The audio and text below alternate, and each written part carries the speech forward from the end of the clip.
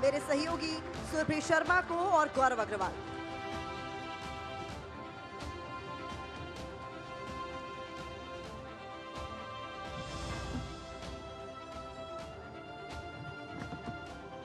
मान साहब स्वागत है। थैंक यू बहुत बहुत शुक्रिया। आप पंजाब से चलकर आ रहे हैं कैसे हैं? क्या हाँ जी। पंजाब से आ रहे हैं क्या फील कर रहे हैं? कैसा पंजाब बिल्कुल ठीक है जी। पंजाब जिस तरह से पंजाब की इमेज है हंसता, खेलता और पूरे देश का पेट पालता और सरहदों पर रखवाली करता पंजाब। इस हँसते, खेलते पंजाब में जो आपकी बड़ी भूमिका रही है, उसमें मैं आज आपको पहले के दौर में लेकर जाना चाहती हूँ। और परिचय में मैं आपको बता दूँ, तालियों के साथ आप जोरदार स्वागत करिए, क्योंकि अब ये चर्चा की शुरुआत होने वाली है भगवंत मान के साहब। बता दें आपके पंजाब के एक छोटे से शहर के, एक छोटे से स्कूल के, एक बड़े मास्टर जी का बेटा। अब बड़े मास्टर जी का बेटा कहा है? तो शरारते तो आप एक्सपेक्ट कर ही सकते हैं। अब आज इनकी पोल खुलने वाली है। चलिए, अब आप मुझे जल्दी से बता दीजिए। आज आप पंजाब के मुख्यमंत्री हैं, लेकिन मैं मास्टर जी के बेटे से ये सवाल करना चाहती हूँ। सोच के कैसा लगता है? ये सफ़र कैसा देखिए, बड़ा अच्छा सफ़र है। सोचे सोच ना होइए, जो सोचे लख बार। गुरबानी में लिखा है। आदमी सोचता कुछ और है, लेकिन परमात्मा ने वाहिगुरु ने भगवान ने उसके लिए रास्ता कोई और बनाया होता है। तो कई बार आदमी कहता है यार ये तो मैंने सोचा भी नहीं था। बहुत बार ऐसी चीज़ें मिल जाती हैं कि ये तो इतना तो मैंने सोचा भी नहीं था। तो एक छोटे सा गाँव है सतौज संगरूर डिस्ट्रिक्ट में। और मेरे पिताजी महेंद्र सिंह वो मतलब एमए पॉलिटिकल साइंस बीएससी और बीएड उस एरिया के काफ़ी तीस किलोमीटर के रेडियस के इकलौते पढ़े लिखे बंदे थे रणबीर कॉलेज संगरूर से उन्होंने पढ़ाई की। साइंस टीचर थे वो। ऑब्वियसली फिर गाँव के बिल्कुल पास ही तीन चार किलोमीटर गाँव है तोलावाल। वहाँ पे वो हेड मास्टर थे बड़े मास्टर थे। बड़े मास्टर तो उन्होंने मेरा दाखला भी वहीं करवा लिया। अब उस उम्र में सिक्स सेवन्थ एट में, वही तो उम्र होती है शरारतें करने की। अब वहीं पे आपका बाप हेडमास्टर हो, ये तो फिर अत्याचारी हो गया ना फिर आपके साथ। तो साथ में जाता था, बंक, कोई बंक भी नहीं मार सकता था, साथ में तो लेके जाते थे साइकिल पे। तो टीचरों को भी पता था यहाँ पे भी बहुत से टीचरों के बेटे बैठे होंगे बेटे बेटियाँ। एक बात पक्की है मानो चाहे ना मानो टीचर के बेटे की ज़्यादा पिटाई होती है। क्योंकि वो मिलते रहते हैं आपस में चाहे आप किसी और स्कूल में पढ़ते हो ना मिलते रहते हैं आपस में कैसा है? थोड़ा हिंदी में कमज़ोर है। कल कल कर देना काम। आते ही हिंदी वाले ने बोला तू कान पकड़ ले पहले। मैंने कहा जी मैंने तो कुछ कहा नहीं कहा तेरे पिता ने कहा था कल। तो काफ़ी तो जो अनएक्सपेक्टेड पिटाई थी वो भी हुई।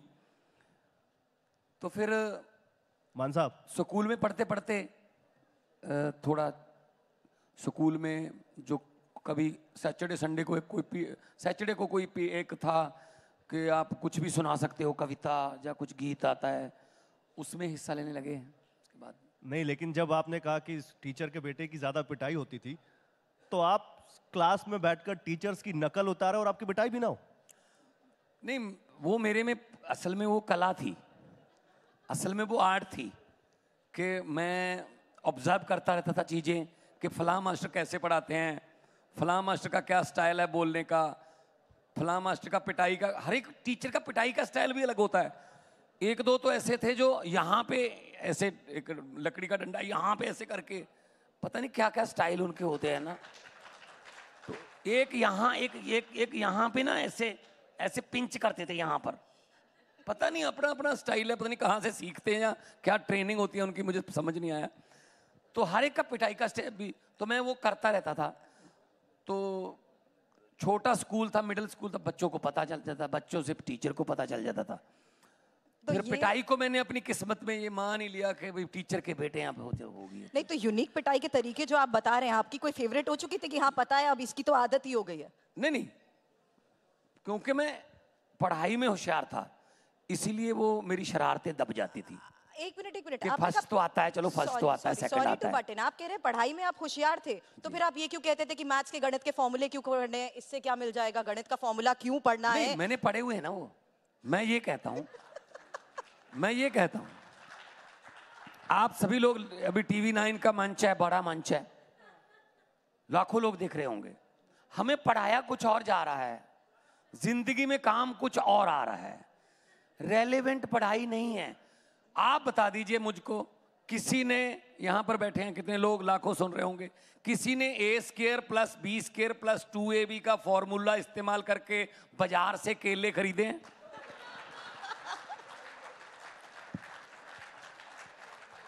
क्यों पढ़ा रहे हैं हमें? टेन थीटा कॉस थीटा ज़िंदगी में काम आया। लेकिन सबसे ज़्यादा नींद हराम इसी ने की टेन थीटा कॉस थीटा भाई तो जिसको साइंटिस्ट बनना है उसको पढ़ाओ।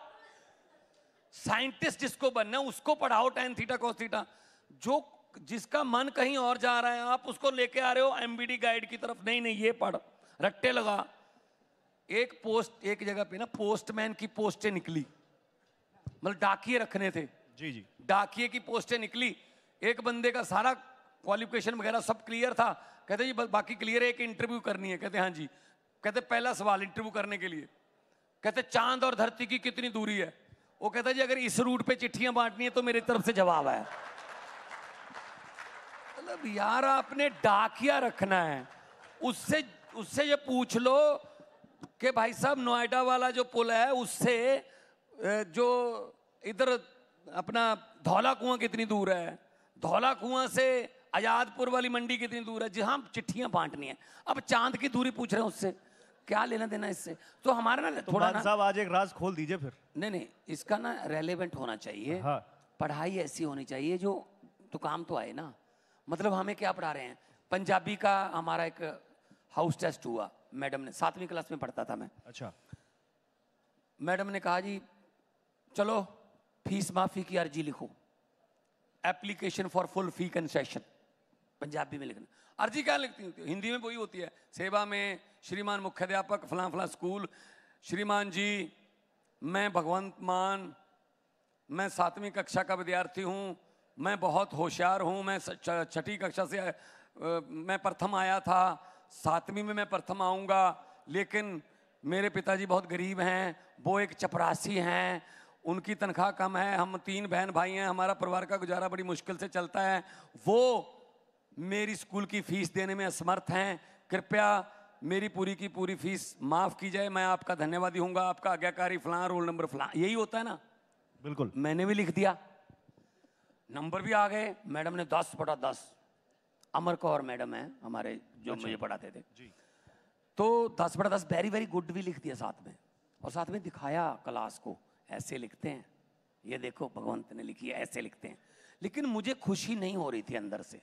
सच बताऊँ कि यार नहीं बात बनी नहीं है कुछ गलत है। सातवीं क्लास की बात बता रहा हूँ। सातवीं का मतलब ग्यारह बारह साल की उम्र होती जी जी। मैंने कहा कोई बात नहीं पिताजी से पूछूँगा जाते हुए छुट्टी के बाद। छुट्टी के बाद साइकिल पे जा रहे थे वापस गाँव को। मैंने बीच में कहा जी रोकिए साइकिल। आप मुझे ये बताइए आप क्यों हमें पढ़ा रहे हो? कहते क्या? मैंने कहा जी आप क्यों पढ़ा रहे हो हमको? कहते, ताकि आपको अकल आए, आपका दिमाग खुले, दुनिया का पता चले, आपको सच और झूठ का फ़र्क पता चले। मैंने कहा, अगर मैं ये कहूँ कि आप हमें झूठ पढ़ा रहे हो और झूठ के नंबर भी दे रहे हो? कहते, क्या क्या हो, क्या मतलब? मैंने वो बस्ते से निकाल के एप्लीकेशन दिखा दी। उन्होंने पढ़ी, कहते, बहुत अच्छी है।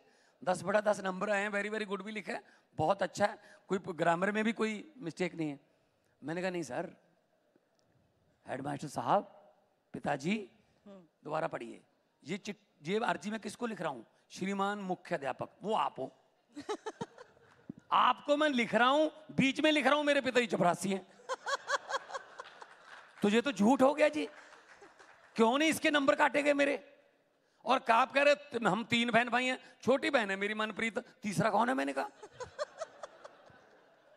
ये तो झूठ के नंबर दिए आपने हमें। गलत है ये तो। तो कहने लगे, मेरे पिताजी ने कहा बेटा अगर गरीबी नहीं लिखोगे तो फ़ीस माफ़ नहीं होगी। पता नहीं उस दिन सरस्वती ज़ुबान पे बैठी थी शायद। मेरे मुँह से निकल गया कोई बात नहीं पिताजी। अगर कोई ऐसा पेन आ गया मेरे हाथ में कि मैं फैसले कर सकता हूँ क्या तो बात? मैं ये अर्जी बदल दूँगा। आज वाह। हम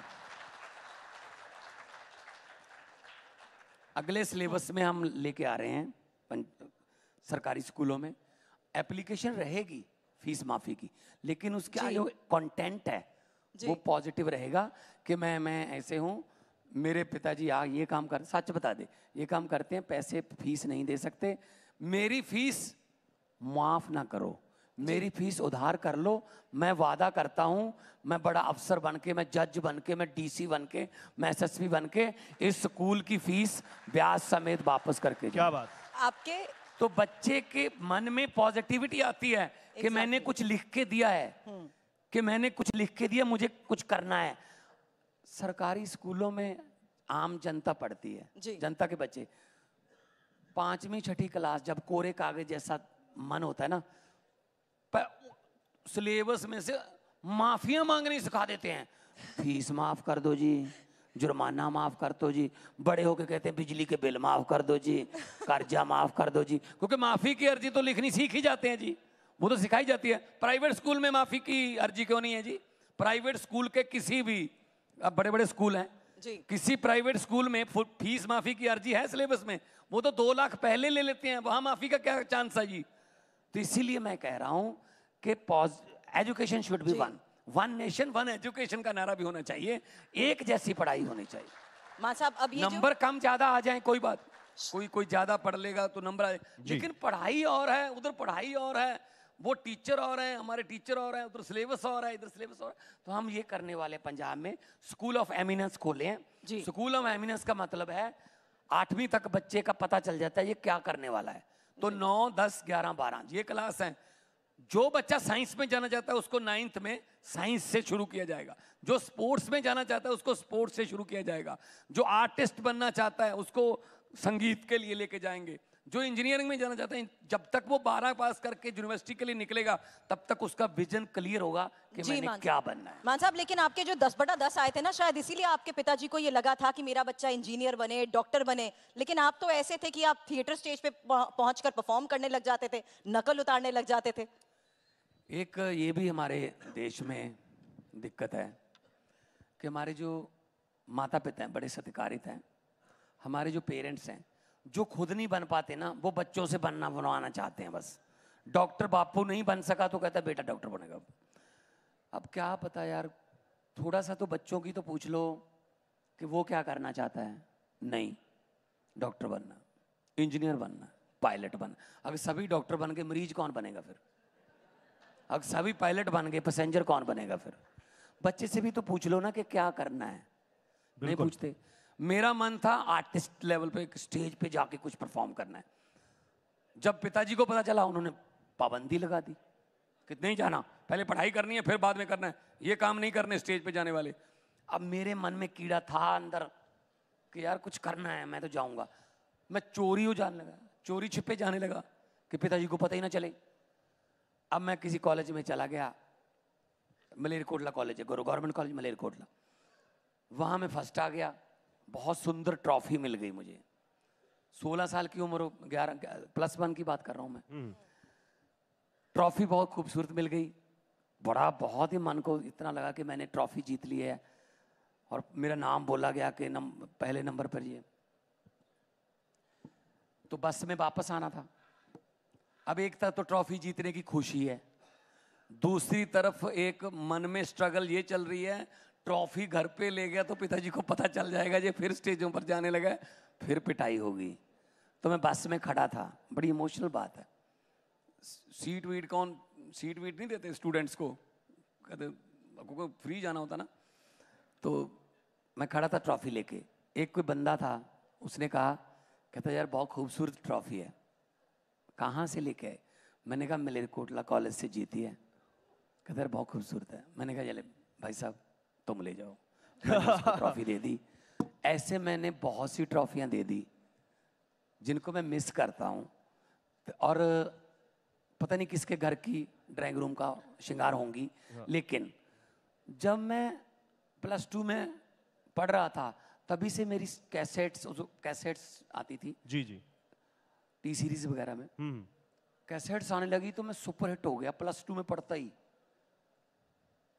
पंजाब का बेस्ट कॉमेडियन का अवार्ड मिल गया मुझे। मतलब मैं भी मशहूर हो गया तो पिताजी भी फ़ेमस हो गए।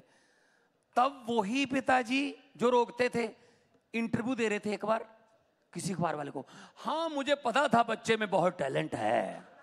मैंने बहुत इनकरेज किया मैंने कहा झूठ बोल रहे हैं। कोई इनकरेज नहीं किया है हटा मैं तो आप चढ़ते सूरज को सलाम है बस। तो मेरे पिताजी की भी ना जो सरकारी चिट्ठियाँ थी वो भी ऐसे आने लगी थी महेंद्र सिंह फादर ऑफ़ भगवंत मान फलां फलां स्कूल मैंने कहा जी सन ऑफ़ तो सुना है फादर ऑफ़ क्या कब से चलने लगा है? वो कहते हैं मैंने कह रखा है कि तेरे नाम से चिट्ठी आ जाए तेरे नाम से थोड़ी जल्दी आ जाती है। सब जानते हैं। अगर अच्छा भला करियर चल रहा था एक आर्टिस्ट के तौर पर परफॉर्म कर रहे थे और आपकी आप इतने फ़ेमस भी हो चुके थे कटरीना कैफ के साथ फ़िल्में भी कर रहे थे ऐसा क्या सोचा कि कटरीना कैफ को छोड़कर आप केजरीवाल के साथ आ गए?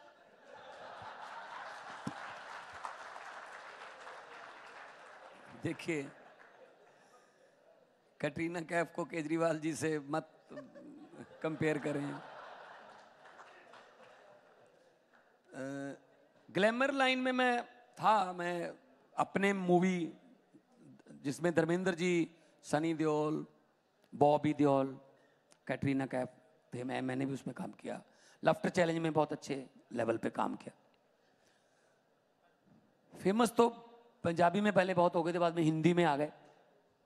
लेकिन मेरे मन में एक बात, क्योंकि मैं पॉलिटिकल स्टायर करता था। मैं स्टायर करता था सिस्टम पर। व्यंगकार हूँ। मैं तो मन में एक बात मेरे ज़रूर आती थी कि सिस्टम ठीक होना चाहिए। लेकिन मेरी सीडी से या मेरे सीरियल से लोग खुश बहुत हो जाते हैं लेकिन सिस्टम में कोई बदलाव नहीं आता। मेरे पास वो पावर नहीं थी कि मैं डिप्टी कमिश्नर को या एसएसपी को कोई ऑर्डर दे सकूँ कि ऐसा नहीं ऐसे होता है। तो मन में बहुत था कि कुछ करना है क्योंकि अगर किसी फ़सल को कोई कीड़ा या सुंडी लगी तो बाहर से शोर मचा के या कोई पत्थरबाजी करके सुंडी नहीं हटेगी। उसके लिए तो पंजाबी में कहते हैं स्प्रे दी ढोली मोढे ते रख के अंदर बढ़ना पैंदा। अगर गटर साफ़ करना है तो गटर के नीचे उतरना पड़ेगा। तो एक मौका आया ऐसा कि मैं राजनीति में मनप्रीत बादल जो आजकल तो बीजेपी में तो उन्होंने अपनी पार्टी बनाने का फैसला किया पीपल्स पार्टी ऑफ़ पंजाब। जी जी। तो उन्होंने कहा कि जो पंजाब को प्यार करते हैं मेरा साथ दे दें। मैं एक मिनट नहीं लगाया मैंने अपना करियर छोड़ दिया मैं उनके साथ चला गया। बाद में वो कांग्रेस के साथ चले गए। इन द मिनट में आम आदमी पार्टी आ गई। तो 2014 में मैं संगरूर से लड़ा और पहली इलेक्शन में हार गया था 2012 में। ये मैं बताना चाहता हूँ बहुत सा जूथ सुन रहा होगा कि पहली इलेक्शन में हार गया था लेकिन मैंने हार नहीं मानी। हारना और हार ना मानना अलग अलग बातें हैं। मैंने कहा बिल्कुल। मैंने कहा नहीं अब आ गए हैं तो करना है। तो कई यूथ जो है ना वो अपने फेलियर एक फेलियर को मान लेते हैं बिल्कुल सही कह रहे हैं एक हाथी था। बहुत पावरफुल है हाथी शक्ति है बहुत। बहुत ही कमज़ोर रस्सी से उसको बांधा गया था महावत में। तो एक बंदा आया कहता तू बहुत बड़ा रिस्क ले रहा है। ये तो रस्सी इसका एक आधे सेकंड का काम नहीं है ऐसे कर दिया इसने रस्सी टूट जाएगी। इतनी कमज़ोर रस्सी से तुमने बांधा हुआ है इसको। तू रिस्क ले रहा है इसको बड़े बड़े संगल जो होते हैं वो लगा दे चेन लगा दे। उसने कहा महावत ने नहीं नहीं नहीं फ़िक्र करने की ज़रूरत नहीं है। ये नहीं तोड़ेगा ये रस्सी। वो कहता क्यों? कहता जब ये छोटा होता था ना तब भी मैं इस रस्सी से बांधता था इसको। तो इसने दो तीन बार ट्राई की रस्सी तोड़ने की। तब ये रस्सी उससे टूटी नहीं क्योंकि उसमें उतनी शक्ति नहीं थी। लेकिन इसने अपने मन में ये बात इसके मन में बैठ गई कि ये रस्सी मुझसे टूटेगी नहीं कभी। मैं फेल हो चुका हूँ रस्सी तोड़ने में इसलिए ये ट्राई नहीं कर रहा। ये ट्राई नहीं कर रहा अब। इसलिए मैं कहना चाहता हूँ यूथ सुन रहा है एक आध अगर फेलियर भी हो जाए ना तो इसका मतलब ये नहीं है कि वो आपकी किस्मती हो गई बस आपकी ज़िंदगी वही हो गई। बिल्कुल। आप ट्राई करो हो सकता है वही टेस्ट जो फेल हो गए थे वही टेस्ट पास करने की काबिलियत आप में आ चुकी हो। तो इसलिए कोई कहे कि भगवंत मान पहली इलेक्शन हार गया था तो मैं अगर छोड़ के चला जाता कि नहीं इलेक्शन मेरे बस का बात नहीं है। मैं लड़ा 2014 में एमपी बना 2019 में एमपी बना और दिग्गजों को हराया बड़े बड़े और 2022 में अ, सरकार बनी तो मुख्यमंत्री आ गए दिग्गजों तो की आप बात कर रहे हैं मान साहब तो मतलब ये है कि ना तो कोई तरक्की की उम्र होती है बिल्कुल सही ना बात। कोई सपने चुनने या बुनने की उम्र होती है अब्दुल कलाम जी ने कहा है कि सपने सपने वो नहीं होते जो नींद में आते हैं सपने वो होते हैं जो आपको सोने नहीं सोने नहीं देते। तो इसलिए सपने बुने और आदमी बड़ा सालों से नहीं आदमी बड़ा ख्यालों से होता है। क्या बात शहीद आज़म भगत सिंह तेईस साल की उम्र में शहीद हुए आज भी वो तेईस साल के ही हैं। कई बंदे नब्बे नब्बे साल की उम्र में मौत का इंतज़ार करते रहते हैं बुज़ुर्ग। आसपास के पड़ोसियों को भी नहीं पता होता कि इनका बुज़ुर्ग मर गया या ज़िंदा है। इतनी गुमनाम ज़िंदगी। कहाँ भगत सिंह तेईस साल की उम्र में कहाँ बानवे साल का बंदा है उसका पता ही नहीं। सो आदमी बड़ा ख्यालों से होता है सही बात है। शहीदों के ख्याल बड़े वाकई आपने जो बातें कही इसमें कोई दो राय नहीं है। लेकिन आपने दिग्गजों की बात की आपने अभी ज़िक्र किया लाफ्टर चैलेंज का। लाफ्टर चैलेंज में एक शख्स थे जो आपको सामने से बैठ के जज करते थे और बड़ी तारीफें करते थे आपने। क्या भगवंत मान तुमने क्या कहा क्या बोला? अरे मज़ा आ गया। आज वही आपके सामने है जज कर रहे हैं तारीफ़ नहीं कर रहे। नवजोत सिंह सिद्धू। सामने बैठते थे।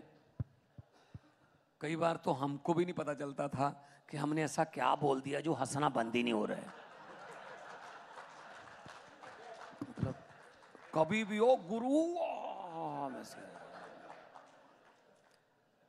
एक बंदे ने मुझसे पूछ लिया, कहता जब लफ्टर चैलेंज में ब्रेक आती है, तब आप क्या करते हो? मैंने कहा, नवजोत सिद्धू के सेल बदलते हैं। क्योंकि वो इतना ज़ोर से हंसता है, वो सेल बैटरी खत्म हो जाती है जल्दी। फिर उनके सेल चेंज कर देते हैं हम। तो सिद्धू साहब ने लफ्टर चैलेंज में मेरे जज थे। एज ए क्रिकेटर मैं बहुत रिस्पेक्ट करता, मैं जब से क्रिकेट देखना शुरू किया, लगभग श्रीकांत के साथ ओपनर आते थे। तो मनोज प्रभाकर के साथ ओपनर आते थे, तब अजरुद्दीन कैप्टन थे। मैं बहुत स्पोर्ट्स लवर हूँ, बड़ा रिस्पेक्ट करता हूँ। बाद में राजनीति में आ गए वो। मैं भी राजनीति में आ गया। उनकी अलग पार्टी है। एक नहीं उनकी अलग पार्टियाँ हो गई। तो तमान साहब इतनी क्या नाराज़गी उनकी आपसे हो गई कि वो ये तक कहने लग गए कि पीली पगड़ी पहनने से कोई भगत सिंह नहीं हो जाता? मैंने कब कहा जी पीली पगड़ी पहनने से सिद्धू साहब ने कहा आपके लिए। नहीं ये तो इतनी वो नाराज़गी उनकी मैं कब कहता हूँ कि पीली पगड़ी पहनने से कोई भगत सिंह बन जाता है? सिद्धू भगत सिंह बनना आसान है कोई। भगत सिंह बनना कुछ कोई आप वो, वो कहावत है कि लेनन लेनन जैसा जो टोप तो ले आओगे, उसके जैसा नीचे सर सर कहाँ से लाओगे? भगत सिंह बनना आसान है कोई। पगड़ी तो पहन लोगे पीले रंग की, लेकिन भगत सिंह की पगड़ी के नीचे जो सर था, जो दिमाग था, वो कहाँ से लाओगे? हम तो उनके पाँव की धू, धूल के तिनके भी नहीं है उनके। हमने कब कहा कि हम भगत सिंह के? हाँ उनके जैसी सोच तो रख सकते हैं। भगत सिंह ने कहा था, आज़ादी मिलेगी या नहीं मिलेगी इसका मुझे कोई शक नहीं आज़ादी मिलेगी। लेकिन आज़ादी के बाद देश कौन से हाथों में जाएगा इसका मुझे डर है। तो ये ये ये इस, इसको तो फॉलो कर सकते हैं।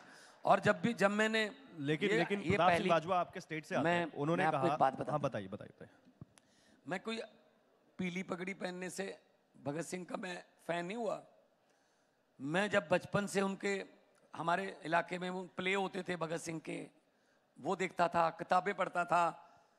जब मैं आर्टिस्ट बना तो जो मैं नई गाड़ी लेता था मैंने चार पाँच गाड़ियाँ बदली एज एन आर्टिस्ट जब होते थे। जब भी मैं गाड़ी लेता था आमतौर पे हम गाड़ी लेते हैं शोरूम से सीधा मंदिर या गुरुद्वारा में ले गया मैं गाड़ी चाहे चार बजे मिले मुझे चाहे रात के पाँच बजे रात के दस बजे मिले मैं गाड़ी शोरूम से निकालता था सीधा खटखड़ कला भगत सिंह के गाँव में माथा टेकता था। ये किसी को पता नहीं है। और मैं कहता था तुम्हारी वजह से गाड़ियों वाले हो गए, बंगलों वाले हो गए। अगर तुम ना होते हम अगर तुम्हारा, तुम्हारी कुर्बानी ना होती तो गुलाम होते। मैं तो तब से भगत सिंह का फ़ैन हूँ जी। और जब जब हमने ये पगड़ी कहाँ से पहननी शुरू की? चौदह की इलेक्शन में पगड़ी के बिना लड़ा था। दो हज़ार चौदह में। जब मैं जीत गया तो मुझे सर्टिफिकेट मिला एमपी का। आमतौर पे सर्टिफिकेट लेके लोग जो नेता हैं वो अपने प्रधान के पास जाते हैं, जी, आपकी झोली में सीट डाल दी। मैं खटखड़ कला गया। भगत सिंह के गाँव में मैंने उसके पाँव में वो रख दिया, जो सर्टिफिकेट था, और कहा कि ऐसे लाख सर्टिफिकेट पे तू लात नहीं मारता। कुछ नहीं है ये औकात एमपी की। लेकिन मैं वहीं पे जा रहा हूँ, जहाँ तुम एक आवाज़ देने वाला एक बम फेंक कर उनके कान खोलने थे गोर अंग्रेज़ों के। तो मैं आपकी पीले रंग की पगड़ी पहनूँगा, मैं ज़ुबान के बम वहाँ पे चलाऊँगा ताकि जनता के पक्ष में सरकारों के कान खुले रहें। तब से मैंने शुरू की है। और जब मुख्यमंत्री बने, आमतौर पे क्या होता है, मुख्यमंत्री का जो ओथ सेरेमनी होती है, वो या तो राजभवन में होती है, या फिर किसी स्टेडियम में होती है।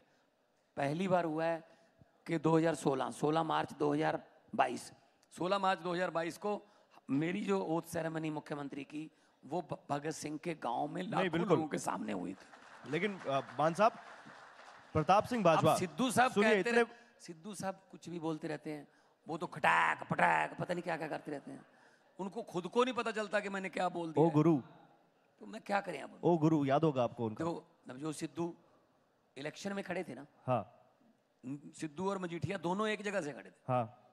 और हमारी एक सोशल वर्कर है जीवन जोत कौर। एक ही बटन दबाया लोगों ने दोनों हार गए।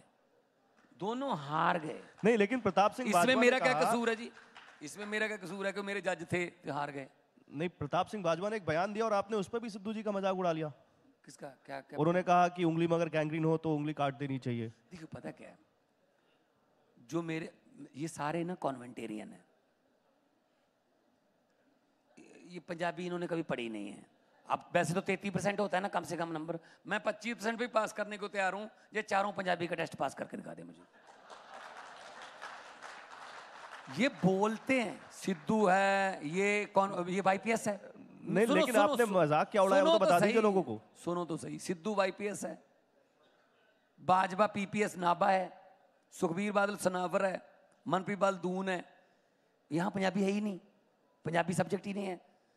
इनको मैं सवाल भी पहले बता दूँगा, जो इन्होंने देने हैं, कि पंजाब की राजधानी कौन सी है? इनको भी पता चंडीगढ़ है, लेकिन लिखना नहीं आता ना चंडीगढ़। आ जाओ। और पंजाब का आप कह रहे हो कि हम पंजाब को संभालेंगे, हम पंजाब के किंग हैं। असल में क्या है, इन सबको दिक्कत ये नहीं है कि आम आदमी पार्टी की सरकार बन गई। इनको दिक्कत ये है कि आम घरों के बेटे बेटियाँ ये कुर्सियाँ पर, कुर्सियों पर क्यों बैठ गए जहाँ हमारे बेटे बेटियाँ बैठते थे? ये पंगा है। और वो कह रहा है, प्रताप बाजवा ने कहा, ये कैसा मटेरियल हमारे सामने आ गया? मटेरियल बोल रहे हैं हमें वो। कहते एक मोबाइल ठीक करने वाला एमएलए बन के आ गया। मैंने कहा मोबाइल ठीक करने वाला नहीं, दिमाग ठीक करने वाले भी कई आए हैं आपके। हमारे उस जो मोबाइल ठीक करने वाला ना, जिसका नाम लिया, उसने सिटिंग सीएम चन्नी को हराया अट्ठाईस साल, उनतीस साल का नौजवान लड़का है। हमारी एवरेज एज थर्टी नाइन है पंजाब में। बानवे में से अस्सी फ़र्स्ट टाइमर हैं।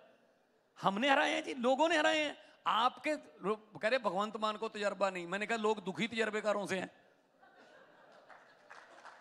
तो लोगों ने मुझे तो लोगों को बता तो दीजिए मान साहब तो- लोगों को बता तो दीजिए आपने कहा क्या था उस, उस समय? जब प्रताप सिंह बाजवा ने कहा था गैंग्रीन वाली बात। क्या? आपने कहा क्या था सिद्धू जी के लिए? सिद्धू के लिए? हाँ। सिद्धू के लिए तो मैं रोज ही बोलता रहता हूँ। जैसे?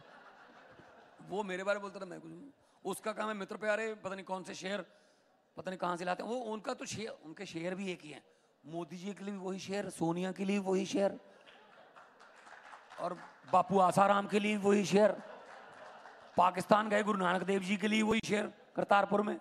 वो तो बस सिर्फ़ शेर बंदा बदलता है शेर नहीं बदलता। रट्टे लगे हैं ना पेट्रोल पंप में और तेल के कुएँ में फ़र्क होता है ना। पेट्रोल पंप में जितना तेल डालोगे उतना ही निकलता है। तेल के कुएँ से जितना निकालते जाओगे साफ़ निकलता है। नहीं नहीं मैं बता देता हूँ। जब उन्होंने कहा। कि जिस उंगली में गैंग्रीन हो उस उंगली को काट देना चाहिए तो आपने कहा आपने कहा कि उंगली कट जाएगी तो पंजा रहेगा कैसे? मैं मैं बता नवजोत सिंह सिद्धू जो है ना वो शादी में लेने देने वाले सूट नहीं होते। उनकी तरह है। उनको ना तो कोई लिफाफे से बाहर निकालता है।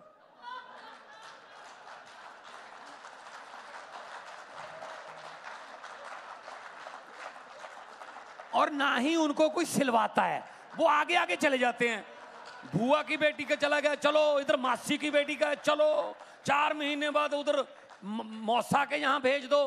कई बार, डेढ़ साल बाद अपने ही सूट अपने को वापस आ जाता है।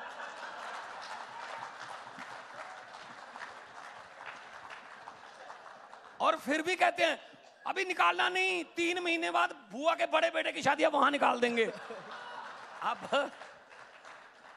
कांग्रेस की किस्मत देखो, उन्होंने उन्होंने सूट को लिफाफे से निकाल लिया। अब ना तो वो किसी से सिलता है, ना लिफाफे में वापस जा रहा है। भरे पड़े हैं यार, क्या करें इसका? तब भी 12-13 साल में जिस तरीके की ये सच है कि 12-13 साल में जो पॉपुलैरिटी हासिल की है आज जब काम की बात आती है तो आपका घेराव ज़रूर होता है। और जब यूथ का आपने यहाँ पर सवाल किया तो मैं ये बता दूँ कि यूथ की अगर हम बात कर रहे हैं तो एक फैक्ट ये भी है कि उन्नीस सौ इक्यावन के बाद एशियन गेम्स में ये रिकॉर्ड बना है जब आठ गोल्ड छह सिल्वर और छह ब्रॉन्ज भी उसी यूथ ने पंजाब में हासिल है। बत्तीस में से बीस मेडल पंजाबियों ने जीते हैं इस बार। क्योंकि हमने स्पोर्ट्स पॉलिसी ऐसी कर दी कि हमने पहले पैसे देने शुरू किए कि एशियन में जाना है नेशनल में जाना है कॉमनवेल्थ में जाना है ओलंपिक में जाना है। बाद में, देखो मेडल जीतने के बाद तो कोई भी सम्मानित कर देता है। लेकिन उनको मेडल जीतने लायक तो बनाइए। हम पंद्रह लाख रुपए पहले देते हैं कि कम से कम वो शू तो खरीद लो, जिन शू को पहन के भागा जाता है। कम से कम वो गद्दा तो मिल जाए जिसपे ओलंपिक में कुश्ती होती है हम प्रैक्टिस करते हैं मिट्टी पर वहाँ जाके मिलता है गद्दा तो हमारी ग्रिप ही नहीं बनती। तो हमने एक एक करोड़ रुपया एक करोड़ हमारा गोल्ड का है सेवेंटी फाइव लाख है हमारा सिल्वर का पचास लाख है हमारा ब्रॉन्ज का। अभी पैसे दिए हमने प्लेयरों को जिसमें जिन्होंने जीते हैं। हॉकी में इस वक्त दस प्लेयर जो है ना ग्यारह में से दस प्लेयर पंजाबी हैं। हॉकी टीम जो भारत की है। दस पंजाबी हैं। हमने एक करोड़ रुपया एक गोल्ड मेडल को देने का फैसला किया। तो आया कि दस प्लेयर पंजाबी हैं। हरमनप्रीत कैप्टन है गुरजंट है शमशेर है मेरे वरुण है सारे। तो हमने ये फैसला किया कि टीम को एक करोड़ नहीं देना। दस के दस पंजाब के जो हैं हर एक अकेले अकेले को एक एक करोड़ रुपया देना है। जी वो अब एक और बात मैं इसीलिए फिर बच्चों में आ रहा है बिल्कुल लेकिन जहाँ सिद्धू जी का सवाल कर रही थी उन्होंने तो ये भी कह दिया आप ही के फैसले पर सवाल उठाते हुए कि भगवंत मान ने मुफ़्त की रेवड़ी के चक्कर में पंजाब को कर्ज में डाल दिया है। और पंजाब में कर्ज की बात का इस तौर पर ज़िक्र कर रहे हैं कि पंजाब सबसे बड़े कर्ज में है। यहाँ तक कि राज्यपाल की भी यही राय है। यूपी के बारे में राज्यपाल की ये राय क्यों नहीं है? गुजरात के बारे में राज्यपाल की ये राय क्यों नहीं है? ये राय सिर्फ़ बंगाल केरला तमिलनाडु पंजाब और दिल्ली के राज्यपालों की क्यों है? पता है ना? आपको पता है फिर ही हंस रही हैं आप। नहीं कुछ तो बात होगी ना। ये पाँच स्टेट के क्या क्या हो गया इन पाँच स्टेट में? वही मैं आपसे जानना चाहती हूँ कि ऐसी क्या बात है। मैं बताता हूँ। सुनता सुनते रहो। पौने तीन लाख का कर्जा जब हमने संभाला, पौने तीन लाख करोड़ का कर्जा पंजाब पर। भाई साहब, कहाँ खर्चा? तब तो सिद्धू साहब भी थे ना। अकाली बीजेपी में भी सिद्धू थे। बाद में कांग्रेस में भी सिद्धू थे, मिनिस्टर थे। और बिजली डिपार्टमेंट दे रहे थे, लिया नहीं। खुद कुछ करना नहीं, किसी को करने नहीं देना। खुद बिजली डिपार्टमेंट जो है वो लेके ये फ्री की रेबड़ी कर रहे हैं। तो आप खुद कर देते बिजली फ्री? मैंने की बिजली फ्री? नब्बे छह सौ यूनिट फ्री कर दिया जी। तीन सौ यूनिट पर मंथ। दो महीने का साइकिल है। छह सौ यूनिट, कोई भी घर हो, उसमें कोई लाल, पीला कार्ड नहीं चलेगा।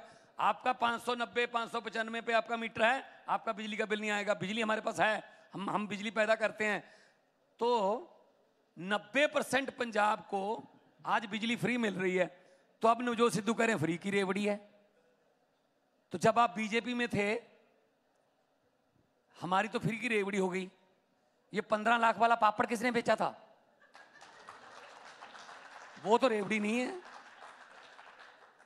ये काले धन का पापड़ किसने बेचा था? अगर अरविंद केजरीवाल बिजली फ्री दे दे 300 यूनिट अस्पतालों में इलाज फ्री कर दे, बच्चों की पढ़ाई फ्री कर दे तो ये रेवड़ियाँ हैं।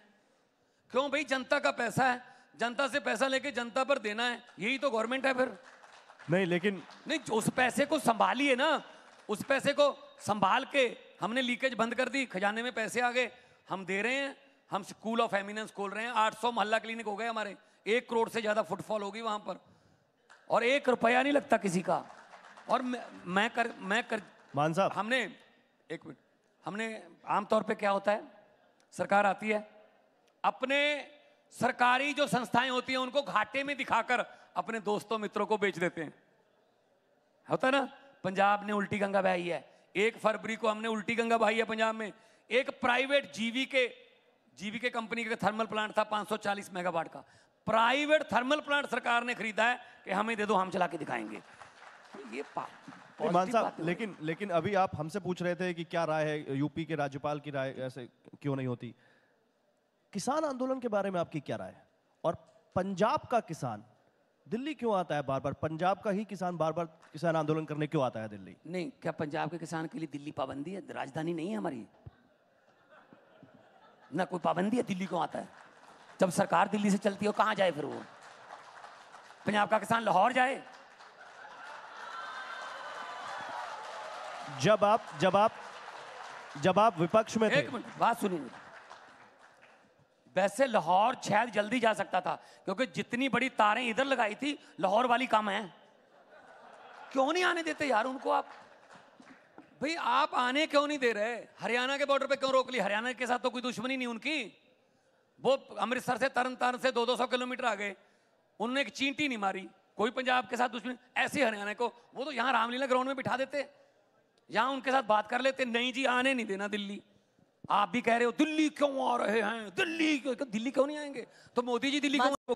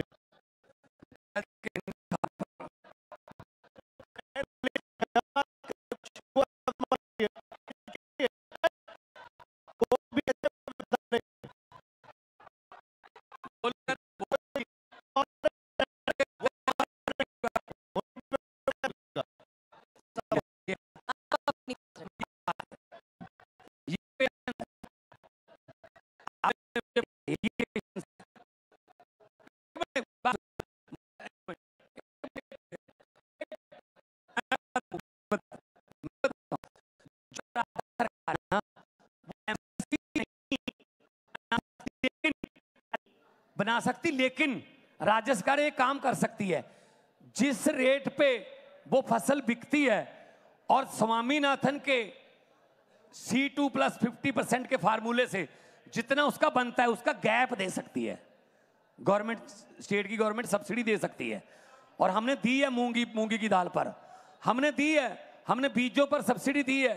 हमने हमने बिजली पर सब्सिडी, हमारी बिजली अठारह हज़ार करोड़ की फ्री दे रहे हैं हम।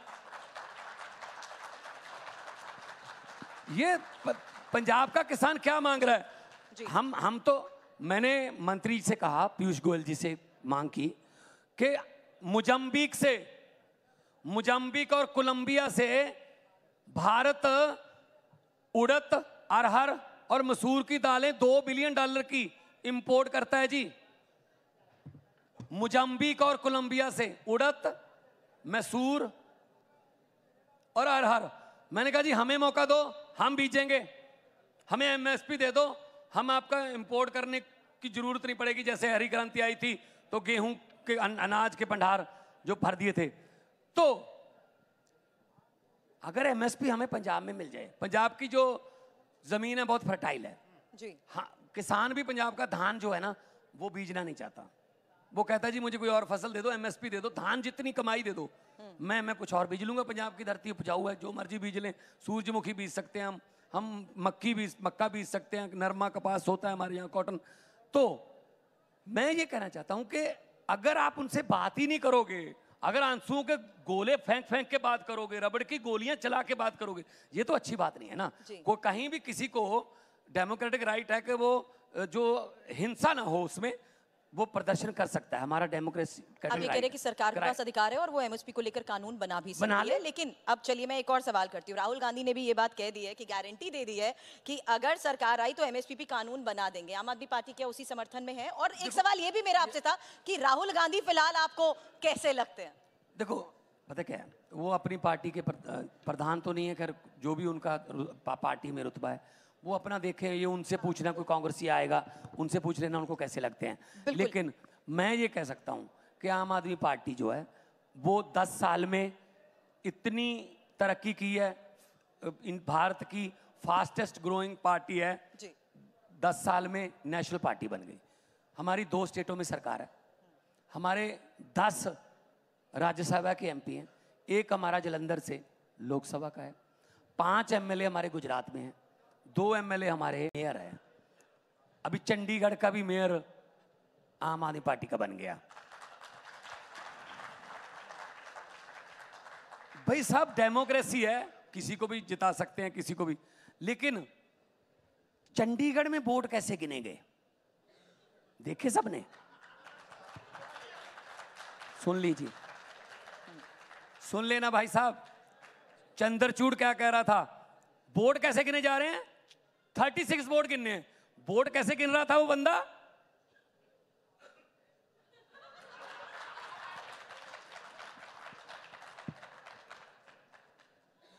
तो फिर वो वोट गलत निकले ना तो फिर सुप्रीम कोर्ट ने क्या कहा कि मेयर आम आदमी पार्टी का बनेगा।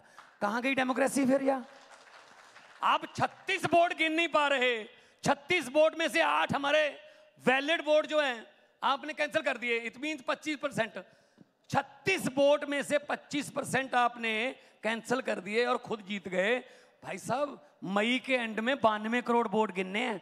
तब क्या होगा? नहीं नहीं बिल्कुल और मैं उसी सवाल? मैं उसी सवाल पे आ रहा था। क्या होगा तब? चंडीगढ़ का आपने उदाहरण दिया और बड़ा शानदार इलेक्शन आपने और कांग्रेस पार्टी ने इंडिया गठबंधन के तहत मिलकर लड़ा। इसमें कोई दो राय नहीं। पाँच राज्यों में आपने गठबंधन कर लिया आम आदमी पार्टी और कांग्रेस का। एक मिनट मेरा सवाल सुन लीजिए। पंजाब में आपने गठबंधन क्यों नहीं किया कांग्रेस पार्टी से। पहली बात तो ये है, चंडीगढ़ का हमने शानदार इलेक्शन लड़ा, लेकिन मेयर सुप्रीम कोर्ट से लेके आना पड़ा। दिल्ली का एमसीडी का शानदार इलेक्शन लड़ा, मेयर सुप्रीम कोर्ट से लेके आना पड़ा। बजट सेशन बुला रहा था पिछली बार, हमारे गवर्नर साहब कहते, मैं बजट सेशन की इजाज़त नहीं दूँगा। सुप्रीम कोर्ट में आए, पहली पेशी पर कहते हाँ हाँ बुला लो। और सुप्रीम कोर्ट ने भी कहा कि तुम रोक नहीं सकते बजट सेशन को। हमें हर बात पे केरला वाले अपने पैसे लेने के लिए सुप्रीम कोर्ट में घूम रहे हैं। आरडीएफ का रूरल डेवलपमेंट फंड का मेरा साढ़े पाँच हज़ार करोड़ रुपया केंद्र ने रोक के रखा हुआ है। उसके लिए हम सुप्रीम कोर्ट गए हुए हैं। क्या मतलब सरकार सुप्रीम कोर्ट से चल रही है? सिर्फ़ उन स्टेटों में जहाँ इनकी सरकार नहीं है। फिर कहते हो दिल्ली क्यों आते हो? दिल्ली क्या क्या करें दिल्ली से बराबर तो होगा नहीं। जब आरडीएफ का पैसा किसानों का पैसा है वो मंडी का पैसा है मंडियों के संबंधित सड़कों का पैसा है मैं सतासठ हज़ार करोड़ सड़कें मुद्दा मुद्दा सुप्रीम कोर्ट नहीं है मुद्दा इंडिया गठबंधन है। इंडिया गठबंधन के तहत आप भी हैं कांग्रेस पार्टी भी है। दिल्ली में आपने गठबंधन कर लिया चंडीगढ़ में कर लिया गोवा में कर लिया गुजरात में कर लिया। पंजाब में क्या दिक्कत मैं बताता हूँ। देखिए कुछ कुछ जो बातें हैं ना देश के लिए होती हैं। अगर देश ही ना रहा संविधान ही ना रहा आम आदमी पार्टी क्या करनी है हमने? अगर अगर हमारा देश में डेमोक्रेसी नहीं रहेगी तो डेमो, हम क्या इलेक्शन लड़के करेंगे? दिल्ली में, हरियाणा में, गुजरात में, गोवा में। हमने एक कांग्रेस से नहीं किया। Congress is a part of India आप कांग्रेस क्यों कहते हो इसमें? उसमें सपा भी है, उसमें तेजस्वी भी है, उसमें स्टालिन भी है, उसमें ममता भी है। कांग्रेस क्यों कह रहे हो आप? तो ये गठबंधन है। इसमें क्या पता जनता किसको बड़ा बना देगी? क्या पता कोई एक ऐसी पार्टी जो सबसे ज़्यादा सीटें लेके आ जाए। हमारा मकसद वो नहीं है। पहले देश है। नहीं मान लिया आप पहले। देश है। लंबे सफ़र को मीलों में मत बांटिए कौम को कबीलों में मत बांटिए। एक बहता दरिया है मेरा भारत देश। इसको नदियों और झीलों में मत बांटिए। ये नफरत की जो दीवार खींचते हो तो मतलब ये कोई रणनीति है? ये रणनीति है आपकी कोई? ये रणनीति है कि अलग अलग लड़ेंगे ताकि बीजेपी ना पंजाब में तो हमारी आम आदमी पार्टी का अ, मैं मैंने तो तेरह ज़ीरो का नारा दिया हुआ है तेरह जीत के आएँगे। जी चलिए अब एक रैपिड फायर आपके साथ खेलेंगे और कुछ सवालों का जवाब हाँ या ना में चाहेंगे। इसीलिए ये देखिए आपके साथ बोर्ड है और इस पर आपको यस या नो के ज़रिए जवाब यस और नो जवाब देना है। केवल यस और नो आप तो आदि रैपिड फायर आपने बहुत खेले सिंपल सवाल और आपका बस यस और नो में जवाब। पहला सवाल नवजोत सिंह सिद्धू अगर आम आदमी में पार्टी में आते हैं तो उनका स्वागत है? नो? एक मिनट एक मिनट, कारण भी बता दूँ। हाँ। हमने एक साल पहले दिल्ली अपना पंजाब की सरकार के एक साल पहले जनवरी 2021 में ऑफ़र किया था। और मुख्यमंत्री का अहदा ऑफ़र किया था। सिद्धू को? यस मैंने कहा था अरविंद केजरीवाल जी को कि अगर अगर नवजोत सिंह सिद्धू आते हैं मुख्यमंत्री का अहदा उनको पोस्ट दे देना कोई प्रॉब्लम नहीं मुझे तो पंजाब को बचाना है मैं तो कोई प्रॉब्लम नहीं मुझे काम करने में लेकिन मेहनत करें लेकिन उन्होंने मना कर दिया था। तो इसीलिए फिर अब हमारी तरफ़ से भी मना है। मैंने आपसे सवाल किया था राहुल गांधी कैसे लगते हैं? आपने जवाब नहीं दिया बस ये बता दीजिए कांग्रेस ईमानदार है? है जी। कांग्रेस ईमानदार पार्टी है? नहीं ऐसा तो मैं कह नहीं सकता। तो दिखाएँगे भी नहीं। नो आपके इंडिया गठबंधन आपने उस पार्टी के साथ साठ गठबंधन कर सत्तर लिया। साठ सत्तर साल से हमारे बुज़ुर्ग इन्हीं से तो पीड़ित हैं। अब मैं कैसे कह दूँ ईमानदार है? कांग्रेस को हरा के तो सरकार बनाई है हमारी पंजाब में। इतने बड़े बड़े घोटाले हैं।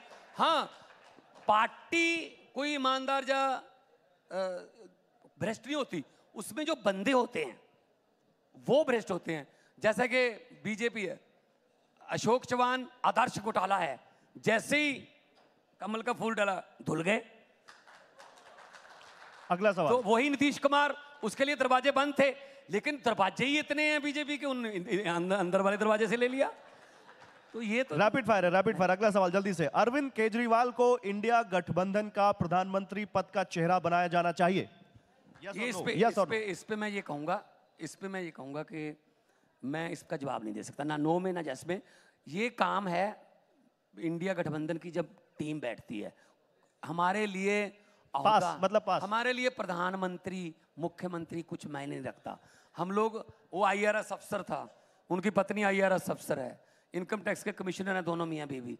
चाहते तो बहुत पैसे कमा सकते थे मैं एक कलाकार था चाहता तो कितने पैसे लेकिन ये मंत्री संतरी बनने थोड़ी आए हैं पंजाबी के शायर हैं सुरजीत पात्र उनका एक शेर है कि मैं तुरदा नहीं मैं तुरदा हाँ ਤਾਂ ਰਾਹ ਬਣਦੇ ਯੁੱਗਾਂ ਯੁੱਗਾਂ ਤੋਂ ਆਉਂਦੇ ਕਾਫਲੇ ਇਸ ਗੱਲ ਦਾ ਗਵਾਹ ਬਣਦੇ ਹਮੇਸ਼ਾ ਸੋਚਿਆ ਬਣੀਏ ਲੋਕਾਂ ਦੇ ਪਿਆਰ ਦੇ ਪਾਤਰ ਕਦੇ ਵੀ ਨਹੀਂ ਸੋਚਿਆ ਆਓ ਬਣਦੇ ਜਾਂ ਆ ਬਣਦੇ चलिए अगला सवाल देश में यूनिफॉर्म सिविल कोड लागू होना चाहिए Yes or no? इसमें इससे तो नहीं मैं तो इस, इसके मैं No. तो इसके खिलाफ बोला था।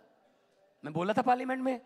क्योंकि इससे आप कैसे मतलब कर पाओगे कि हमारी जो हर धर्म की शादी का टाइम अलग हमारे 12 बजे से पहले पहले आनंद कार्य होते हैं जो हिंदू फैमिलीज़ हैं वो रात को दो बजे फेरे होते हैं। किसी का मुहूर्त सुबह छह बजे का निकलता है। तो आप आप कैसे आप कैसे कर लोगे? ठीक बात है। सबकी आज़ादी तो अभी रैपिड फायर चल रहा रुके सबकी नहीं भाई साहब एक मिनट सबकी आज़ादी धर्म की तो आज़ादी कम से कम चाहिए। धर्म में कोई छेड़छाड़ नहीं चाहिए। वैसे हमारे संविधान ने सबको एक राइट दिया हुआ है वो पहले ही है। मान साहब, अगला दोबारा सवाल। लाने की क्या ज़रूरत है? रैपिड फायर का आखिरी सवाल। देश में राहुल गांधी की पॉपुलैरिटी नरेंद्र मोदी से ज़्यादा है?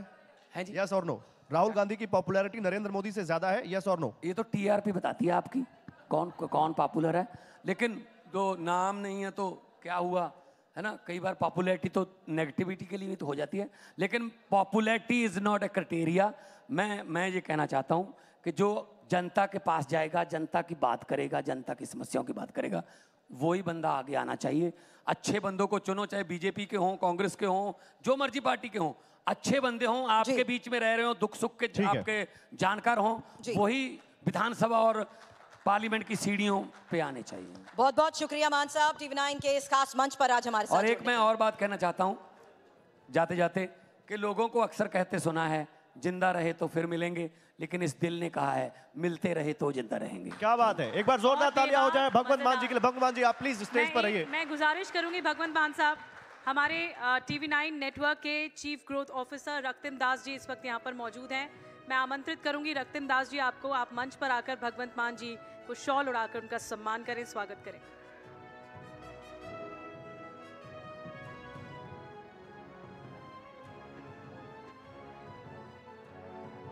जोरदार तालियाँ एक जानदार सेशन और जोरदार तालियाँ ऐसे में बनती हैं। बहुत बहुत धन्यवाद। बहुत ही तो मज़ेदार। मान ने निधि बहुत तमाम मुद्दों पर अपनी बात बेबाकी से रखी है खासतौर पर बहुत महत्वपूर्ण हो जाता है उनकी तरफ़ से ये कहना कि विपक्ष लगातार टारगेट आम आदमी पार्टी को इसलिए कर रहा है क्योंकि आम आदमी सीएम की कुर्सी पर बैठ गया और इस पर अब सियासत ज़रूर होने वाली है। बिल्कुल बहुत मज़ेदार क्लियर कट और बेबाक संवाद रहा भगवंत मान साहब के साथ। एक विरोध ज़रूर देखने को मिला लेकिन उनकी तरफ़ से तो यहाँ पर हमारे तमाम दर्शक लगातार मौजूद हैं और हम अगले सेशन की ओर भी जल्द बढ़ने वाले हैं। इसलिए मैं चाहूँगी कि तमाम लोग जो हॉल में मौजूद हैं वो अपनी सीट्स पर बैठे रहें क्योंकि अगला सेशन और ज़्यादा मज़ेदार होने वाला है। एक से एक गेस्ट लाइनअप है हमारे पास। बड़े बड़े पैनलिस्ट टीवी नाइन के इस सत्ता सम्मेलन में शामिल होने वाले हैं अपनी बात रखने वाले हैं। ऐसे में मैं चाहूँगी कि सभी लोग यहाँ जो हॉल में इस वक्त मौजूद हैं वो अपनी अपनी सीट्स पर बैठे रहें। आप सभी से अनुरोध है प्लीज़ प्लीज़ अपना स्थान ग्रहण कर लें। आप सभी से रिक्वेस्ट है प्लीज़ सेटल डाउन हो जाए। हम अपने अगले पैनल की तरफ़ आगे बढ़ रहे हैं। आप सभी से एक बार फिर रिक्वेस्ट करते हैं हम सभी। प्लीज़ सेटल डाउन हो जाए।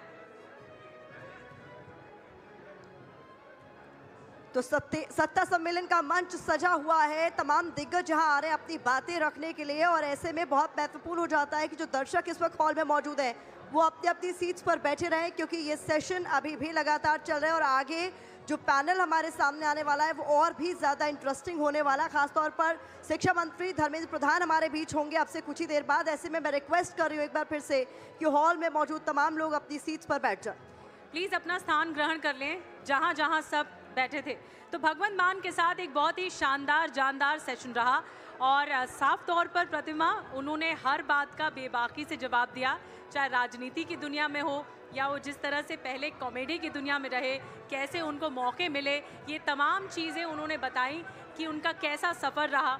कि वो पढ़ाई में कैसे थे और फिर उसके बाद राजनीति में क्यों आना पड़ा? बिल्कुल, और भले ही तमाम अलग अलग दलों के नेताओं का आमना सामने ना हुआ हो निधि, लेकिन कहीं ना कहीं एक दूसरे की सवालों में एक दूसरे को जवाब भी देने की कोशिश यहाँ की जा रही थी।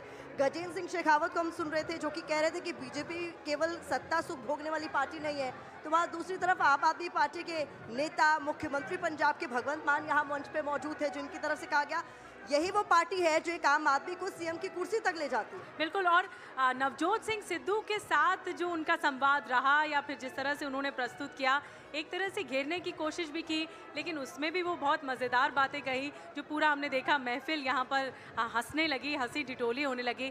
भगवंत मान का अंदाज एक तरह से अलग है पंजाब के मुख्यमंत्री के तौर पर, और जिस तरह से उन्होंने बातें कही, वो रियलिस्टिक वर्ल्ड में और जाती हुई दिखाई देती। उन्होंने कहा कि किस तरह व्यवहारिक तौर पर मैं अब सीख रहा हूँ राजनीति के गुण, और मुझे, क्योंकि करने की ललक थी, इस वजह से मैं राजनीति में आया भी। चूँकि इंडिया अलायंस का हिस्सा आम आदमी पार्टी भी है, ऐसे में क्या रणनीति आने वाले चुनाव में रहने वाली है, इसको लेकर भी तमाम सवाल हमारे मॉडरेटर्स ने उनसे किए हैं और इस दौरान कई पत्ते उन्होंने खोले हैं तो कई छुपा कर भी रखे हैं, क्योंकि अभी चुनाव आने को है, बस ज़्यादा इंतज़ार नहीं करना होगा, ऐसे में पंजाब को लेकर आगे क्या कुछ रोड मैप रहने वाला है, इस पर भी भगवंत मान को हमने बातचीत करते हुए सुना। अब ज़्यादा इंतज़ार आपको नहीं करना होगा। हमारा अगला सेशन बस कुछ ही मिनटों में शुरू होने वाला है। ऐसे में तमाम लोग जो हॉल में मौजूद हैं, एक बार फिर से मैं और निधि उनसे रिक्वेस्ट कर रहे हैं कि आप अपनी सीट्स पर बैठ जाएँ। और देखिए, इस बीच हमारे साथ शिक्षा मंत्री धर्मेंद्र प्रधान इस वक्त हॉल में मौजूद है। जोरदार तालियों से ज़रा स्वागत कीजिए। धर्मेंद्र प्रधान जी हमारे बीच मौजूद हैं। जोरदार तालियाँ। आप सभी से अनुरोध है प्लीज़ सेटल डाउन हो जाइए। जोरदार तालियों से स्वागत कीजिए धर्मेंद्र प्रधान जी का। टीवी नाइन भारतवर्ष सत्ता सम्मेलन में धर्मेंद्र प्रधान जी आ चुके हैं और बस अब कुछ ही देर में ये पैनल की शुरुआत होगी। टीवी नाइन भारतवर्ष सत्ता सम्मेलन में अब चलते हैं हमारे अगले सेशन की तरफ़। भारत की राजनीति में इस वक्त एक शब्द बहुत ज़्यादा सुनाई दे रहा है और वो आप लगातार देख भी रहे हैं, सुन भी रहे हैं। वो शब्द है गारंटी बिल्कुल ठीक कहा निधि आपने। हर राज्य में अलग अलग गारंटी है। हर पार्टी के पास अपनी अपनी गारंटी है। जी हाँ लेकिन पिछले चुनाव के नतीजे ये बताते हैं कि सबकी गारंटी एक तरफ़ और प्रधानमंत्री नरेंद्र मोदी की गारंटी एक तरफ़। तो चलिए आज अब उसी गारंटी पर बात करने के लिए मंच पर आमंत्रित करते हैं देश के केंद्रीय मंत्री बीजेपी के कद्दावर नेता धर्मेंद्र प्रधान जी को। तो जोरदार तालियों से स्वागत कीजिए धर्मेंद्र प्रधान जी का क्योंकि ये सेशन धमाकेदार होने वाला है। इस बात की भी पूरी गारंटी है। मैं मंच पर अपने सहयोगी समीर को इनवाइट करना चाहूँगी। वो सेशन को मॉडरेट करें धर्मेंद्र जी। जोरदार तालियाँ हो जाए। तालियाँ बजती रहनी चाहिए।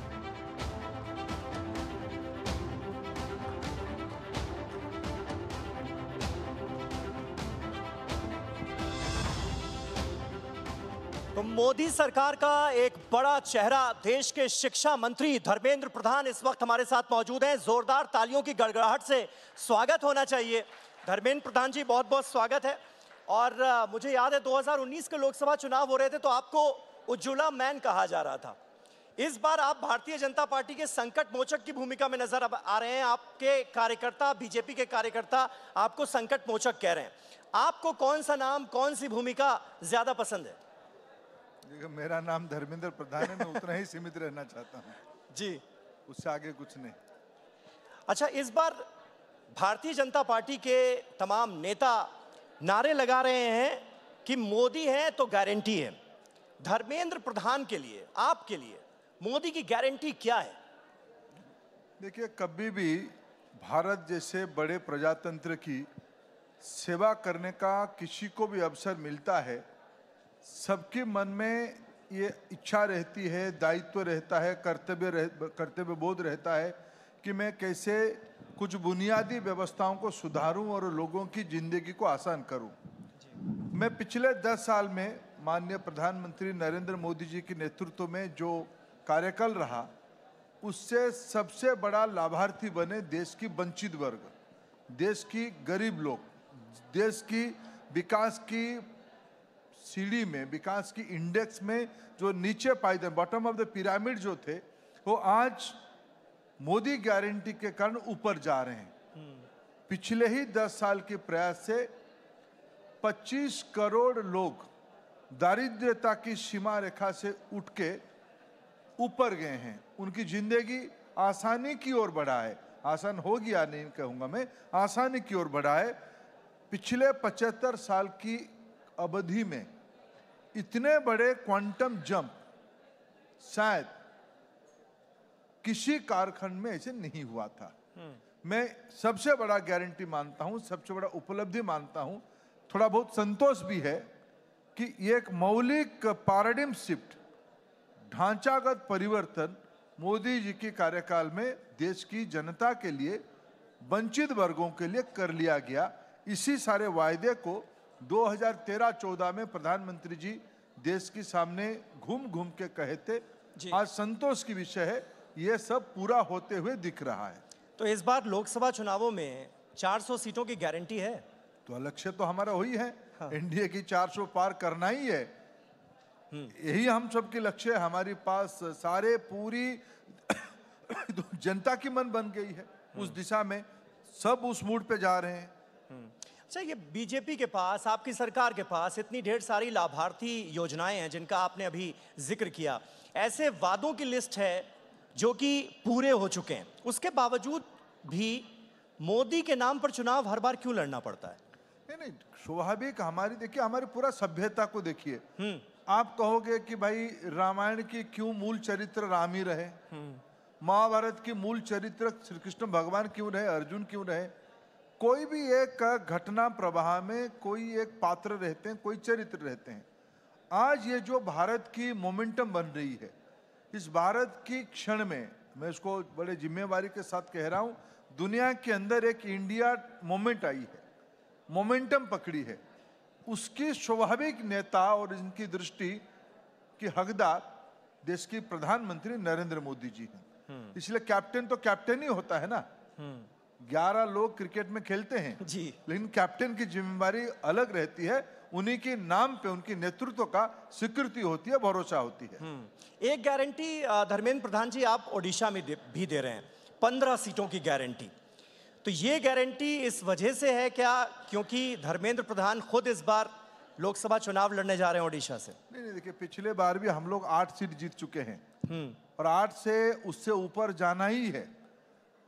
मैं सदैव कहा हूँ पिछले दस साल में मोदी जी की अप्रूवल रेटिंग उड़ीसा की वोटर्स में हमारी पक्ष विपक्ष कोई भी लोग असेसमेंट करे प्रधानमंत्री की मिनिमम पचहत्तर से नब्बे प्रतिशत तक लोगों की पसंद उड़ीसा की सदैव प्रधानमंत्री नरेंद्र मोदी रहे हैं। स्वाभाविक इस बार इसकी सीटों में पिछले बार हम लोगों ने एकदम अल्प मतों में तीन सीट को हारे थे।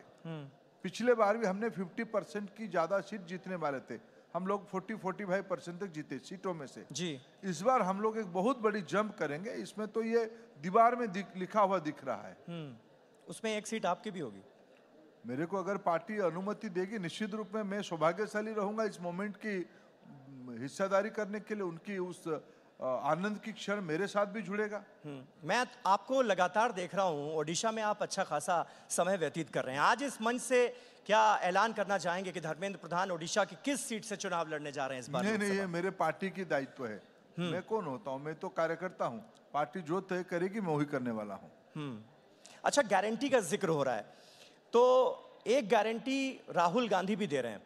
जब किसान आंदोलन शुरू हुआ किसान लगातार जब सड़कों पर नज़र आए और उन्होंने डिमांड्स की एमएसपी पर कानूनी गारंटी की।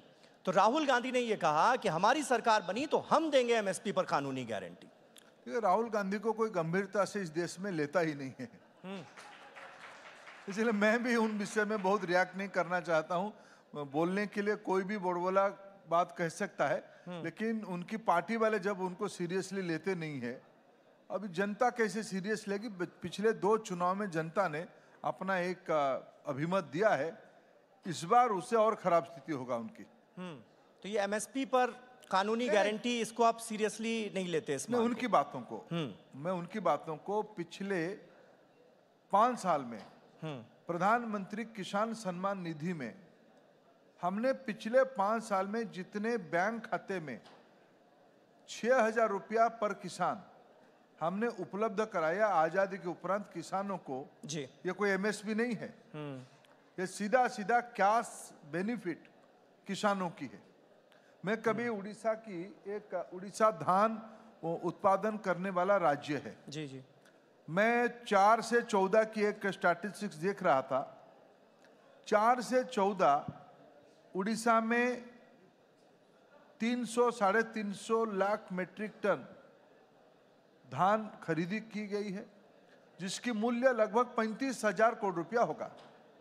पिछले दस साल में यह साढ़े छह सौ लाख मेट्रिक टन खरीदा गया है। डबल लगभग डबल। जी। उसकी मूल्य एक लाख आठ हज़ार करोड़ रुपया हुए उड़ीसा के किसानों को पिछले दस साल में एमएसपी में धान में ही केवल एक लाख आठ हज़ार करोड़ रुपया की लाभ दिया गया उड़ीसा में। ऑल इंडिया चित्र अलग बात होगी, और बड़ा होगी।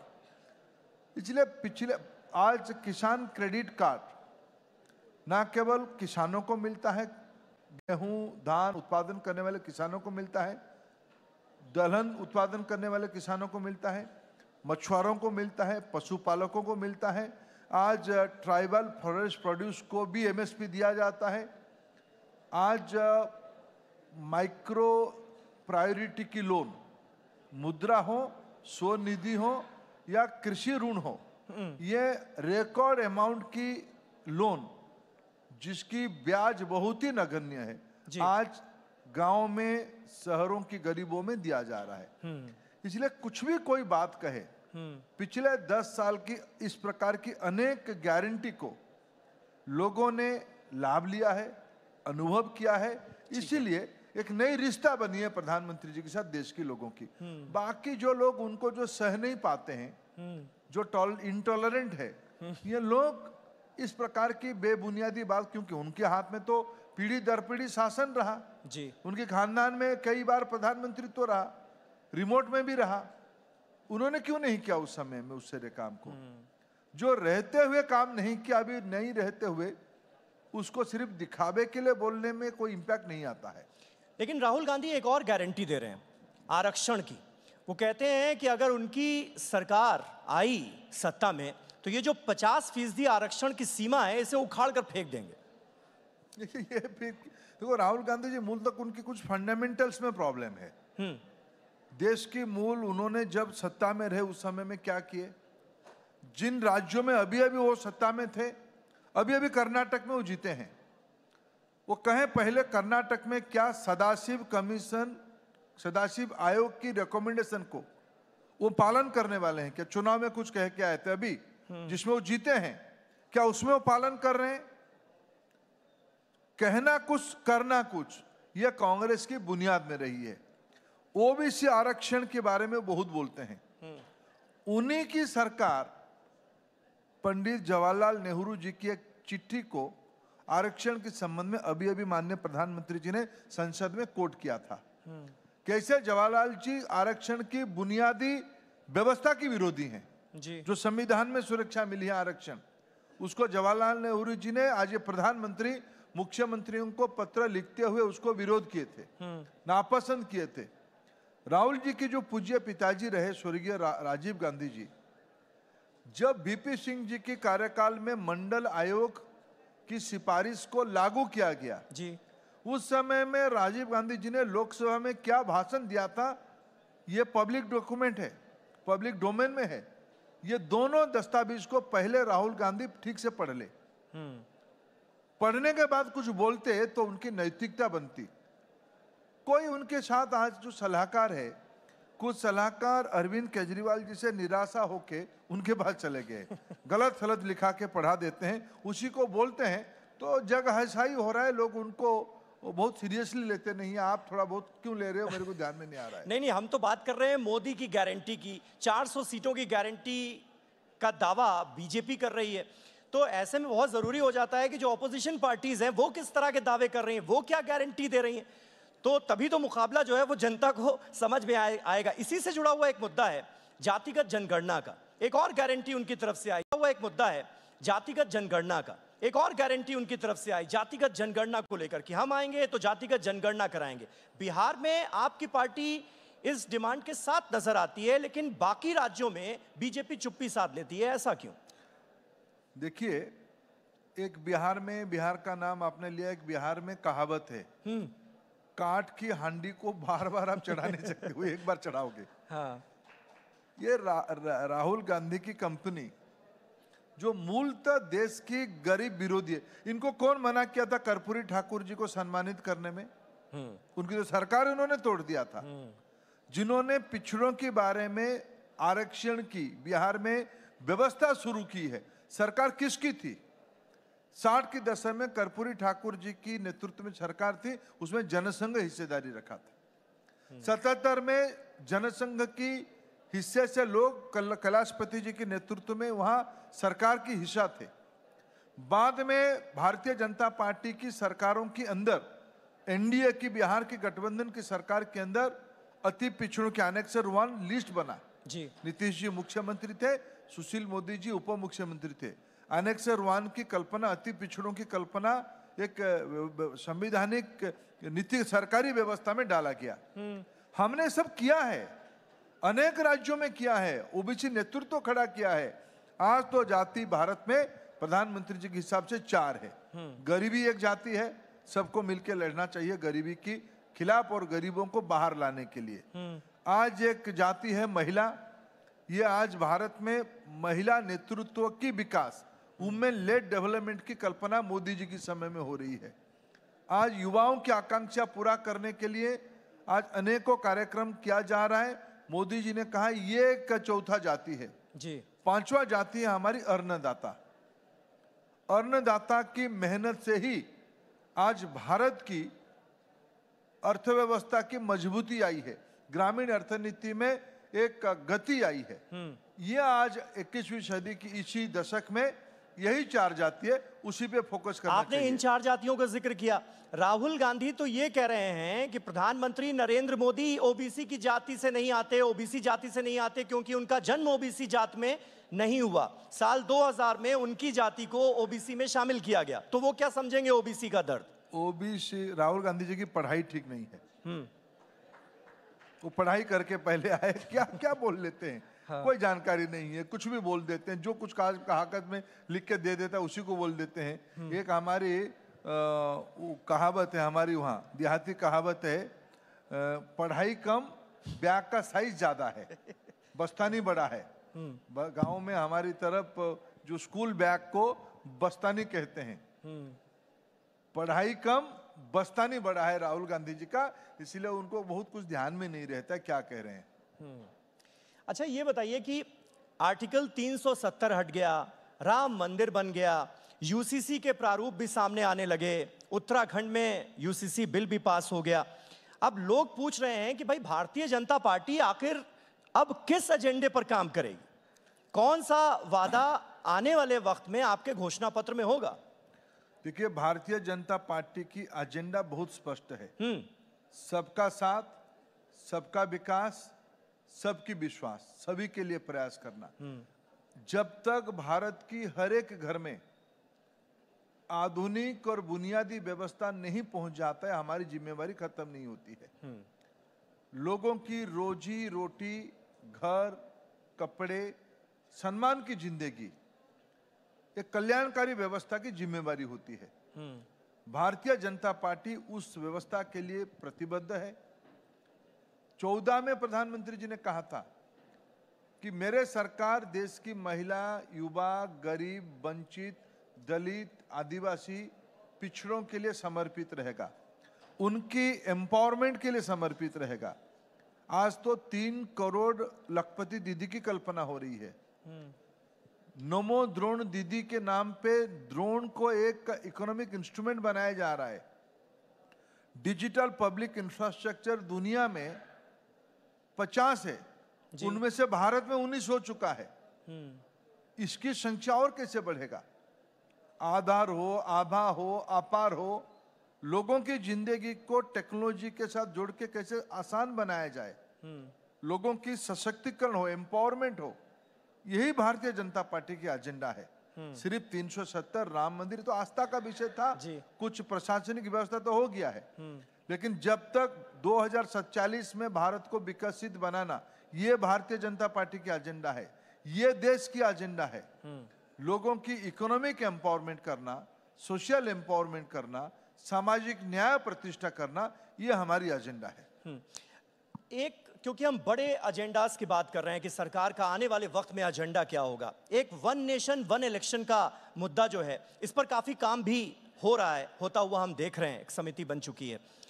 वन नेशन वन इलेक्शन का जहाँ तक सवाल है, संविधान के जो जानकार हैं, वो ये कहते हैं कि भाई इसके लिए तीन चौथाई बहुमत की ज़रूरत है। और अभी अगर मौजूदा स्ट्रेंथ की बात कर लें तो पाँच उसके हिसाब से तीन चौथाई यानी 404 होता है। दूसरी तरफ़ आप बार बार इस बात पर ज़ोर दे रहे हैं कि इस बार 400 सीटों की गारंटी है 400 सीटें आनी है। तो क्या ये वन नेशन वन इलेक्शन की तरफ़ देश बहुत तेज़ी से आगे बढ़ेगा अगर आपकी सरकार आई तो? निश्चित रूप में बढ़ेगी बढ़नी भी चाहिए। बढ़ेगा। तो चुनाव अगर अलग अलग समय में देश में होता है आधे समय तो विकास के काम सब बाधक हो जाता है। आचार संहिता के नाम पे विकास की काम ठप हो जाती है। देश इसको इंतज़ार नहीं करनी चाहिए देश की नागरिकों को। देश की नई पीढ़ी को विकास की रफ्तार और तेज़ी से मिलनी चाहिए। उसको गति और मिलनी चाहिए। इसलिए जो जो प्रशासनिक सुधार की आवश्यकता है शुरू में तो एक देश में एक ही चुनाव की परंपरा था। पचास के दशकों में जब पहला चुनाव हुआ तो तो यूनिफॉर्म चुनाव होता था लोकसभा और विधानसभा की। धीरे धीरे धीरे बहुमत के अभाव के कारण मिली जुली सरकारों के कारण दल बदल के कारण इसमें डिसरप्शन आई। अभी एक समय आया है देश की। लोग कहते थे कि वन नेशन वन टैक्स हो ही नहीं सकता है। One nation one identity number नहीं हो सकता। आधार हो गया है। जीएसटी लग गई है। ये सारे को दिखते हुए धीरे धीरे सारा व्यवस्था में कुछ लोग कहते थे भाई बजट मार्च में ही होनी चाहिए। मार्च फरवरी के अंत में होती थी। जी। अभी फरवरी के प्रारंभ में हो गई है। व्यवस्था बनाने से ही बदलता है। बदलती हुई व्यवस्था को सिर्फ़ स्वीकार करने से उसको दृष्टि नहीं कहा जाता है। प्रधानमंत्री नरेंद्र मोदी जी देश के लिए सोचते हैं हमारी सरकार की स्वभाव में देश पहला है। तो वन नेशन वन इलेक्शन हो या फिर और बड़े मुद्दे यानी संविधान में बदलाव से जुड़े बड़े मुद्दे उसके लिए 400 से ज़्यादा सीटों की ज़रूरत है। ये आप मानते हैं? विषय विषय नई सोचने का है। हाँ। लोगों को ध्यान में रख के सोचने का है। समाज की निचले तबके को पहले ध्यान में रख के सोचने का है। नहीं ऑपोजिशन ये कहता है ना मल्लिकार्जुन खड़गे ये कहते हैं कि भाई ये अगर दोबारा अब आ गए सत्ता में तो संविधान बदल देंगे।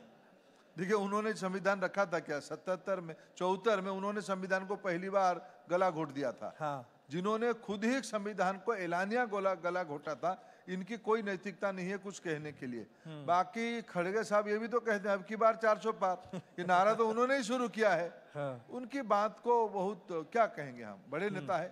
हम्म। अच्छा भारत के शिक्षा मंत्री हैं आप तो इंडिया के फ्यूचर के लिए नए भारत की गारंटी नेशनल एजुकेशन पॉलिसी को इम्प्लीमेंट करते हुए देश के नौनिहालों को छात्रों को स्टूडेंट्स को क्या देना चाहेंगे आप? देखिए साढ़े तीन दशक के बाद 2020 में राष्ट्रीय शिक्षा नीति प्रधानमंत्री मोदी जी ने देश के सामने रखा। दो तीन छोटे छोटे फीचर्स में कहूँगा कम समय में शिक्षा नीति के बारे में। जी। शिक्षा नीति एक दार्शनिक तथ्य है एक फिलोसॉफिकल डॉक्यूमेंट है।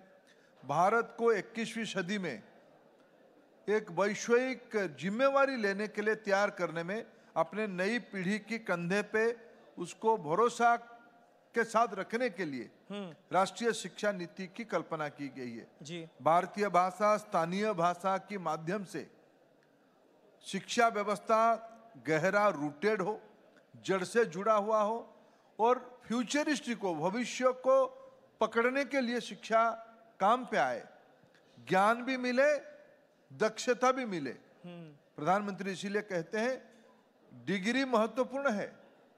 लेकिन कॉम्पिटेंसी उससे महत्वपूर्ण है। जी इसीलिए क्या ओपन बुक सिस्टम जो है वो लागू करने के लिए नेक्स्ट वार्षिक परीक्षाएँ जो होंगी जो बोर्ड के एग्ज़ाम्स होंगे उसमें आप लोग सोच ये- रहे हैं ये, एक सीबीएसई की छोटी सी रिफॉर्म को शिक्षा नीति की व्यापकता के साथ मत जोड़िए। अच्छा। शिक्षा नीति अगर व्यापकता के साथ मैं कहूँ पहले हमारी पाँच विषयों में स्कूलों में पढ़ाई होती थी। जी। लैंग्वेज पे पढ़ाई होती थी मैथमेटिक्स पढ़ाई होती थी साइंस पढ़ाई होती थी एनवायरमेंटल साइंस पढ़ाई होती थी सोशल साइंस पढ़ाई होती थी। ये पाँच ही कंपलसरी विषय होते थे छठवीं से बारहवीं तक। अभी राष्ट्रीय शिक्षा नीति में उसमें हमने तीन और विषय को जोड़ा जिसमें व्यक्ति की और लड़के की क्रिएटिविटी क्रिटिकल थिंकिंग और व्यक्तित्व तो विकास और बढ़ेगी। Arts skill development and sports okay ये तीन विषय पाँच और ये तीन ये तीनों मिलकर आठ विषय की अभी कंपलसरी पढ़ाई होगी। छात्र अपना रुचि में पढ़ेगा। स्पोर्ट्स यानी एक ही प्रकार की स्पोर्ट्स नहीं होगा। जिस स्पोर्ट्स में उसकी रुचि है, खेलने कूदने में उसको ही पढ़ाई की हिस्सा उसको मनाया जाएगा। उसको सब्जेक्ट दिया जाएगा, उसकी क्रेडिट रेटिंग में उसकी क्रेडिट पॉइंट वो अर्न करेगा। स्किलिंग स्कूल से शुरू होगा तो बच्चों की एम्प्लॉयबिलिटी बढ़ेगी, एंट्रोप्रीनियरशिप बढ़ेगी सिर्फ़ वो नौकरी लेने के लिए चक्कर में नहीं रहेगा देने की परंपरा पे जाएगा। और सभी व्यक्ति में कुछ ना कुछ इनोवेशन है क्रिएटिविटी है। इसीलिए ओपन बुक एग्ज़ाम के बारे में ना ना ओपन बुक फिर आप कंफ्यूजन हो रहे हो। हाँ। ओपन बुक सीबीएसई के द्वारा भारत में 60 से ज़्यादा बोर्ड हैं। सीबीएसई भारत की राष्ट्रीय स्तर की बोर्ड है। उन्होंने एक छोटी सी पहल किया है। अच्छा। मूल विषय भारत की शिक्षा देने की प्रणाली में मातृभाषा में शिक्षा दिया जाएगा। ये एक रिफॉर्म है। जी। स्किलिंग करवाया जाएगा पढ़ाई के साथ साथ ये स्ट्रक्चरल रिफॉर्म है। स्पोर्ट्स को पढ़ाई का हिस्सा माना जाएगा। अभी क्या धारणा था? कुछ नहीं होता तो खेल कूद करता है। ऐसा नहीं है। खेलने को भी पढ़ाई का हिस्सा मान के उसको डिग्री दिया जाएगा सर्टिफिकेट दिया जाएगा। इस प्रकार की स्ट्रक्चरल रिफॉर्म राष्ट्रीय शिक्षा नीति में हो रही है। तो इंडिया के फ्यूचर के लिए ये नए भारत की गारंटी होगी जिसका आपने ज़िक्र किया धर्मेंद्र जी। बहुत बहुत शुक्रिया हमारे साथ बातचीत में जुड़ने के लिए और इतनी अहम जानकारियाँ हमें देने के लिए और सरकार की नीतियों के बारे में भी जो आपने आगे का एक प्लान आज दिया है बताया है मुझे लगता है कि बहुत लोग देश में आपको इस वक्त सुन रहे होंगे और उनको ये जानकारी होगी कि आगे इसे लेकर सरकार की सोच क्या है नेशनल एजुकेशन पॉलिसी को लेकर। बहुत बहुत शुक्रिया बहुत बहुत शुक्रिया। शुक्रिया शुक्रिया धर्मेंद्र जी शुक्रिया समीर। और मैं अनुरोध करूँगा, धर्मेंद्र जी, आप कृपया मंच पर रहें। और मैं अनुरोध करूँगा कि पूनावाला फिनकॉप के एमडी अभय भुड्डा और टीवी नाइन डिजिटल एचएसएम के ग्रुप एडिटर पानिनी आनंद मंच पर आएँ और धर्मेंद्र प्रधान जी को शॉल देकर सम्मानित करें।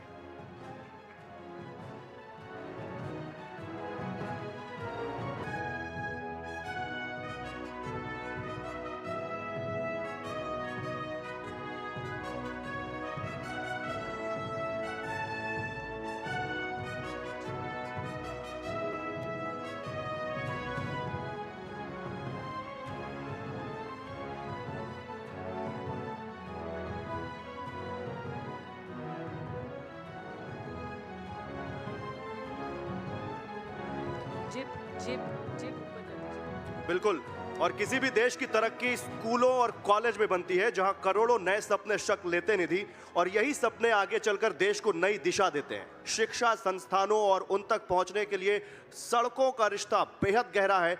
जब ये दोनों बनते हैं तो देश को कई मायनों में देश आगे बढ़ता है, देश को कई मायनों में आगे ले जाते हैं। इसीलिए कहना होगा, बनेगा तो बढ़ेगा इंडिया। जी जी हाँ जोरदार तालियाँ हो जाए। और धर्मेंद्र प्रधान जी, जिन्होंने इकोनॉमिक एम्पावरमेंट से लेकर सोशल एम्पावरमेंट गारंटी की बात कही और उनकी सरकार क्या क्या कदम उठा रही है। चलिए अब आगे बढ़ते हैं और भारत की राजनीति मल्टी डायमेंशनल है, गौरव। इसमें कई विचार और बहुत सी आवाज़ें हैं, लेकिन एक आवाज़ ऐसी है जो कईयों पर भारी पड़ती है। टीवी नाइन भारतवर्ष सत्ता सम्मेलन के मंच पर अब वो हस्ती आ रही है, जिसका सिर्फ़ यहाँ मौजूद मेहमान ही नहीं। टीवी नाइन भारतवर्ष के करोड़ों दर्शक सुबह से इंतज़ार कर रहे हैं। एक ऐसे राजनेता जिनके पास हर सवाल का जवाब है जो सत्ता पक्ष को सड़क से संसद तक अपने ही अंदाज में ललकारते हैं। कौन है वो? कोई अंदाज़ा लगाएगा? चलिए इस स्क्रीन पर उनका एक छोटा सा परिचय देख लेते हैं। मैं हूँ। मैं तुम्हारी बात करता हूँ मैं तुम्हारे हक के लिए लड़ता हूँ। कॉलेज के दिनों में क्रिकेट के तेज गेंदबाज रहे असदुद्दीन ओवैसी। राजनीति के पिच पर भी बयानों के बाउंसर के लिए मशहूर हैं। खुदा के लिए अपने मज़हब को बचा ले हिंदुत्व के लोगों से। और जोरदार तालियों से स्वागत करिए देश के लोकसभा सांसद बेजोड़ वक्ता एआईएमआईएम के चीफ असदुद्दीन ओवैसी का, जिनसे सवाल जवाब के लिए मैं मंच पर बुलाना चाहूँगा। मेरे सहयोगी कार्तिकेय शर्मा को तालियाँ रुकनी नहीं चाहिए। एक बार जोरदार तालियों से स्वागत हो एआईएमआईएम चीफ और सांसद असदुद्दीन ओवैसी जी का। कैसे हैं आप? आपने देखा प्रोग्राम का नाम? ऑल इंडिया भाईजान? पसंद आया आपको? नहीं आप लोग बदनाम करने पे तुले हुए हैं तो कुछ नहीं कर सकता। नहीं मैंने तो बड़े प्यार से भाईजान बोला। हम ही भाईजान बना के बाकी सब क्या है नहीं मालूम। चलिए मुझे तो लगता था भाईजान प्यार से बोला जाता है। वैसे साहब एक चीज़ बताइए। आपने 2008 से अब तक 11 राज्यों में अपनी पार्टी पहुँचा दी। दिल्ली पर नज़र है नहीं नहीं, ऐसा कुछ नहीं है। दिल्ली पर नज़र नहीं है। मेरा, देखिए, कोई पॉलिटिकल पार्टी का एक नेचुरल एक्सपेंशन का प्लान होता है। तो हमारी पार्टी की भी हम कोशिश कर रहे हैं कि, और इससे भारत की लोकतंत्र मज़बूत होगा डेमोक्रेसी मज़बूत होगी। तो वही उसमें काम कर रहे हैं। और ईमानदारी की बात तो यह है कि हमारे बुज़ुर्गों की मेहनत का फ़ायदा मैं उठा रहा हूँ। उन्होंने इतनी पार्टी को मज़बूत किया उस वक्त आंध्र प्रदेश में। कि मैं अब उसको आगे लेके जा सकता हूँ तो क्रेडिट उनको जाता है। पर कुछ लोगों को दर्द भी है इस बात का कि आप मज़बूत हो रहे हैं वो कमज़ोर हो रहे हैं। जहाँ पहुँचते हैं वो सत्ता से दूर हो जाते हैं।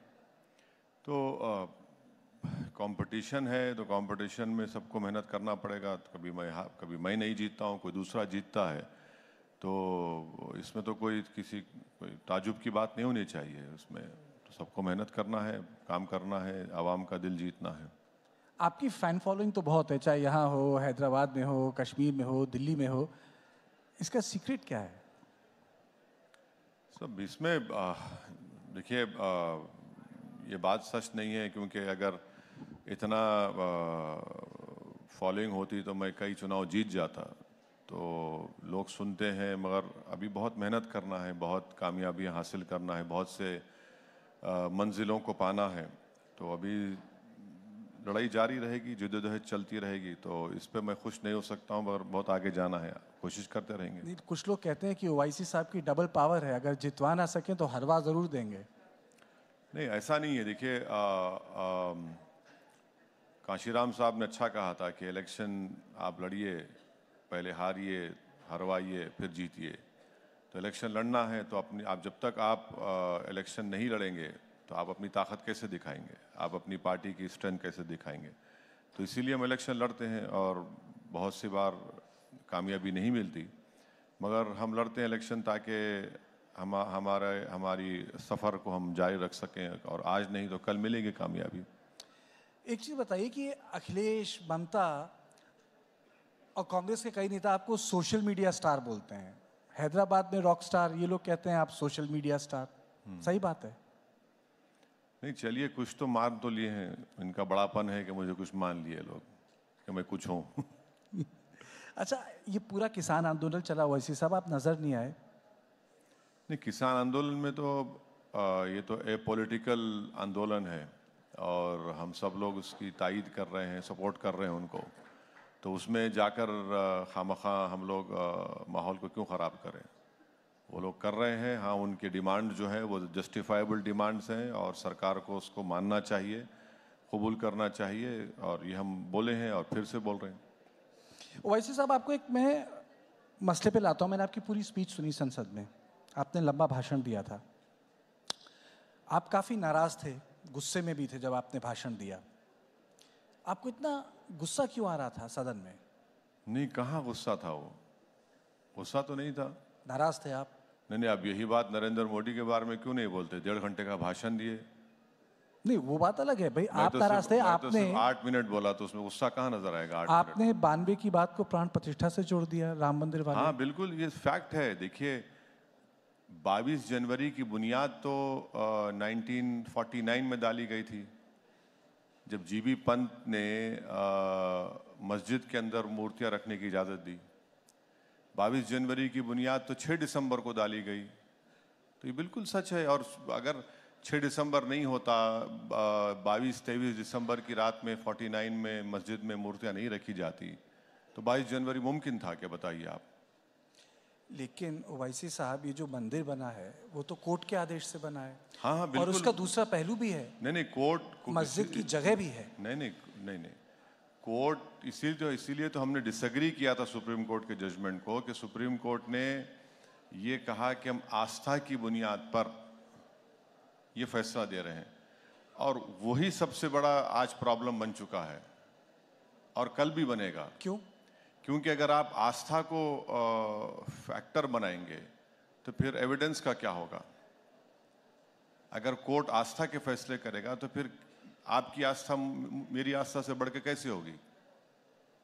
बताइए आप, वो तो वो तो गलत है वो। इसीलिए हम यकीनन सुप्रीम कोर्ट अपेक्स कोर्ट है, आखिरी कोर्ट है। और जस्टिस जे एस वर्मा ने कहा था, सही कहा था कि supreme court is supreme, but not infallible.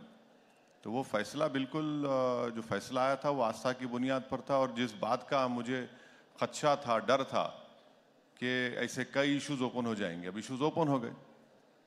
आपका ऑब्जेक्शन किस चीज़ पे है ओवैसी साहब? आपका ऑब्जेक्शन राम मंदिर पे है या उससे जुड़ी आस्था से है? नहीं, मेरा मेरा ऑब्जेक्शन इस बात पर है कि 6 दिसंबर को सुप्रीम कोर्ट को वादा कर कर वहाँ पर अडवाणी और जितने बीजेपी आरएसएस के नेता थे, उन्होंने सुप्रीम कोर्ट को वादा किया था कि हम मस्जिद को हाथ नहीं लगाएँगे और मस्जिद को उन्होंने शहीद कर दिया डिमोलिश कर दिया। और तरफ़ तमाशा यह है कि किसी एक का भी कन्विक्शन नहीं हुआ उसमें। किसी एक का भी कन्विक्शन नहीं हुआ। अगर जीबी पंत उस वक्त उन मूर्तियों को हटा देते और बोलते कि नहीं, ये गलत हुआ है 145 सीआरपीसी इस्तेमाल कर लेते तो ये इशू नहीं बनता। आप बगैर मुस्लिम पक्ष को सुने 86 में ताले खोल दिया आप। तो ये तो एक नाइंसाफी की एक पूरी लिस्ट है। तो यही हम बता रहे हैं। क्यों किसी मंदिर के ऊपर हमारे को गुस्सा होगा? भाई ये ये मुल्क, जैसा अभी आपने कहा, ये मुल्क की खूबसूरती, इसकी डाइवर्सिटी है।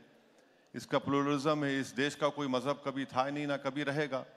ये देश तो उन लोगों को भी मानता है जो किसी भगवान या अल्लाह को नहीं मानते। तो इस देश को अगर आप एक समुदाय रिलीजन से जोड़ देंगे तो ये तो संविधान के खिलाफ है। लेकिन असदुद्दीन जी, अगर आप एक बात कह रहे हैं कि एक धर्म दूसरे धर्म से बड़ा नहीं होता, लेकिन आप सांसद हैं, आपने संसद में जब भाषण दिया तो आपने कहा आप राम के सम्मान करते हैं। और दूसरी तरफ़ आपने बाबरी मस्जिद जिंदाबाद बोला। हाँ बुरी बात क्या है उसमें? मैंने कहा कि मैं नाथुराम के खिलाफ हूँ। आप खिलाफ है नहीं नाथुराम के। सबको होना चाहिए नाथुराम के खिलाफ। और बाबरी मस्जिद जिंदाबाद बोलना गलत बात क्या है? बाबरी मस्जिद को तो मंदिर तोड़कर नहीं बनाया गया सुप्रीम कोर्ट ने कहा। बिल्कुल सुप्रीम कोर्ट ने कहा कि वहाँ पर मंदिर तोड़कर नहीं बनाया गया। तो ये आर्ग्यूमेंट जो बीजेपी झूठ फैला रही थी कि मंदिर तोड़कर मस्जिद बनाया गया वो तो सुप्रीम कोर्ट नकार दिया। अच्छा आप बताइए बीजेपी को राम मंदिर कब याद आया? नहीं मैं बीजेपी का प्रवक्ता नहीं नहीं। नहीं बता रहा हूँ आपको। पालनपुर का रेजोल्यूशन 1989 में पास किया उससे पहले तो नहीं हुआ। आरएसएस बनी उन्नीस सौ में जब उन्होंने बात नहीं की। विश्व हिंदू परिषद बना 1960 में वो नहीं बात किए। महात्मा गांधी से लेकर सरदार पटेल से लेकर के मुंशी से लेकर बाल गंगा गंगाधर तिलक से लेकर मालविया साहब से लेकर किसी ने बात नहीं की वहाँ पर। आप 89 में पालनपुर रेजोल्यूशन पास करके आपने कहा कि मंदिर को तोड़कर मस्जिद बनाई गई वो तो डिस्प्रूव हो गया। लेकिन राम मंदिर का आंदोलन तो बीजेपी से पुराना है वो तो सबको पता है। हेमंत जी की किताब भी पढ़ लीजिए। ढाई सौ साल पुराना है। अठारह सौ देखिए लीगल फाइट चल रहा था 1800 1875 80 में। मस्जिद के सामने चबूतरा था। मस्जिद पे झगड़ा नहीं था वो चबूतरे पे झगड़ा था। वही तो हम बता रहे हैं आपको। लेकिन वो आस्था की भी तो बात है साहब। चबूतरा बाहर है भाई मस्जिद में अंदर तो नहीं था। आपने चबूतरे को छोड़कर मस्जिद के अंदर मूर्तियाँ रख दी। और उसके बाद लॉक डाल दिए। अच्छा आपको मालूम कि जो कलेक्टर साहब ने ये मूर्तियाँ रखकर मस्जिद को बंद किया वो बाद में नायर साहब जनसंघ के एमपी बन गए वहाँ से। नहीं वो ठीक है लेकिन आपको नहीं लगता कि अगर इन तीनों तीन चीज़ों पे समन्वय हो जाता जैसा कि बोला जा रहा था अस्सी के दशक में कि वापस कर दिया जाए काशी मथुरा अयोध्या तो बड़े मसले हल हो जाएँगे। नहीं नहीं आप सब चीज़ ले लीजिए ना। वो दो क्यों लेते आप? सब ले लीजिए। कुछ बाकी मत रखिए आप। भाई, कुछ रूल ऑफ़ लॉ रहेगा नहीं रहेगा बताइए आप। अब आप कहेंगे कि भाई, वो आस्था की बुनियाद पर हम दे दिए। यहाँ पर क्या वो भी आस्था बोल देंगे आप, वहाँ पर भी आस्था बोल देंगे। तो फिर संविधान किस लिए है फिर? कोर्ट किस लिए है? एविडेंस किस लिए है? सब दे दीजिए फिर आप, खत्म कर दीजिए।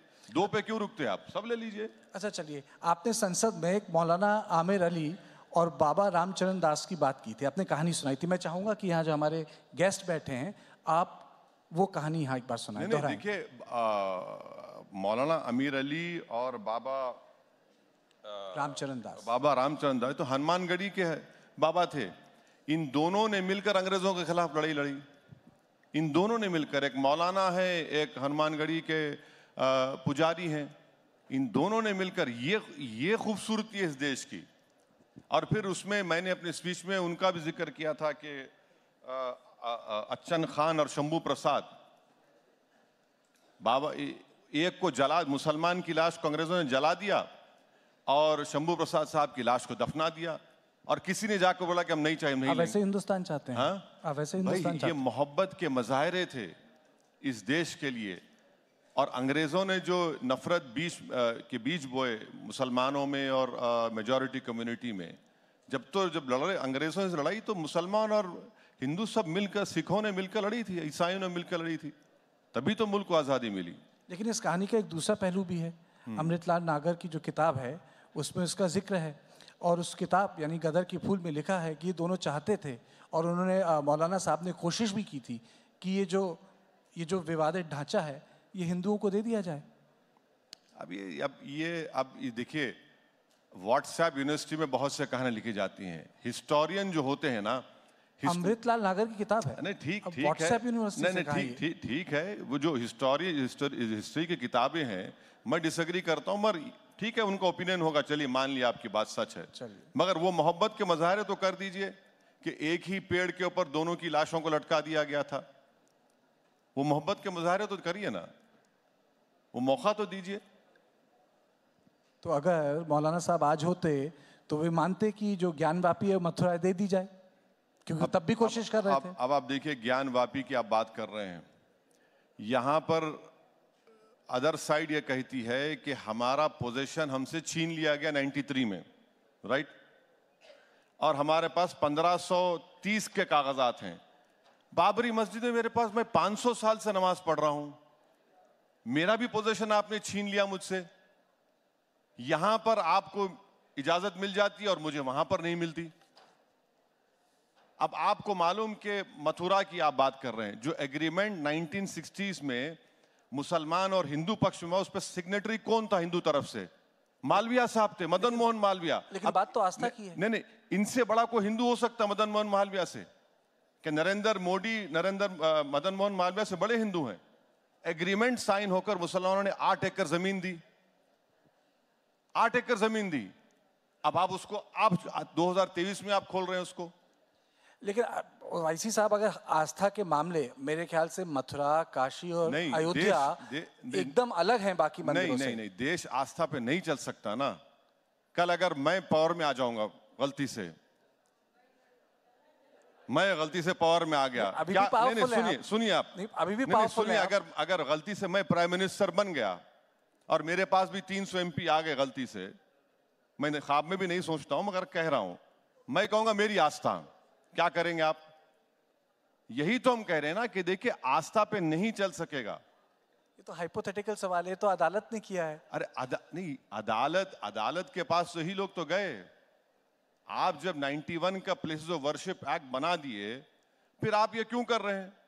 जब आपने कह दिया कि 15 अगस्त 1947 को बाबरी मस्जिद को छोड़कर जो भी रिलीजियस प्लेस होगा उसके कैरेक्टर में नेचर में तब्दीली नहीं आएगी तो फिर ये सब क्यों हो रहा है फिर ये? आप ये कह रहे हैं कि मुस्लिम पक्ष को ठीक से सुना नहीं जा रहा। जी। आप कह रहे हैं कि मुस्लिम पक्ष को ठीक से सुना नहीं जा रहा। नहीं मैं ये कह रहा हूँ कि जब कानून बना दिए तो कानून को फॉलो करिए। जब सुप्रीम कोर्ट ने बाबरी मस्जिद राम मंदिर डिस्प्यूट में कह दिया कि places of worship act 91 basic structure से उसका ताल्लुक है और नॉन डिट्रोगेशन का वर्ड इस्तेमाल किया तो उसको फॉलो करिए ना। ज्ञानवापी पे तो अदालत का कहना है कि उसके दायरे पे नहीं आता है। किसके? कानून के दायरे में नहीं आता है। कैसे नहीं आता है?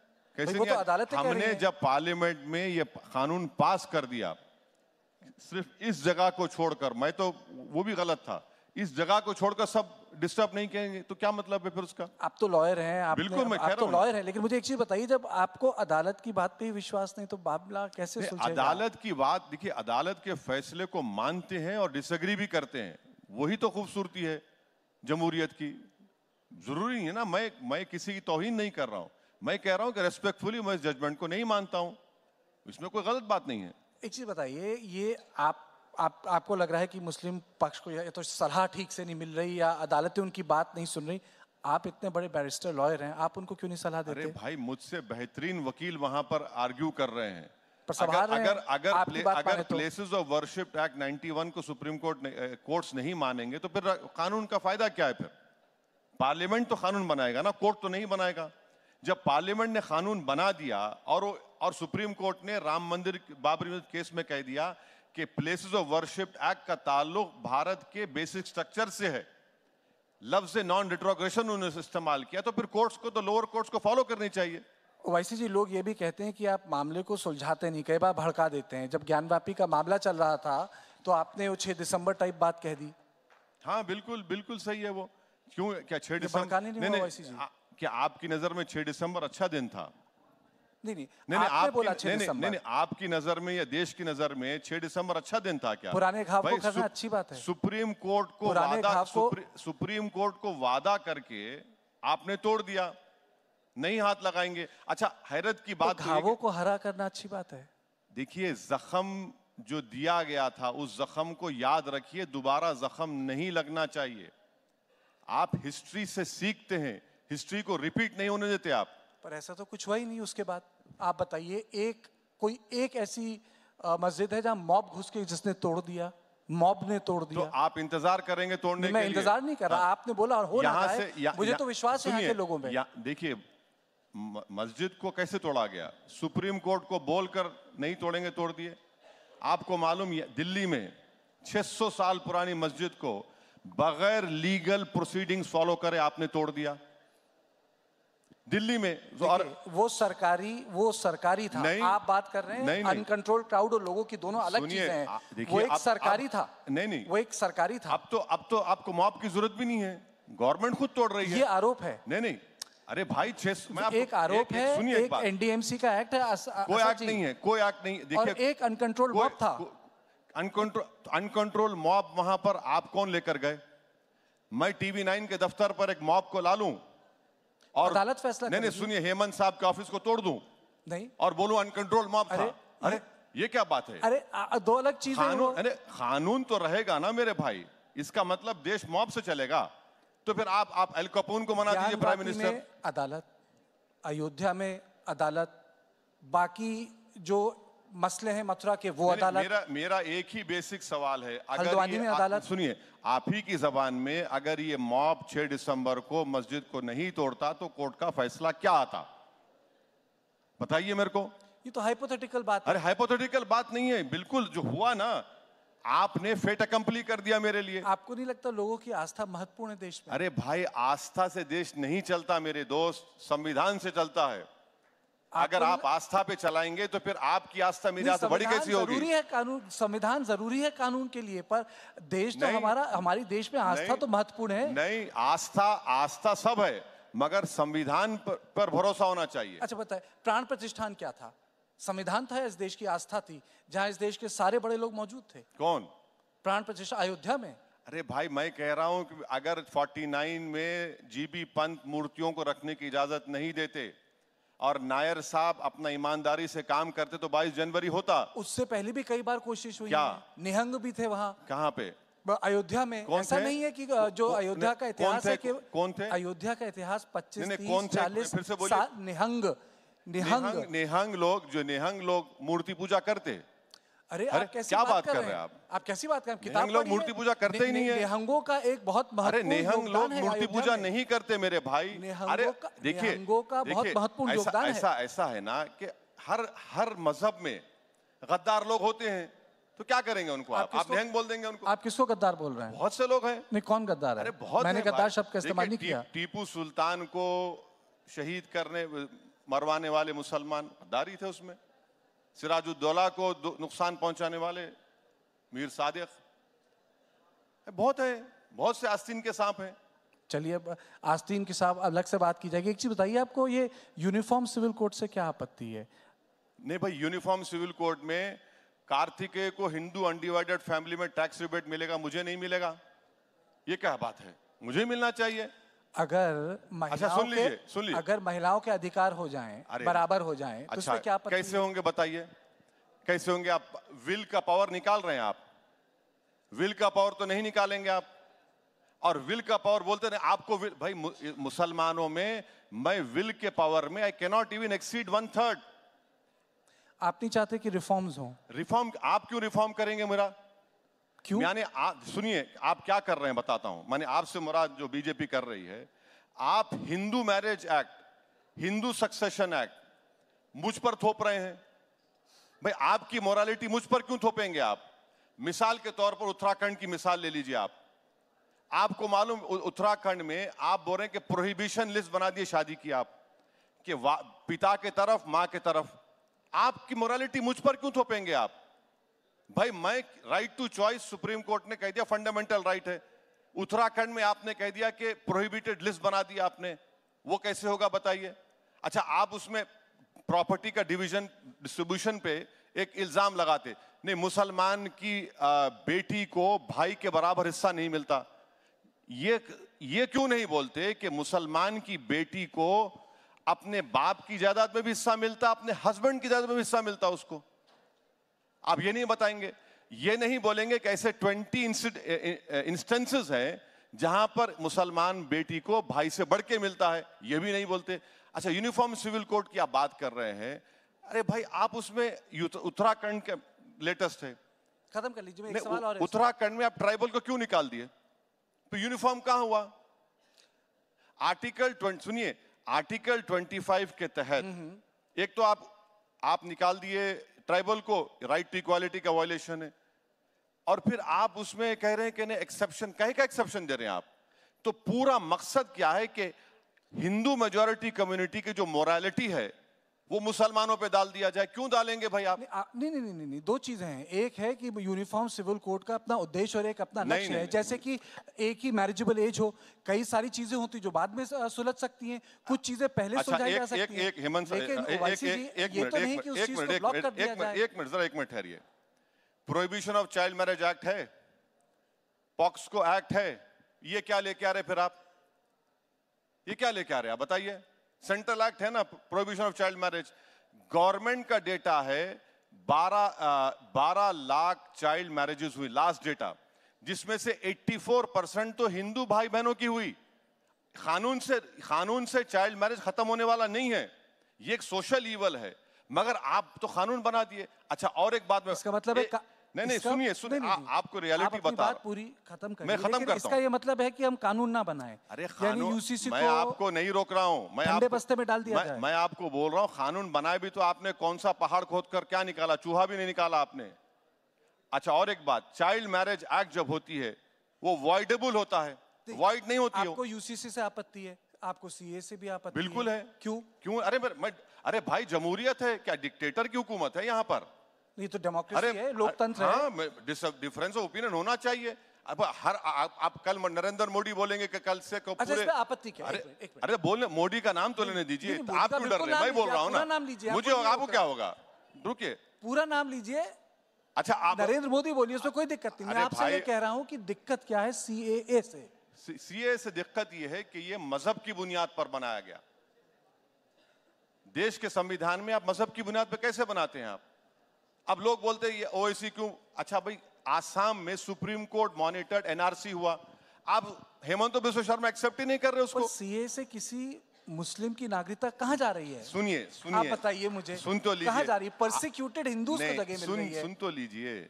आप ये अच्छा, एक दिल पे अच्छा, हाथ नहीं- दिल पे नहीं वैसे जी। मैं कहीं पे हाथ रखता हूँ मैं। दिमाग से बताइए चलिए। मैं कहीं पे हाथ नहीं तो रखता हूँ। चलिए नहीं नहीं एक चीज़ बात नहीं एक चीज़ मैं किसी पे हाथ तो नहीं रखता हूँ, मैं तो अफ़गानिस्तान भी गया मैंने देखा देखिए वहाँ सिख थे कम हो गए।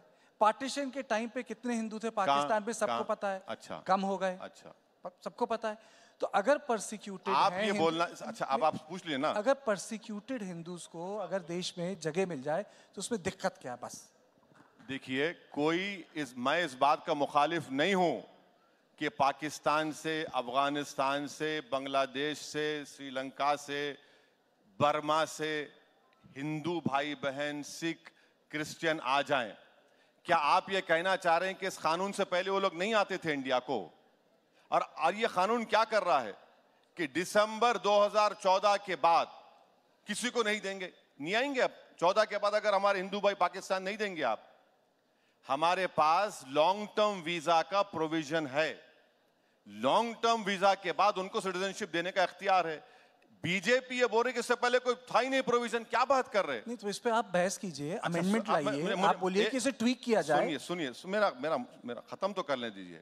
अब आप कह रहे हैं कि नागरिकता क्या खतरा है? आपको देखिए सी डबल ए को अकेला नहीं देख सकते। एनपीआर और एनआरसी के साथ जोड़ना पड़ता उसको आपको। एनआरसी भी क्या गलत है भाई? सुन तो आप देखिए ना मणिपुर में आपने इतना आपने मणिपुर पे इतने आप मुझे मुकम्मल करने देंगे या अपनी बात करें अच्छा चलिए बात कीजिए। हाँ।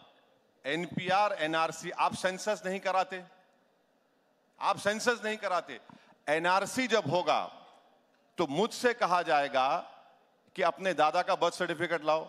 आधार कार्ड ये, उस आधार कार्ड को भी पढ़ा आपने।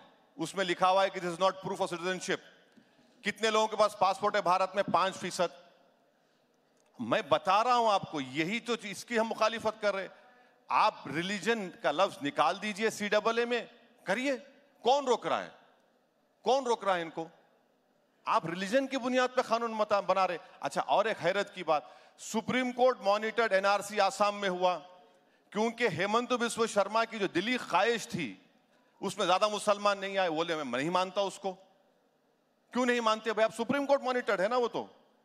तो सी डबल ए को ये रिलीजन की बुनियाद पर बनाया गया। गलत है। आप पाकिस्तान बांग्लादेश से जो हमारे हिंदू प्रोसिक्यूटेड भाई आ रहे सिख आ रहे दीजिए पहले भी कानून था। तीसरी बात यह है कि सी डबल ए को अकेला मत देखिए। एनपीआर एनआरसी से जोड़कर देखिए तब आपको समझ में आएगा ये। ठीक? हाँ। पर आप हर चीज़ को फिर मुसलमानों के खिलाफ साजिश क्यों बोलते हैं? बिल्कुल है। क्यों नहीं हो रही है? बिल्कुल है। अच्छा आपको मालूम कि पंडित नेहरू के जमाने में कितने लोगों को बांग्लादेश भिजा दिए थे? माने पाकिस्तान उस वक्त बांग्लादेश नहीं बना था। क्यों बनाए थे? इसी वजह से भिजा दिए थे। ये एक हिस्ट्री है ना। दूध के जले छाछ को भी फूक फूक कर पीते हैं। चलिए ठीक है। आइए शुद्ध राजनीति की बात की जाए शुद्ध राजनीति की। ओवैसी साहब आप खड़े कहाँ हैं? किसके साथ हैं? किसके साथ खड़े हैं? आपने एक बीच में बोला था ना ना महबूब ना महबूबा।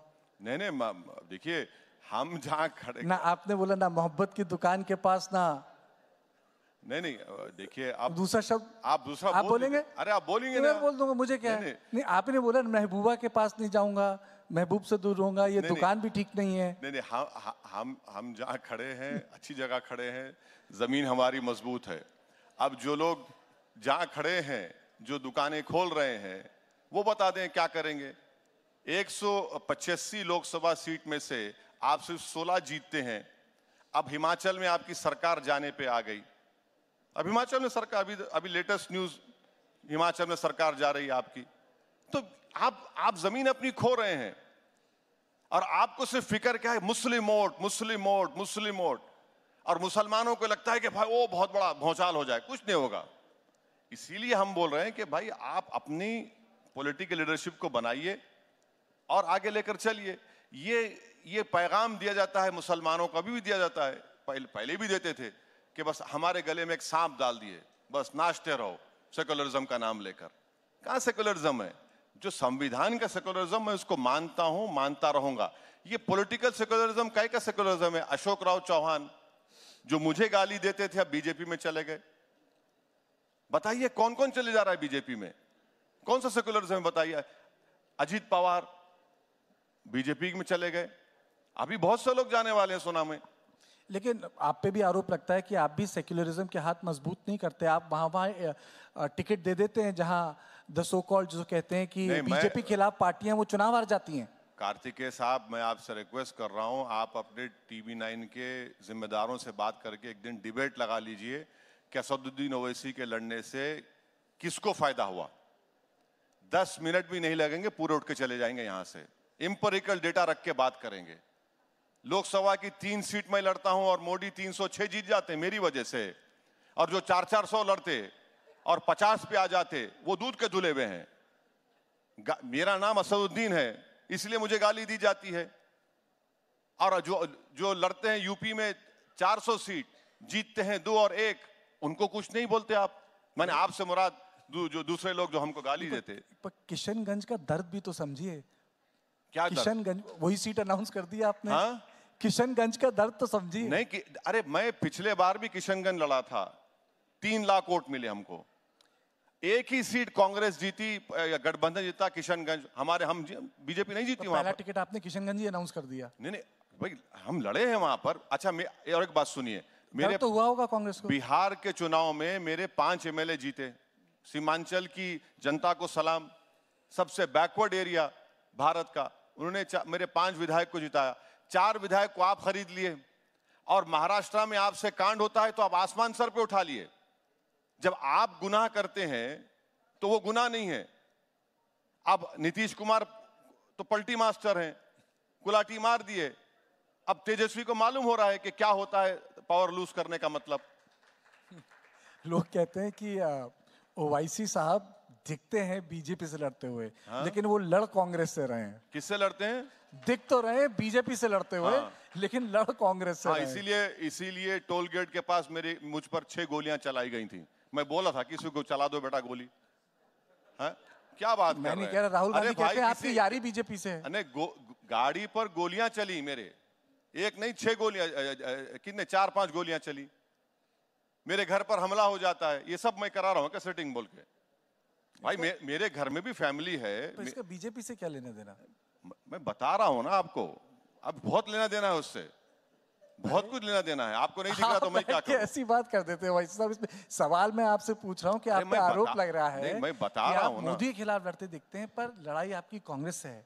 नहीं लड़ाई देखिए लड़ाई तो सबसे है। अच्छा राहुल गांधी भी कहते हैं आप फिर बोले कि आप मैं बता रहा हूँ ये राहुल गांधी भी कहते हैं। अच्छा आप जब ये पार्लियामेंट में डिबेट हुई थी 22 जनवरी के बारे में आपको चाहिए था कि अपोजिशन लीडरों की स्पीचेस को दिखाते आप? ऐसा लग रहा मैंने अपनी स्पीच में कहा वो नहीं दिखाया आपने वो नहीं बोला। ये आपकी स्पीच तो बहुत चली वायरल है। नहीं, हमार- हमा- अरे मेरी मैं, क्या हुआ जो अपोजिशन के जो लोग स्पीच दे रहे थे ना निगल सक रहे थे ना कुछ बोल सक रहे थे। तो हमारे मुसलमानों में क्या होता जब खाजी साहब और दो गवाह दुल्हन से जाकर पूछते कि आपकी रजामंदी है इस लड़के से शादी करने के लिए तो बाज वक्त दुल्हन शर्मा कर खामोश हो जाती है। तो उसकी खामोशी को रजामंदी के तौर पर लिया जाता अच्छा, है। तो ऐसा ही लग रहा था लोकसभा में कि ऐसा खामोश बैठे हैं पूरे। अच्छा चलिए छोड़िए आप बताइए राहुल गांधी कैसे लीडर है? हाँ? राहुल गांधी कैसे लीडर है? मैं कांग्रेस से मेरा कोई ताल्लुक नहीं है। अरे भाई कांग्रेस के नेता होना ज़रूरी नहीं है मैं पूछ सकता हूँ कि मैं क्यों बोलूँ भाई? भाई बराक ओबामा कैसे लीडर थे? आप आप पूछिए कि आप कैसे एंकर हैं बोलूँगा मैं कुछ। नहीं नहीं वो तो आप कभी भी बोल सकते हैं आपको तो बीस साल से जानता हूँ। मुझे ज़्यादा मालूम। मैं पूछ रहा हूँ आपसे कि राहुल गांधी कैसे मुझे नहीं मालूम भाई मुझे नहीं मालूम। मैं मैं ट्विंकल ट्विंकल लिटिल स्टार हूँ बड़े लोगों में क्यों ले जाके मिला रहे मुझे? अच्छा, वो वो जाने वाले भाई आप ऊपर हैं हम नीचे हैं ज़मीन पर हैं मेरे को नहीं मालूम उनके बारे में। ये तो बिल्कुल मोदी जी वाली बात कर दी आपने नामदार और कामदार। नहीं मैं ये सब नहीं कह रहा हूँ ना मैं, मैं नहीं जानता भाई बड़े लोग हैं आप क्यों ले जाके मिला रहे मुझे? अच्छा एक चीज़ बताइए अरविंद केजरीवाल आपको बीजेपी का छोटा रिचार्ज बोलते हैं? हाँ बिल्कुल है। छोटा रिचार्ज? अब आप बोल रहे हैं तो मानता हूँ मैं। अरे मेरे कहने से क्या होता है? वो तो केजरीवाल कह रहे हैं वो कह रहे हैं आपको। अरे भाई वो वो क्या कर रहे हैं वो? और आप भी कहते हैं केजरीवाल को छोटा रिचार्ज। नहीं वो उ, उनके एजेंडे में 370 का आ, मामला आया ये सपोर्ट किए। उनका जो एजेंडा है वो सॉफ्ट हिंदुत्व नहीं है। एक्चुअल हिंदुत्व फॉलो कर रहे हैं केजरीवाल। धकी छुपी बात कहाँ है ये? सब जानते हैं। लोकसभा चुनाव ज़्यादा दूर नहीं है। आप किसी से गठबंधन करना चाहेंगे? नहीं हम तो बिल्कुल करना चाहेंगे अगर कोई होगा बातचीत तो बातचीत चल रही है होगा तो अच्छा है नहीं तो लड़ेंगे। किससे कहेंगे? क्योंकि मैंने आपसे पूछा था ना पहले कि महबूब के पास भी नहीं जाएँगे महबूबा के पास भी नहीं जाएँगे दुकानदार के पास भी नहीं जाएँगे फिर आपने वो चौकीदारी वाली बात भी कह दी तो जाएँगे किसके पास आप? अरे जनता के पास जाएँगे जनता के आवाम के पास जाएँगे अपनी बात रखेंगे और रखते आए रखेंगे ऐसा चलिए। अगर इंडिया आपको न्योता देता है इंडिया गठबंधन हाँ। आपको बुलावा देता है बुलाता है आदर से सत्कार के साथ जाएँगे? हाइपोथेटिकल सवाल का जवाब प्रेजेंट में कैसे दे सकता हूँ मैं? मेरे को तो नहीं मालूम। वो तो खुला कह चुके हैं कि हमको इनसे मतलब नहीं है। माने पेड़ माने बकेट बकेट भर भर के गाली देते हमको रोज। तो अब बुलाएँगे तो नहीं मालूम। मुझे नहीं मालूम। नहीं अगर बुला लिया तो दिल पसीजेगा आपका। हाँ? दिल पसीजेगा आपका। नहीं आप ऐसा बोल रहे हैं कि जवानी में कोई दो लोग मोहब्बत करते कोई बरसों के बाद कोई वो मिल गई तो बोले तुम बुलाओ तो मैं आ जाऊँगा। ये तो बात नहीं है ना। ये तो पॉलिटिक्स की बात कर रहे हैं आप। तो ऐसा तो कुछ नहीं है। अच्छा फिर एक आपकी जैसे कि हर हर एक नेता की एक कोशिश होती है कि मेरा अल्टीमेट एम है। आपका अल्टीमेट एम क्या है? बीजेपी को पावर से बाहर रखना या कांग्रेस को सत्ता से दूर रखना। देखिए, भारत की जमहूरियत उसी वक्त कामयाब होगी जब हर समुदाय को उसका हिस्सा मिलेगा। पॉलिटिक्स में, सोशल लाइफ में, ये हमारे जो बुज़ुर्ग थे, आज़ादी की लड़ाई लड़ाई, उनका ख्वाब था। उस ख्वाब को पूरा करना है कि सबको हिस्सा मिले, बराबरी का हिस्सा मिले तो वही उसी ख्वाब के पीछे हम दौड़ रहे हैं कि भाई हमको हिस्सा मिलना चाहिए। अगर हिस्सा नहीं मिलेगा तो फिर जमहूरियत कामयाब जमहूरियत कैसे रहेगी? कामयाब जमहूरियत नहीं रहेगी। लोकतंत्र कामयाब नहीं रहेगा। आपके पास कोई प्लान है? मोदी को हराने का कोई बिग पिक्चर जिसे कहते हैं बड़ी स्कीम कोई एक अंडरस्टैंडिंग क्योंकि ऐसा लग नहीं रहा है कुछ ऐसा होगा। आपके पास है कुछ? नहीं आप जो प्राइम मिनिस्टर बनना चाहते उनसे सवाल करिए आप। नहीं वो नहीं तो नहीं मुझसे सवाल मत करिए ये। आप नहीं बनना हम चाहते? नहीं हम नहीं चाहेंगे कि तीसरी मर्तबा भार इस अजीम मुल्क के वज़ीर आज़म नरेंद्र मोदी दोबारा तीसरी मर्तबा बने। मगर जिनको प्रधानमंत्री बनना है जो प्रधानमंत्री बनने का ख्वाब देख रहे हैं उनको वो लोग क्या कर रहे हैं? उनसे पूछिए। उनसे पूछिए कि आपके पास क्या ब्लूप्रिंट है। पर आप खाब नहीं देखते मूवर एंड शेकर का प्रधानमंत्री बनने का। हर पॉलिटिशियन बनना चाहता है टॉप पोस्ट पे जाना चाहता है। मेरा नहीं है आपका मेरा नहीं है? है। मेरा बिल्कुल नहीं है। मैं जहाँ हूँ खुश हूँ। मैं जो काम कर रहा हूँ मेरी लड़ाई वही है। मेरा वो देखिए ये ये सब बड़े बड़े लोगों के ख्वाब होते हैं। मेरा ख्वाब नहीं है वो। आपका ख्वाब क्या चलिए वो बताइए। बता दिया आपको और क्या बोलूँगा मैं? यही ख्वाब है। हाँ ख्वाब यही है। ख्वाब नहीं कोशिश है। ख्वाब ऊँचे देखना चाहिए उसको पूरा करने के लिए मेहनत करनी चाहिए मगर ये ख्वाब नहीं है कि दिल्ली के गलियारों में आकर बैठना वो मेरा ख्वाब नहीं है। आपकी पार्टी इन लोकसभा चुनावों में कितने उम्मीदवार उतारेगी कितने कैंडिडेट्स देगी? क्या सोचा है आपने? नहीं कम से कम पार्टी में अभी डिस्कशन चल रहा है। बहुत से जगहों से यूपी से बिहार से महाराष्ट्र से मध्य प्रदेश से कर्नाटका से लोग बोल रहे हैं मगर इस वक्त पर यहाँ पर बैठकर टीवी पर बोलना गलत होगा वो। आपने पिछली बार गठबंधन करने की भी कोशिश की थी जैसे सपा से बातचीत भी चली थी आप लखनऊ आए थे एक प्रेस कॉन्फ्रेंस भी हुई थी शायद अगर मुझे याद है आपने नहीं नहीं नहीं, था। ऐसा वो बातचीत तो बहुत चली यूपी में मगर कुछ हुआ नहीं वो। कोई छोटी पार्टियों से गठबंधन देश भर में? होगा बिल्कुल तो होगा। कुछ तो बताइए। कुछ ना कुछ होगा।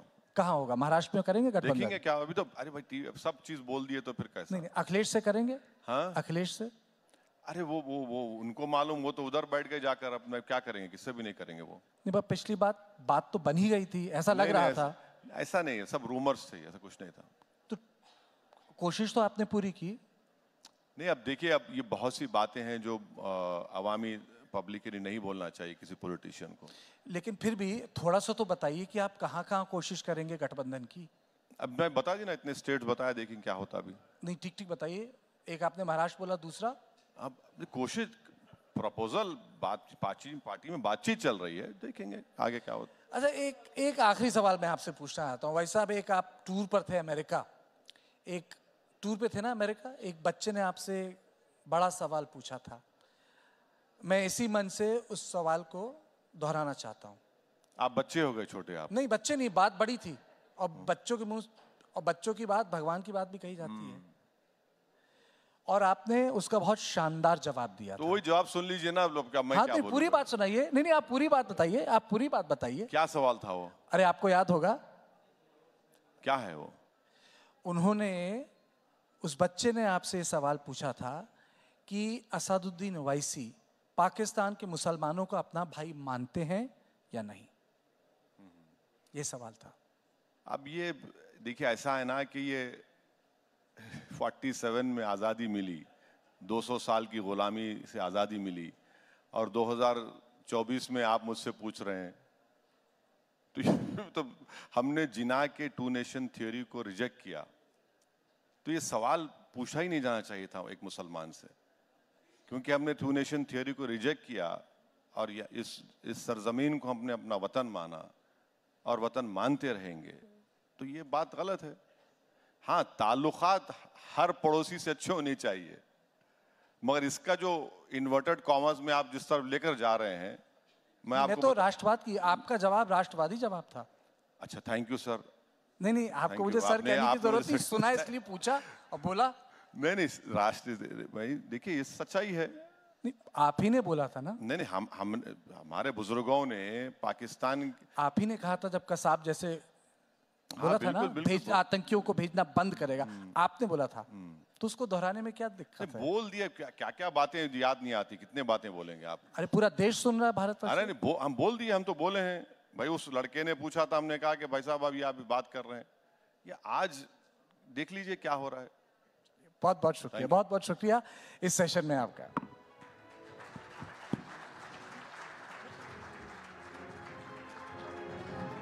जोरदार तालियाँ हो जाए। ओवैसी साहब, मैं चाहूँगी आप कुछ क्षणों के लिए हमारे साथ रहें। हमारे मैनेजिंग एडिटर परितोष चतुर्वेदी आपका सम्मान करेंगे। शॉल देकर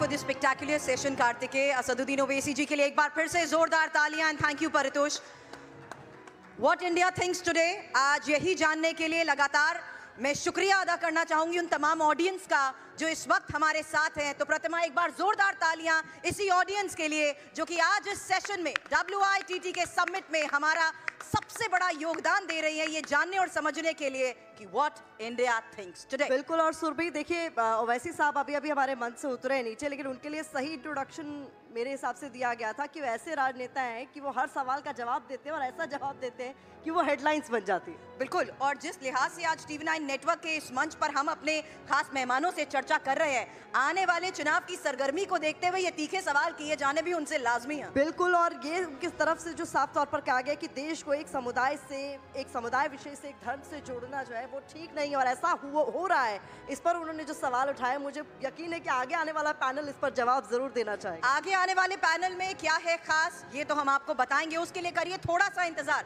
लेकिन उससे पहले एक बार फिर से आपको बता दें टीवी नाइन नेटवर्क के इस प्लेटफॉर्म पर आज खास मेहमान लगातार इसी तरीके से हमें ज्वाइन करते रहेंगे और मेरे सहयोगी मेरे सहयोगी लगातार उनसे करेंगे तीखे सवाल। बिल्कुल, और ऐसे कुछ ही क्षणों का इंतज़ार आपको करना होगा जब हमारे साथ केंद्रीय वन मंत्री भूपेंद्र यादव जुड़ेंगे, और वो भी बहुत इंटरेस्टिंग सेशन होने वाला है। इसके अलावा लाइनअप बहुत बड़ा है, सुरभि। उसी लाइनअप में मेरा, मैं इंतज़ार कर रही हूँ एक ऐसी शख्सियत को सुनने का, जो बड़ी बेबाकी से अपने सवालों को देखते हुए मतलब जवाबों को देखते हुए सवाल उठा देते हैं। इसीलिए मैंने कहा, मैं उनका इंतज़ार कर रही हूँ और वो शख्सियत है अरविंद केजरीवाल, जो अब से थोड़ी देर बाद टीवी नाइन के इस खास मंच पर हमें ज्वाइन करने वाले हैं। बिल्कुल, और दिल्ली की सियासत इस वक्त गरमाई भी हुई है तो मुझे पूरा यकीन है कि यहाँ मौजूद ऑडियंस उनको सुनना चाहेगी इसलिए एक बार फिर से मैं और सुरभि रिक्वेस्ट कर रहे हैं कि हॉल में जो तमाम इस वक्त ऑडियंस है, वो इसी तरीके से हमें ज्वाइन करे और बैठे रहे, क्योंकि कुछ ही क्षणों का इंतज़ार आपको और करना होगा। और खास एक मेहमान और है हमारी लिस्ट में, गृह मंत्री अमित शाह।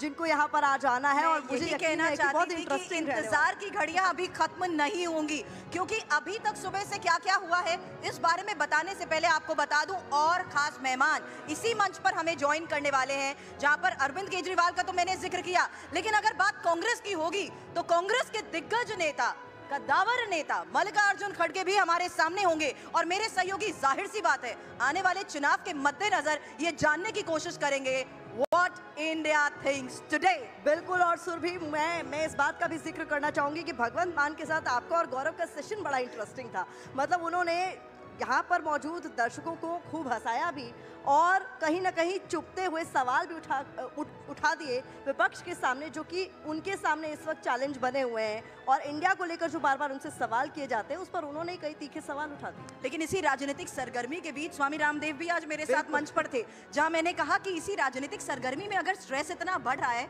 तो प्लीज़ ये भी बता दीजिए इसी स्ट्रेस को कम करने के लिए कौन कौन से नेता को कौन सा योग करना चाहिए। बिल्कुल और आपसे कुछ ही क्षणों का इंतज़ार जब भूपेंद्र यादव यहाँ मंच पर होंगे और बहुत दिलचस्प होगा उनसे ये जानना कि आने वाले चुनाव को लेकर बीजेपी की रणनीति क्या है क्योंकि उनकी जो रणनीति है उसी पर सभी की निगाहें टिकी है। चार सौ पार का की बात करी है तो रणनीति के लिहाज से हमें चाणक्य का ज़िक्र ज़रूर करना चाहिए। तो मैं नाम तो डिस्क्लोज नहीं करूँगी लेकिन आप जानते हैं कि अगर हम रणनीति के तहत चाणक्य का नाम लेते हैं तो वही आज हमारे मुख्य अतिथि होने वाले हैं और उनसे मुलाकात के लिए उनसे सार्थक सवालों के जवाब सुनने के लिए आपको फ़िलहाल करना होगा थोड़ा सा और इंतज़ार। मैं चाहूँगी यहाँ मौजूद तमाम मेहमान अपनी अपनी सीट्स पर बैठे रहे, क्योंकि बहुत मैं देख पा रही हूँ भूपेंद्र जी को इस वक्त वो यहाँ हॉल में आ चुके हैं। जोरदार तालियों से जरा भूपेंद्र यादव जी का स्वागत किया जाए। हमारे बीच देश के, केंद्रीय मंत्री, राज्यसभा सांसद, बेहद मज़े हुए रणनीतिकार भूपेंद्र यादव जी पहुँच रहे हैं। आपसे कुछ ही क्षणों में हॉल में वो एंटर कर चुके हैं। अभी कुछ ही क्षणों में इस मंच पर आपके बीच हूँ। Meanwhile, may I please request all the guests to please be seated. मंच पर अब से थोड़ी देर बाद हमारे मेहमानों के साथ इस चर्चा की शुरुआत एक बार फिर से होगी। तब तक मैं रिक्वेस्ट करूँगी सभी लोगों का कि एक बार फिर से इस सेशन की शुरुआत करने से पहले वो बैठ जाएँ। मैं I please request you ma'am to be seated even at the back side everyone please be seated because we are about to start the next session तो जोरदार तालियों से स्वागत कीजिए हमारे बीच। जैसा कि मैंने आपको बताया, देश के केंद्रीय मंत्री, राज्यसभा सांसद भूपेंद्र यादव जी आ चुके हैं आपके बीच। यहाँ पर उनकी उपस्थिति है। जोरदार तालियाँ हो जाए ऑडियंस तो TV nine W I T T summit का तीसरा पढ़ाव यानी टीवी नाइन भारतवर्ष सत्ता सम्मेलन का ये मंच, एक सार्थक संवाद की पहल है, जिसके अगले सेशन की बातचीत आप सभी को थोड़ा थोड़ा ही गौर से सुननी चाहिए। बिल्कुल सुरभि क्योंकि हमारे अगले मेहमान बहुत नपा तुला बोलते हैं लेकिन जितना भी बोलते हैं बड़े काम की बात बोलते हैं। अब बेशक बेशक सारे सर्वे खिलाफ हो जाएँ, लेकिन पर्दे के पीछे उनकी रणनीति चुनाव में बीजेपी को सर्वे सर्वा बना ही देती है और इस बार तो सुरभि वो नए मिशन पर है 400 पार का मिशन है। क्या है इस लक्ष्य के पीछे की रणनीति खुद उन्हीं से पूछ लेते हैं। चलिए तो जोरदार तालियों से स्वागत करिए। देश के केंद्रीय मंत्री, राज्यसभा सांसद और बेहद ही मज़े हुए रणनीतिकार भूपेंद्र यादव जी का।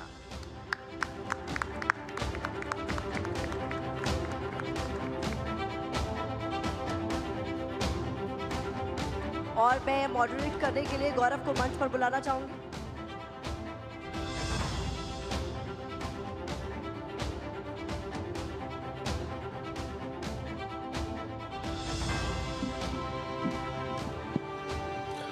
Thank you Pratima thank you Surabhi बहुत स्वागत है भूपेन जी आपका टीवी नाइन के मंच पे। और इससे पहले कि इस सेशन की शुरुआत हो, एक बार जोरदार तालियों के साथ स्वागत करते हैं केंद्रीय मंत्री भूपेन जी का। और देखिए, इस सेशन का नाम है, अब की बार 400 पार। और 400 की बातें बहुत हो रही हैं। भूपेन जी, उस पर आऊँगा और तफसील से उस पर बात करूँगा। लेकिन भूपेन जी, पहले आपके बारे में बात। बीजेपी में कहा जाता है कि जहाँ कहीं मामला फंसा हो जहाँ कहीं गोटी फंसी हो, भूपेंद्र यादव जी को भेज दो। बिहार हो, झारखंड हो, महाराष्ट्र हो, राजस्थान हो, या इस बार एमपी का उदाहरण ले लें। क्या चक्कर चलाते हैं भूपेंद्र यादव ऐसा कि फिर वो जो फंसा हुआ मामला होता है वो सुलझ जाता है? नहीं, ऐसा नहीं है। हमारी पार्टी, कार्यकर्ता आधारित पार्टी है। पार्टी के सभी कार्यकर्ता और नेता पूरी मेहनत करते हैं। कोई मैं अकेला कुछ करता हूँ ऐसा नहीं है। पार्टी सामूहिक नेतृत्व के आधार पर काम करती है। और ये जो पार्टी का विस्तार हो रहा है, हमारे नेतृत्व के कारण हो रहा है और लगातार कार्यकर्ताओं के अथक परिश्रम के कारण हो रहे हैं। पिछले दस सालों में प्रधानमंत्री जी ने जो देश का नेतृत्व किया है और भारत की छवि जो दुनिया में उभरी है, उसके कारण समस्याओं का समाधान होता है। हम तो माध्यम क्या बात है? लेकिन जैसे अभी आप देख लीजिए, अभी जब एमपी में आपको इतनी भारी जीत मिली, उसके बाद बीजेपी के कार्यकर्ताओं ने कहा कि मोदी के नाम पर वोट पड़ा। शिवराज सिंह चौहान ने लाडली बहना के कांटे निकाल दिए। आप तो बहुत कुछ देख रहे होंगे बहुत करीब से आप उस इलेक्शन को देख रहे थे। आप इसको, इसका श्रेय किसको देंगे? इस पूरे चुनाव में हमने जो कैंपेन का थीम दिया था, वो एमपी के मन में मोदी था। और पिछले लंबे समय से जो भारतीय जनता पार्टी का राज मध्य प्रदेश में रहा है, उसमें लोगों ने कृषि क्षेत्र में सिंचाई सुविधा का विकास इंफ्रास्ट्रक्चर का विकास, वहाँ के सांस्कृतिक स्थानों का विकास, ये बहुत अच्छे तरीके से देखा है। अगर आप देखेंगे कि हिंदुस्तान में सबसे साफ़ शहर कौन सा है तो इंदौर आएगा, भोपाल आएगा अगर आप देखेंगे हिंदुस्तान में सबसे ज़्यादा पर्यावरण कहाँ बचा है तो एमपी के टाइगर्स के मामले में सबसे आगे है। इंडस्ट्रियल ग्रोथ में उस स्टेट की स्थिति अच्छी है। और सड़कों के मामले में स्थिति अच्छी है ग्रामीण विकास में स्थिति अच्छी है महिलाओं के सेल्फ एम्पावरमेंट में स्थिति अच्छी है। तो ये जो पूरा चुनाव था एमपी के मन में मोदी थीम को लेकर के जो लड़ा गया था इसको प्रदेश की जनता ने आशीर्वाद दिया। और यही जीत का कारण था। तो मोदी के नाम पे जीत मिली आपको? हाँ निश्चित रूप से। चलिए थोड़ा कांग्रेस पर आते हैं। आपने एमपी के बारे में बात की। एमपी के मुख्यमंत्री रह चुके हैं। एमपी से ही आते हैं। सीनियर लीडर है कांग्रेस के।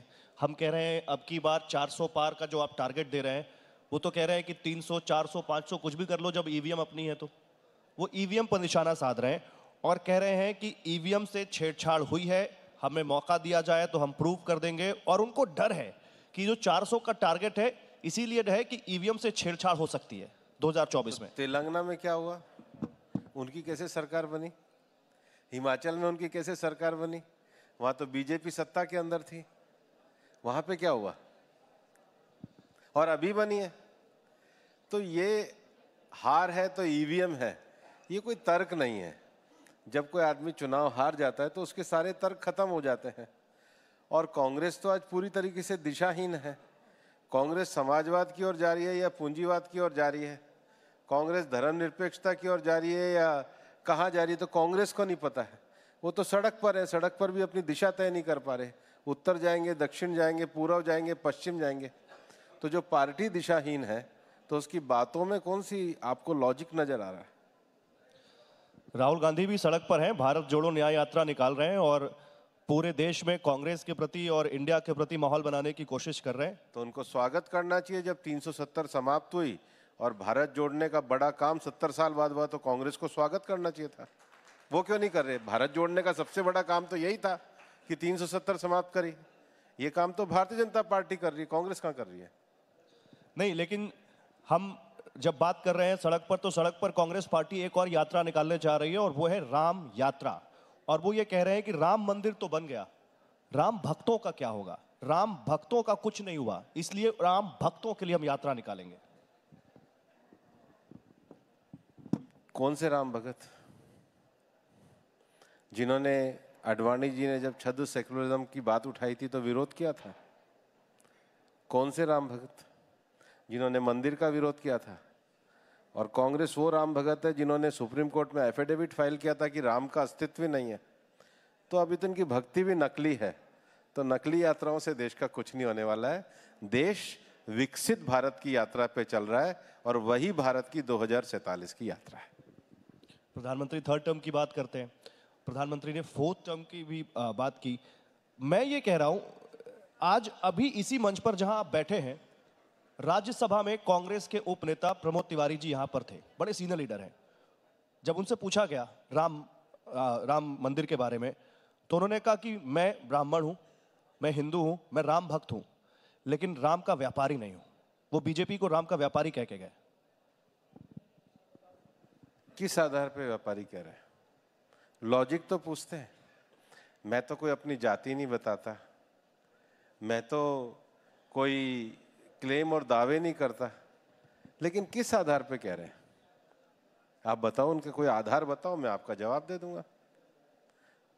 बताइए। कुछ तो आधार होगा जब वो कह के पूछो ना बत, बताओ ना मुझे तीन चार तर्क बताओ मैं उसका उत्तर देता हूँ आपको। उनका कहने का शायद ये मतलब था कि चुनाव में आप लोगों को राम मंदिर का या फ़ायदा होगा। नहीं तो भारतीय जनता पार्टी ने 89 में पालमपुर अधिवेशन में जब अपना प्रस्ताव पास किया था तो कांग्रेस क्या कर रही थी? समस्या जो है, पिछले साढ़े सात चार सौ साल थी, उसका एक लॉजिकल कंक्लूजन निकाला। तो कांग्रेस क्या कर रही थी? और आज अगर राम राज्य की अवधारणा को लेकर के बीजेपी गरीब कल्याणकारी राज्य कर रही है तो कांग्रेस को क्यों दिक्कत हो रही है? इस देश के हर पॉजिटिव स्टेप का कांग्रेस ने विरोध किया। जीएसटी को लेकर के आए तो संसद के, संयुक्त संसद के अधिवेशन का बहिष्कार कांग्रेस ने किया। जब नया संसद भवन बना तो उसका बहिष्कार कांग्रेस ने किया। वहाँ पर भारत की संस्कृति के आधार पर सेंगोल की स्थापना हुई तो विरोध कांग्रेस ने किया। देश में दलित राष्ट्रपति बने तो विरोध कांग्रेस करती है। देश में आदिवासी राष्ट्रपति बने तो विरोध कांग्रेस करती है। तो कांग्रेस इवन 370 भी समाप्त होती है तो विरोध कांग्रेस करती है। तो कांग्रेस समर्थन किस चीज़ का करती है? आप पूछो उनसे कांग्रेस एक ही बात का समर्थन करती है कि एक ही परिवार सत्ता में रहे और उसी की गुलामी पूरा देश करे, यही कांग्रेस का एजेंडा और कांग्रेस का कोई एजेंडा नहीं कांग्रेस एक और सवाल पूछती है आपसे, और क्योंकि आपसे अप्रोप्रिएट कोई नहीं हो सकता। कांग्रेस कहती है, मोदी सरकार ने या बीजेपी ने हर साल दो करोड़ नौकरियाँ देने का वादा किया था। आप क्योंकि केंद्रीय श्रम एवं रोज़गार मंत्री हैं आज आप क्लियर कर दीजिए, पिछले दस सालों में कितनी नौकरियाँ देश में दी गई, क्योंकि वो कहते हैं कि ये वादा पूरा नहीं हुआ। दस साल के हिसाब से बीस करोड़ लोगों को नौकरियाँ मिल जानी चाहिए थी। स्वरोजगार के क्षेत्र में देश सबसे आगे बढ़ा है। भारत, जो कांग्रेस के आने से पहले दुनिया की पाँच डगमगाती अर्थव्यवस्था में था, आज विश्व की पाँच सबसे बड़ी अर्थव्यवस्थाओं में है। ईपीएफओ के आंकड़े उठा के देखिए, नौकरियाँ लगातार निजी क्षेत्र में बढ़ रही है। प्रधानमंत्री जी हर महीने एक लाख लोगों को सरकारी नौकरी दे रहे हैं। राज्य सरकारों की नौकरियाँ अलग दी जा रही हैं। अकेले हमारे मंत्रालय ने ई श्रम का रजिस्ट्रेशन किया 400 से ज़्यादा ऑक्यूपेशन के 29 करोड़ लोगों ने अपना रजिस्ट्रेशन कराया। पीएलएफएस के पीरियोडिक लेबर फोर्स सर्वे के जो आंकड़े आ रहे हैं, वो नौकरी को बढ़ता हुआ दिखा रहे हैं। देश के ग्रोथ के आंकड़े आंकड़े आ रहे हैं, वो विकास को बढ़ता हुआ दिखा रहे हैं। जीडीपी के आंकड़े आ रहे हैं उसमें हिंदुस्तान की अर्थव्यवस्था बढ़ती हुई दिखाई दे रही है। सबको बढ़ते हुए दिखाई दे रहे हैं कांग्रेस को नहीं दिखाई दे रहे। उसके लिए उन्हीं से पूछो कि उन, उन्होंने चश्मा कौन सा लगा रखा है। भूपेंद्र यादव जी को क्या लगता है? क्यों नहीं दिखाई दे रहा उनको? तो उनसे पूछो। देश आज विकास के रास्ते पे आगे बढ़ रहा है और इसीलिए देश आने वाले चुनाव के लिए कह रहा है फिर एक बार मोदी सरकार। फिर एक बार मोदी सरकार और अब की बार 400 पार। ये बड़ा इंटरेस्टिंग है। आप लोगों ने 370 बीजेपी के लिए 370 प्लस और एनडीए के लिए 400 प्लस का टारगेट रखा है। आप साढ़े तीन भी रख सकते थे, आप 380 भी रख सकते थे। 370 और 400 ही स्पेसिफिक क्यों? हमारे नेतृत्व ने कार्यकर्ताओं को एक लक्ष्य दिया और आपने देखा था। जब 2014 में हम चुनाव के लिए आए थे तो कोई नहीं मानता था कि बीजेपी पूरी दो सौ बयासी सीटें लेकर के आएगी। जितना वोट प्रतिशत हम 2014 में लेकर के आए, उससे ज़्यादा वोट प्रतिशत हम 2019 में लेकर के आए।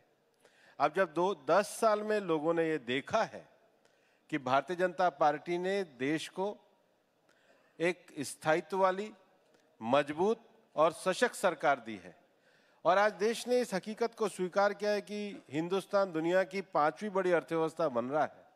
तो भारत अपने आत्मविश्वास के लिए और विकसित भारत बनने के लिए आने वाले चुनाव में प्रधानमंत्री नरेंद्र मोदी जी के नेतृत्व में 400 पार के लक्ष्य के लिए मज़बूत भारत के लिए वोट देने वाला है। नहीं कुछ लोग कह रहे हैं इसका 370 का कनेक्शन धारा 370 से है तो बुरा क्या है? मतलब है। बुरा क्या है? अच्छा है। मैं बुरा नहीं बोल रहा मैं पूछ रहा हूँ है कनेक्शन? कोई भी लक्ष्य दे और अच्छी बात है देश को गर्व है कि 370 समाप्त हुई इसमें क्या बुरा है? अच्छा ठीक है। अभी मैंने देखा आप केरल के दौरे पर थे। आप वायनाड गए। अब भूपेंद्र यादव जी तो चाणक्य हैं। इलेक्शन की स्ट्रैटेजी बनाने में बड़े माहिर हैं। तो क्या राहुल गांधी के लिए अब अमेठी के बाद वायनाड में भी खतरे की घंटी बज गई है क्या? किसी के भी खतरे की घंटी उसके अपने लक्षणों से बजती है, किसी के दूसरे के बजाने से नहीं बजती। और देखो, हिंदुस्तान में वाइल्ड लाइफ को बचाने के लिए हम लोग पूरे तरीके से प्रतिबद्ध हैं। और ये जो पूरा क्षेत्र है, जिसमें कर्नाटक का बांदीपुर बीआरटी का जो वन्य क्षेत्र है, केरल का, वायनाड का है, और तमिलनाडु का मधुमलई है, ये सारा जो वाइल्ड लाइफ एरिया है, इसमें जो वाइल्ड लाइफ का जो मूवमेंट है, उसकी ज़मीनी परिस्थिति को जानने के लिए, और वहाँ अभी हाल ही में जो घटनाएँ हुई थी, उसके लिए एआई का उपयोग करके वन्य जीवों से लोगों के जीवन की रक्षा के लिए और इन सब की चीज़ों को जानने के लिए गया था। लेकिन मैं आज आपके सामने एक चीज़ शेयर करना चाहता। मैं एक परिवार में गया जहाँ ये दुर्घटना हुई। वो बच्ची कोई दस ग्यारह साल की होगी। मेरे से पहले कांग्रेस के लोग गए या कर्नाटक के लोग गए। उस बच्ची ने एक बड़ी भावुक बात करी। उसने कहा, देखो, ना मैं यहाँ कर्नाटक सरकार की बात कर रही हूँ, ना मैं केरल सरकार की बात कर रही हूँ आप दिल्ली से आए हो मैं भी ये जानती हूँ कि अगर मुझे किसी पे विश्वास है तो वो मुझे मोदी जी के ऊपर विश्वास है। ये स्थिति आज देश की है। राहुल गांधी के संसदीय क्षेत्र में एक बच्ची ने आपसे कहा। हाँ। और ये मेरे को बड़ा भावुक करने वाला मेरे लिए विषय था। और उसके मतलब ईसाई परिवार की वो बच्ची थी परिवार भी वहाँ पे उपस्थित था। लेकिन लोगों को लगता है कि प्रधानमंत्री नरेंद्र मोदी हैं तो उनका देश, उनका भविष्य, भारत की आकांक्षा सुरक्षित है। ये दक्षिण में चलने वाली आवाज़ है और इसलिए 400 पार का लक्ष्य, बहुत बड़ा लक्ष्य नहीं है, इसको हम इस चुनाव में प्राप्त करेंगे। आपने मुझे मेरे अगले सवाल का क्यों दे दिया? 400 पार अगर करना है तो दक्षिण का किला भेदना होगा। और कर्नाटक छोड़ के बीजेपी के लिए दक्षिण अभी भी एक टफ कॉर्नर है। दक्षिण में इस बार क्या स्ट्रैटेजी है आपकी? दक्षिण में बीजेपी तमिलनाडु केरल या दूसरे राज्यों में कैसे वो जो नो एंट्री का बोर्ड लगा है या जैसे बहुत कम आपका वहाँ पे, उसको कैसे हटाएँगे? ये बात हमारे को नॉर्थ ईस्ट के लिए भी कहा करते थे। आज त्रिपुरा में भी बीजेपी की सरकार है। आज मणिपुर में भी बीजेपी की सरकार है। आज अरुणाचल में भी बीजेपी की सरकार है। आज मेघालय में भी हमारे पार्टनर की सरकार है, आज नागालैंड में भी हमारे पार्टनर की सरकार है, आज सिक्किम में भी हमारी सरकार है, आज आसाम में भी हमारी सरकार है। तो ये तो नॉर्थ ईस्ट के लिए भी कहा करते थे। बीजेपी, सबका साथ, सबका विकास, सबका प्रयास तो उत्तर से लेके दक्षिण तक, पूर्व से लेके पश्चिम तक, सभी जगह जाने वाली है और सभी जगह जाकर के हम 400 पार के लक्ष्य को प्राप्त करने वाले हैं। क्या बात है। बड़ा अच्छा लग रहा है आपको कॉन्फिडेंस देख के। लेकिन एक कॉन्फिडेंस आपके विरोधियों में भी है इंडिया गठबंधन और इंडिया गठबंधन पहले तो लग रहा था कि ट्रैक से उतर रहा है, लेकिन अब वो ट्रैक पर आना शुरू हो चुका है। धीरे धीरे उनकी सीटें भी बढ़ रही हैं धीरे धीरे सीट शेयरिंग भी हो रही है। खतरा मानते हैं, और मानते हैं कि इंडिया गठबंधन आप लोगों के लिए इस चुनाव में कोई बड़ी चुनौती देगा। कौन से ट्रैक पे चल रहा है? पंजाब में उनकी गाड़ी उतर गई। जम्मू में उनकी गाड़ी नहीं चढ़ रही। बिहार में उनकी पटरी से गाड़ी गाड़ी पे पटरी नहीं है। बंगाल में वो चल नहीं पा रहे। नॉर्थ ईस्ट में वो बिखर के चले गए। कहाँ पे चल रहे हैं?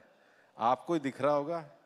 आप, मुझे लग रहा है कुछ, आप ज़्यादा, उनसे ज़्यादा आशान्वित आप मुझे ज़्यादा लग रहे हैं। वो खुद ही अपने विश्वास में नहीं, आप इतनी क्यों आशा रख रहे हैं? नहीं मैं आशान्वित नहीं हूँ मैं तो फैक्ट बता रहा हूँ क्योंकि सीट शेयरिंग हो गई। आज दिल्ली में आम आदमी पार्टी ने बाकायदा टिकट भी अनाउंस कर बिहार में सीट शेयरिंग हो गई? नहीं बिहार में तो नीतीश कुमार आपके पास आ गए। बंगाल में सीट शेयरिंग हो गई? बंगाल में लोग कह रहे हैं बातचीत चल रही है शायद। पंजाब में सीट शेयरिंग हो गई? जम्मू कश्मीर में सीट शेयरिंग हो गई? कहाँ सीट शेयरिंग हो गई? जहाँ नहीं है वहाँ पे सीट शेयरिंग है। जहाँ पर है वहाँ पे सीट शेयरिंग नहीं है। सीट शेयरिंग मतलब जिसके पास सीट है वो उनसे शेयर कर रहा है क्या? जिसके पास नहीं है वो सब शेयर कर रहे हैं। पर जिनके पास है वो तो उनसे कोई शेयर नहीं कर रहा है। आप कह रहे हैं उनकी गाड़ी ट्रैक पर नहीं है। और वो मालूम है क्या कह रहे हैं भूपेन जी? मालूम ही होगा आपने तो देखा ही होगा। वो कह रहे हैं कि बीजेपी इंडिया गठबंधन से घबरा गई है डर गई है इसलिए इंडिया गठबंधन को उसने तोड़ना शुरू कर दिया हम क्यों तोड़ेंगे? आप एक बात देखिए हम 2047 के विकसित भारत की बात कर रहे हैं। वहाँ से क्या आ रहा है? हम 2047 में दुनिया की सबसे, तीसरी सबसे बड़ी अर्थव्यवस्था बनाने की बात कर रहे हैं। वहाँ से क्या आ रहा है? हम वुमेन डेवलपमेंट की बात कर रहे हैं, वुमेन लेड डेवलपमेंट भारत की। वहाँ से क्या आ रहा है? हम सब जगह पर पूरे भारत में इंफ्रास्ट्रक्चर को बढ़ाने की बात कर रहे हैं। वहाँ पे क्या आ रहा है? हम देश में नई जातियाँ मतलब गरीब, अन्नदाता युवा और नारी शक्ति इसके विकास की बात कर रहे हैं। हम एक पूरे पॉजिटिव एजेंडे को लेकर पूरे देश में चल रहे हैं और देश का जो माहौल मैंने आपको अभी केरल के बच्ची का उदाहरण दिया है, देश का माहौल इस समय पॉजिटिव एजेंडे पर जाकर के विकसित भारत बनाने का है, भारत को बांटने का नहीं है। देखिए, जब मैं ये बात कर रहा हूँ तो अभी आरजेडी के और कांग्रेस के तीन विधायक बिहार में बीजेपी में शामिल हुए। तो ये आप तोड़ते नहीं है तो ये कौन सा मैग्नेट है जो आपकी तरफ़ लोग खींचे चले आते हैं? देखिए, मैंने बिहार में लंबे समय तक देखा है। लोग आरजेडी से भयभीत ही रहते हैं। आरजेडी हो, चाहे कोई पार्टी हो, ये कुल मिलाकर के परिवार को, परिवार की विरासत के आधार पर चलने वाली पार्टी है। न तो ये कोई राजनीतिक आंदोलन है, न ये किसी का भला करने वाली पार्टियाँ हैं। ये पार्टी केवल और केवल राजनीति में नए सामंतवाद को खड़ा कर रही है देश के लोकतंत्र के लिए इन पार्टियों का हारना और इन पार्टियों का समाप्त होना बहुत आवश्यक है। लेकिन कोई तो कारण होगा कोई तो मैग्नेट होगा कोई तो बूटी होगी जो लोगों को बीजेपी में जुड़ने का लगाव होगा। बीजेपी का नेतृत्व बीजेपी के नेतृत्व की गवर्नेंस बीजेपी की गवर्नेंस की ट्रांसपेरेंसी और ट्रांसपेरेंसी के द्वारा देश का होने वाला विकास। मुझे लगता है ये एक इतना बेहतर कॉम्बिनेशन है जो लोगों के मन में विश्वास दिलाता है कि भारत के लोकतंत्र को और भारत को आगे बढ़ाना है तो भारतीय जनता पार्टी को आगे बढ़ाना है। आप कह रहे हैं बीजेपी का नेतृत्व, और बिल्कुल ऐसा ही हो सकता है, लेकिन विरोधी इस मैग्नेट का नाम ईडी बताते हैं। विरोधी कहते हैं ईडी लगा देती है बीजेपी। आम आदमी पार्टी तो ये कह रही है कि अरविंद केजरीवाल पर इतना दबाव है कि इंडिया गठबंधन छोड़ दे। ईडी का प्रेशर है हमारे ऊपर। कई बार प्रेस कॉन्फ्रेंस कर चुके हैं। देखिए, अगर कोई भी एजेंसी किसी भी व्यक्ति को बुलाती है तो कानून की सम्मान करने वाला व्यक्ति तो देश के कानून के सामने उपस्थित होता है। न्याय का शासन करने वाला व्यक्ति न्यायालय के सामने उपस्थित होता है। जो दोनों जगह से अनुपस्थित हैं, जो दोनों जगह से गायब हैं, जो कानून का पालन नहीं कर रहे, वो लोगों को किस प्रकार की नैतिकता की बात करने की आदत है? उनसे पूछिए। क्यों नहीं अपियर होते क्यों नहीं पे, पेश होते जब कानून के द्वारा आपको बुलाया जाता है तो? क्यों बहाने लिए जाते हैं? वो कहते हैं राजनीति से प्रेरित है समर हमने तो लिखित जवाब दे दिया तो जाकर के कहते राजनीति से प्रेरित है कौन मना करेगा? चलो ये बयान दे दो। देते क्यों नहीं है? ऐसे देश का कोई भी कानून कोई भी व्यक्ति अगर कानून अपने हाथ में लेने लग जाएगा और अपने हिसाब से न्यायालय को चलाने लग जाएगा तो ऐसे तो नहीं चल सकता। सबको मानना पड़ेगा। रूल ऑफ़ लॉ तो पूरे देश में है। और जो कानून बनाए तो संसद ने पास किए कोई हमने अपने घर से थोड़ी बना दी। संसद के कानून से पास होकर के जो संस्थाएँ बनती हैं, उनको सबको जवाब देना चाहिए। यही तरीका है। रूल ऑफ़ लॉ इसी को ही कहते हैं। ठीक है। राजनीति संभावनाओं का खेल है और आपसे बेहतर कौन जानता है? अगर उद्धव ठाकरे एनडीए में लौटना चाहे तो उनका स्वागत है। नहीं, अभी तो हम पूरे तरीके से प्रधानमंत्री नरेंद्र मोदी मोदी जी के नेतृत्व में एनडीए के 400 के लक्ष्य को लेकर के चल रहे हैं और निश्चित रूप से 400 सीटें हम जीतेंगे। बाकी संभावनाओं का जवाब देने के लिए मैं यहाँ नहीं बैठा हूँ। फैक्ट्स का जवाब आपको ज़रूर दे दूँगा। लेकिन भूपेन जी, एक आरोप जो बीजेपी पर विपक्ष लगाता है, वो कहते हैं, हमारे कार्यकर्ताओं को भड़काते हैं, ज़मीन पर मेहनत बीजेपी के कार्यकर्ता करते हैं। चुनाव वो जिताते हैं, लेकिन कई बार उन्हें कुछ मिलता नहीं है। महाराष्ट्र में शिंदे मुख्यमंत्री बन गए, बिहार में नीतीश कुमार बन गए। भारतीय जनता पार्टी का लक्ष्य देश को आगे बढ़ाने का है। हमारी तो तीन पीढ़ियों को भी कुछ नहीं मिला तो भी हम भाजपा को लेकर के लगे रहे। जब कोई नहीं कहता था राम मंदिर बनेगा, तब भी हमारे कार्यकर्ता लगे। जब कोई नहीं कहता था कि धारा 370 समाप्त होगी, तब बीजेपी के पहले संस्थापक अध्यक्ष डॉक्टर श्यामा प्रसाद मुखर्जी का बलिदान हुआ। भारतीय जनता पार्टी एक मिशन को लेकर के काम करती है। हमारा कार्यकर्ता मिशन के साथ जूझने वाला कार्यकर्ता है। और हमारा नेतृत्व मिशन को पूरा करने के संकल्प वाला नेतृत्व है। तो संकल्प वाला नेतृत्व और जूझने वाला कार्यकर्ता ये भाजपा की विशेषता है। क्या बात है। इसी नोट पर जोरदार तालियाँ हो जाए केंद्रीय मंत्री भूपेंद्र चौधरी जी भूपेंद्र यादव जी के लिए। सर बहुत बहुत आपका शुक्र गुजार है हम। बहुत बहुत शुक्रिया आपका आपने कीमती वक्त हमें दिया और आपसे गुजारिश है कि कृपया आप स्टेज पर रहें। Thank you so much, Gaurav. Thank you, sir. May I please request you to be here in the stage for a minute because अब हम मैं अनुरोध करूँगी पूनावाला फिनकॉप के एमडी अभय सर से कि वो मंच पर आएँ और भूपेंद्र यादव जी को सम्मानित करें जोरदार तालियाँ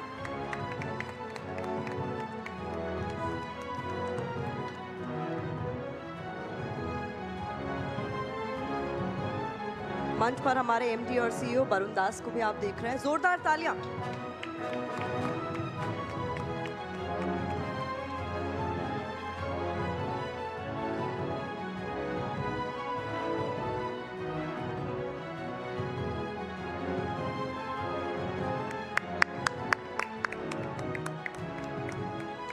Thank you so much sir और इस सेशन के खत्म होने के साथ ही यहाँ हॉल में मौजूद तमाम ऑडियंस से हम अपील करना चाहेंगे कि सिक्योरिटी चेक के लिए प्लीज़ आप सभी हॉल को कुछ समय के लिए खाली कर दें it's a kind request to please vacate the hall for a few minutes so that I think we should give a round of applause for your patience and your presence today. Thank you so much. I wish you to join me after a few minutes because we need to vacate the premises for a security check. Please join us there outside. We just need to vacate this premises for the security check. TV nine Thank you Bharat so much for your presence today. के मंच पर अब वो हस्ती आ रही है जिसका सिर्फ़ यहाँ मौजूद मेहमान ही नहीं टीवी नाइन भारत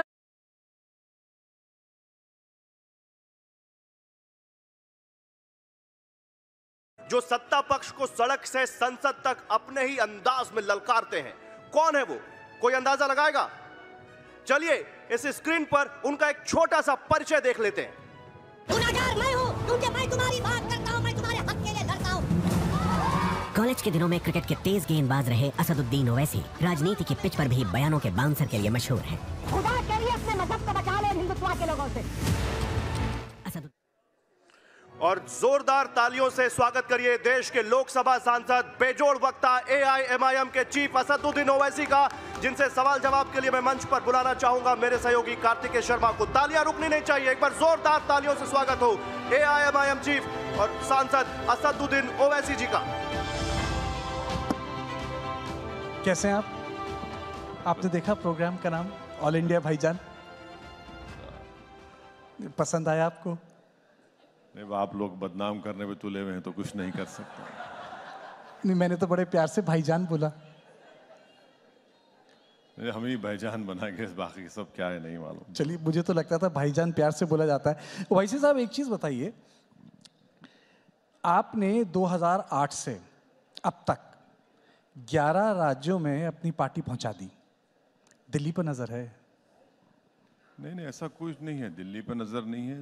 मेरा, देखिए, कोई पॉलिटिकल पार्टी का एक नेचुरल एक्सपेंशन का प्लान होता है। तो हमारी पार्टी की भी हम कोशिश कर रहे हैं कि, और इससे भारत की लोकतंत्र मज़बूत होगा डेमोक्रेसी मज़बूत होगी। तो वही उसमें काम कर रहे हैं। और ईमानदारी की बात तो यह है कि हमारे बुज़ुर्गों की मेहनत का फ़ायदा मैं उठा रहा हूँ। उन्होंने इतनी पार्टी को मज़बूत किया उस वक्त आंध्र प्रदेश में।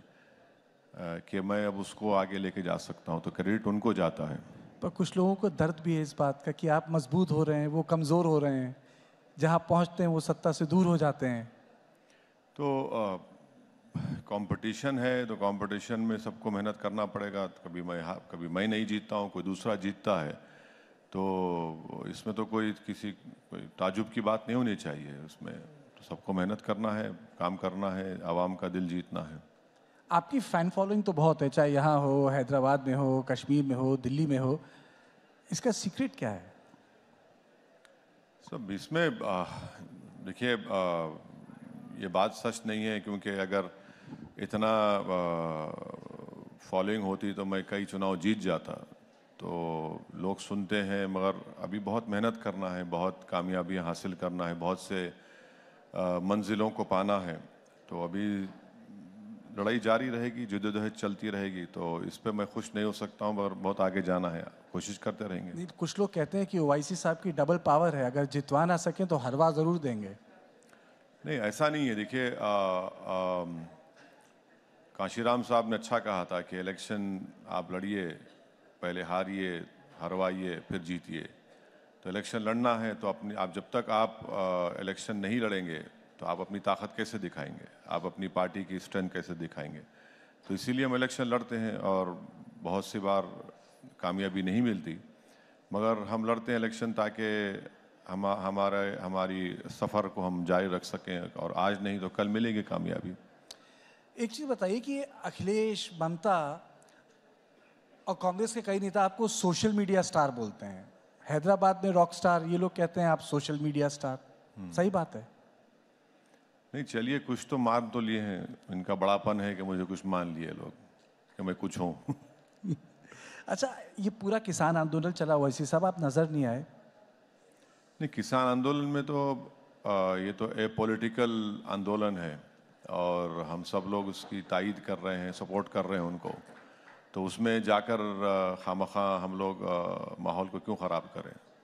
वो लोग कर रहे हैं। हाँ उनकी डिमांड जो है वो जस्टिफाइबल डिमांड्स हैं और सरकार को उसको मानना चाहिए कबूल करना चाहिए और ये हम बोले हैं और फिर से बोल रहे हैं। वैसे साहब आपको एक मैं मसले पे लाता हूँ। मैंने आपकी पूरी स्पीच सुनी संसद में। आपने लंबा भाषण दिया था। आप काफ़ी नाराज़ थे गुस्से में भी थे जब आपने भाषण दिया। आपको इतना गुस्सा क्यों आ रहा था सदन में? नहीं कहाँ गुस्सा था वो? गुस्सा तो नहीं था। नाराज़ थे आप? नहीं नहीं अब यही बात नरेंद्र मोदी के बारे में क्यों नहीं बोलते? डेढ़ घंटे का भाषण दिए। नहीं वो बात अलग है भाई। आप तो मैं तो आपने आठ मिनट बोला तो उसमें गुस्सा कहाँ नज़र आएगा आपने बानवे की बात को प्राण प्रतिष्ठा से जोड़ दिया राम मंदिर वाले। हाँ बिल्कुल ये फैक्ट है। देखिए 22 जनवरी की बुनियाद तो अ, 1949 में डाली गई थी। जब जीबी पंत ने अ, मस्जिद के अंदर मूर्तियाँ रखने की इजाज़त दी। 22 जनवरी की बुनियाद तो 6 दिसंबर को डाली गई। तो ये बिल्कुल सच है और अगर 6 दिसंबर नहीं होता बाईस तेईस दिसंबर की रात में 49 में मस्जिद में मूर्तियाँ नहीं रखी जाती तो 22 जनवरी मुमकिन था क्या बताइए आप। लेकिन ओवैसी साहब ये जो मंदिर बना है वो तो कोर्ट के आदेश से बना है। हाँ हाँ और उसका दूसरा पहलू भी है। नहीं नहीं कोर्ट मस्जिद की जगह भी है। नहीं नहीं नहीं नहीं। कोर्ट इसीलिए तो इसीलिए तो हमने डिसएग्री किया था सुप्रीम कोर्ट के जजमेंट को कि सुप्रीम कोर्ट ने ये कहा कि हम आस्था की बुनियाद पर ये फैसला दे रहे हैं। और वही सबसे बड़ा आज प्रॉब्लम बन चुका है। और कल भी बनेगा। क्यों? क्योंकि अगर आप आस्था को फैक्टर बनाएँगे तो फिर एविडेंस का क्या होगा? अगर कोर्ट आस्था के फैसले करेगा तो फिर आपकी आस्था मेरी आस्था से बढ़ के कैसे होगी? बताइए आप, वो तो वो तो गलत है वो। इसीलिए हम यकीनन सुप्रीम कोर्ट अपेक्स कोर्ट है, आखिरी कोर्ट है। और जस्टिस जे एस वर्मा ने कहा था, सही कहा था कि supreme court is supreme, but not infallible. तो वो फैसला बिल्कुल जो फैसला आया था, वो आस्था की बुनियाद पर था। और जिस बात का मुझे खदशा था, डर था कि ऐसे कई इश्यूज़ ओपन हो जाएँगे। अब इश्यूज़ ओपन हो गए। आपका ऑब्जेक्शन किस चीज़ पे है ओवैसी साहब? आपका ऑब्जेक्शन राम मंदिर पे है या उससे जुड़ी आस्था से है? नहीं, मेरा मेरा ऑब्जेक्शन इस बात पर है कि 6 दिसंबर को सुप्रीम कोर्ट को वादा कर कर वहाँ पर अडवाणी और जितने बीजेपी आरएसएस के नेता थे, उन्होंने सुप्रीम कोर्ट को वादा किया था कि हम मस्जिद को हाथ नहीं लगाएँगे और मस्जिद को उन्होंने शहीद कर दिया डिमोलिश कर दिया। और तरफ़ तमाशा यह है कि किसी एक का भी कन्विक्शन नहीं हुआ उसमें। किसी एक का भी कन्विक्शन नहीं हुआ। अगर जीबी पंत उस वक्त उन मूर्तियों को हटा देते और बोलते कि नहीं, ये गलत हुआ है 145 सीआरपीसी इस्तेमाल कर लेते तो ये इशू नहीं बनता। आप बगैर मुस्लिम पक्ष को सुने 86 में ताले खोल दिया आप। तो ये तो एक नाइंसाफी की एक पूरी लिस्ट है। तो यही हम बता रहे हैं। क्यों किसी मंदिर के ऊपर हमारे को गुस्सा होगा भाई, ये ये मुल्क, जैसा अभी आपने कहा, ये मुल्क की खूबसूरती, इसकी डाइवर्सिटी है। इसका प्लूरलिज्म है, इस देश का कोई मज़हब कभी था नहीं, ना कभी रहेगा। ये देश तो उन लोगों को भी मानता है जो किसी भगवान या अल्लाह को नहीं मानते। तो इस देश को अगर आप एक समुदाय रिलीजन से जोड़ देंगे तो ये तो संविधान के खिलाफ है। लेकिन असदुद्दीन जी, अगर आप एक बात कह रहे हैं कि एक धर्म, दूसरे धर्म से बड़ा नहीं होता, लेकिन आप सांसद हैं, आपने संसद में जब भाषण दिया तो आपने कहा आप राम के सम्मान करते हैं। और दूसरी तरफ़ आपने बाबरी मस्जिद जिंदाबाद बोला। हाँ बुरी बात क्या है उसमें? मैंने कहा कि मैं नाथुराम के खिलाफ हूँ। आप खिलाफ है नहीं नाथुराम के। सबको होना चाहिए नाथुराम के खिलाफ। और बाबरी मस्जिद जिंदाबाद बोलना गलत बात क्या है? बाबरी मस्जिद को तो मंदिर तोड़कर नहीं बनाया गया सुप्रीम कोर्ट ने कहा। बिल्कुल सुप्रीम कोर्ट ने कहा कि वहाँ पर मंदिर तोड़कर नहीं बनाया गया। तो ये आर्ग्यूमेंट जो बीजेपी झूठ फैला रही थी कि मंदिर तोड़कर मस्जिद बनाया गया वो तो सुप्रीम कोर्ट नकार दिया। अच्छा आप बताइए बीजेपी को राम मंदिर कब याद आया? नहीं मैं बीजेपी का प्रवक्ता नहीं नहीं नहीं। बता रहा हूँ आपको। पालनपुर का रेजोल्यूशन 1989 में पास किया उससे पहले तो नहीं हुआ। आरएसएस बनी उन्नीस सौ में जब उन्होंने बात नहीं की। विश्व हिंदू परिषद बना 1960 में वो नहीं बात किए। महात्मा गांधी से लेकर सरदार पटेल से लेकर के मुंशी से लेकर बाल गंगा गंगाधर तिलक से लेकर मालविया साहब से लेकर किसी ने बात नहीं की वहाँ पर। आप 89 में पालनपुर रेजोल्यूशन पास करके आपने कहा कि मंदिर को तोड़कर मस्जिद बनाई गई वो तो डिस्प्रूव हो गया। लेकिन राम मंदिर का आंदोलन तो बीजेपी से पुराना है वो तो सबको पता है। पेमन जी की किताब भी पढ़ लीजिए। ढाई सौ साल पुराना है। अठारह सौ देखिए लीगल फाइट चल रहा था 1800 1875 80 में। मस्जिद के सामने चबूतरा था। मस्जिद पे झगड़ा नहीं था वो चबूतरे पे झगड़ा था।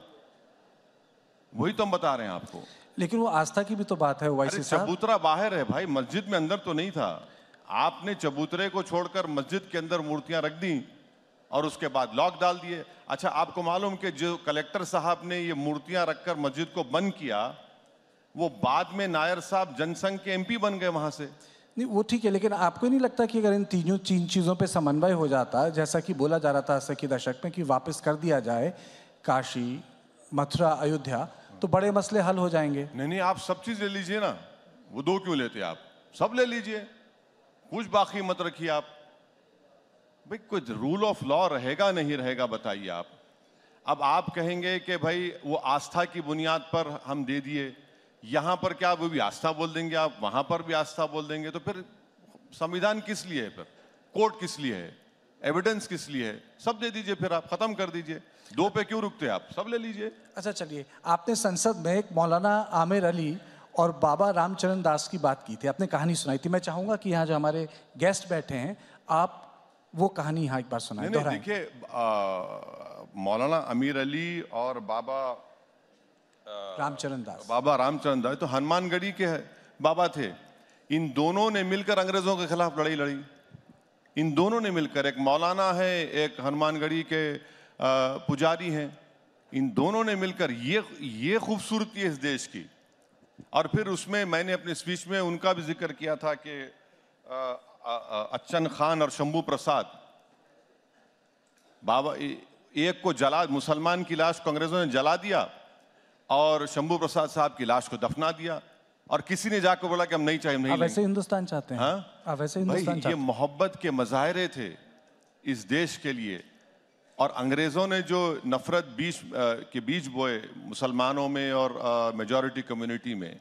जब तो जब लड़ अंग्रेज़ों से लड़ाई तो मुसलमान और हिंदू सब मिलकर सिखों ने मिलकर लड़ी थी ईसाइयों ने मिलकर लड़ी थी तभी तो मुल्क को आज़ादी मिली।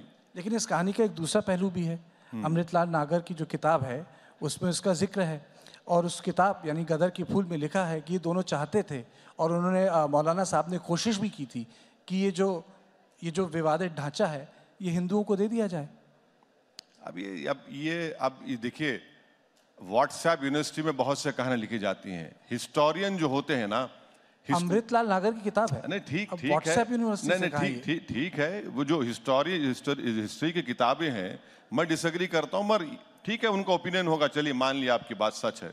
मगर वो मोहब्बत के मजाहरे तो कर दीजिए कि एक ही पेड़ के ऊपर दोनों की लाशों को लटका दिया गया था।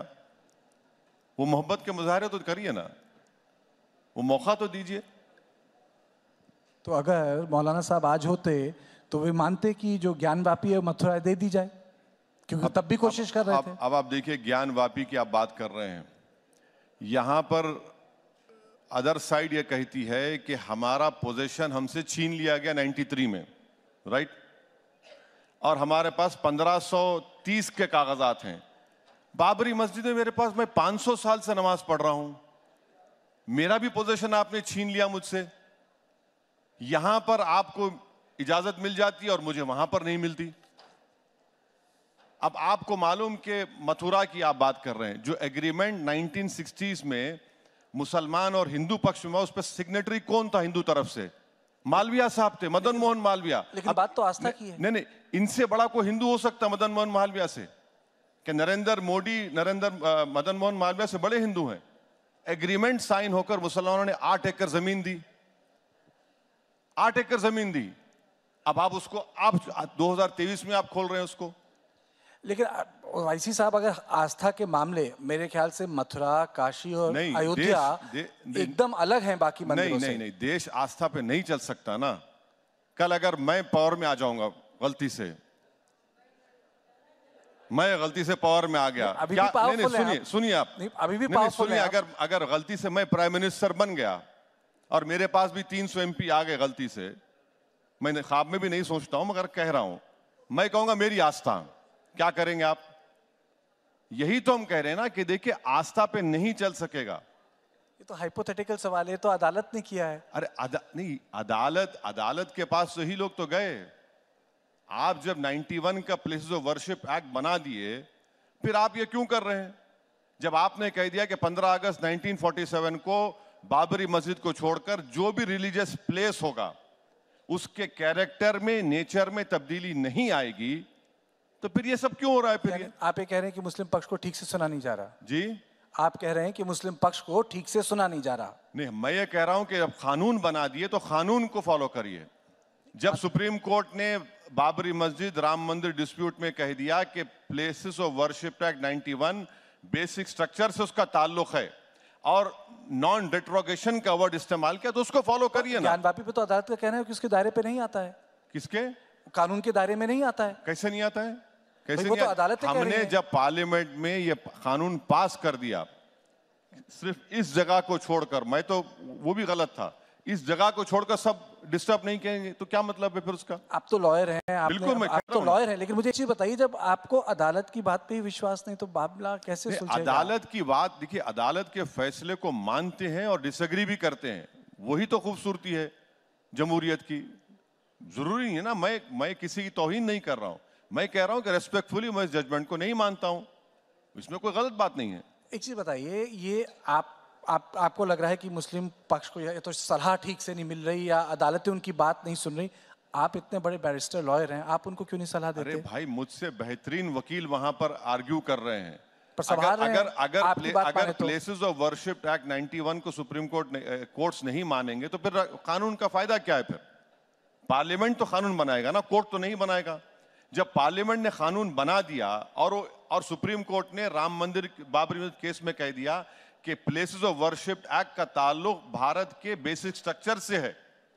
लफ्ज नॉन डिट्रोग्रेशन उन्होंने इस्तेमाल किया तो फिर कोर्ट्स को तो लोअर कोर्ट्स को फॉलो करनी चाहिए।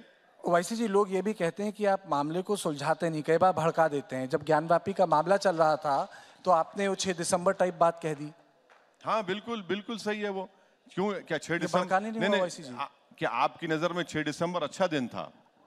नहीं नहीं नहीं आपने आपकी बोला नहीं, छह नहीं, नहीं आपकी नज़र में या देश की नज़र में 6 दिसंबर अच्छा दिन था क्या? पुराने घाव को करना अच्छी बात है। सुप्रीम कोर्ट को वादा सुप्री, सुप्रीम कोर्ट को वादा करके आपने तोड़ दिया।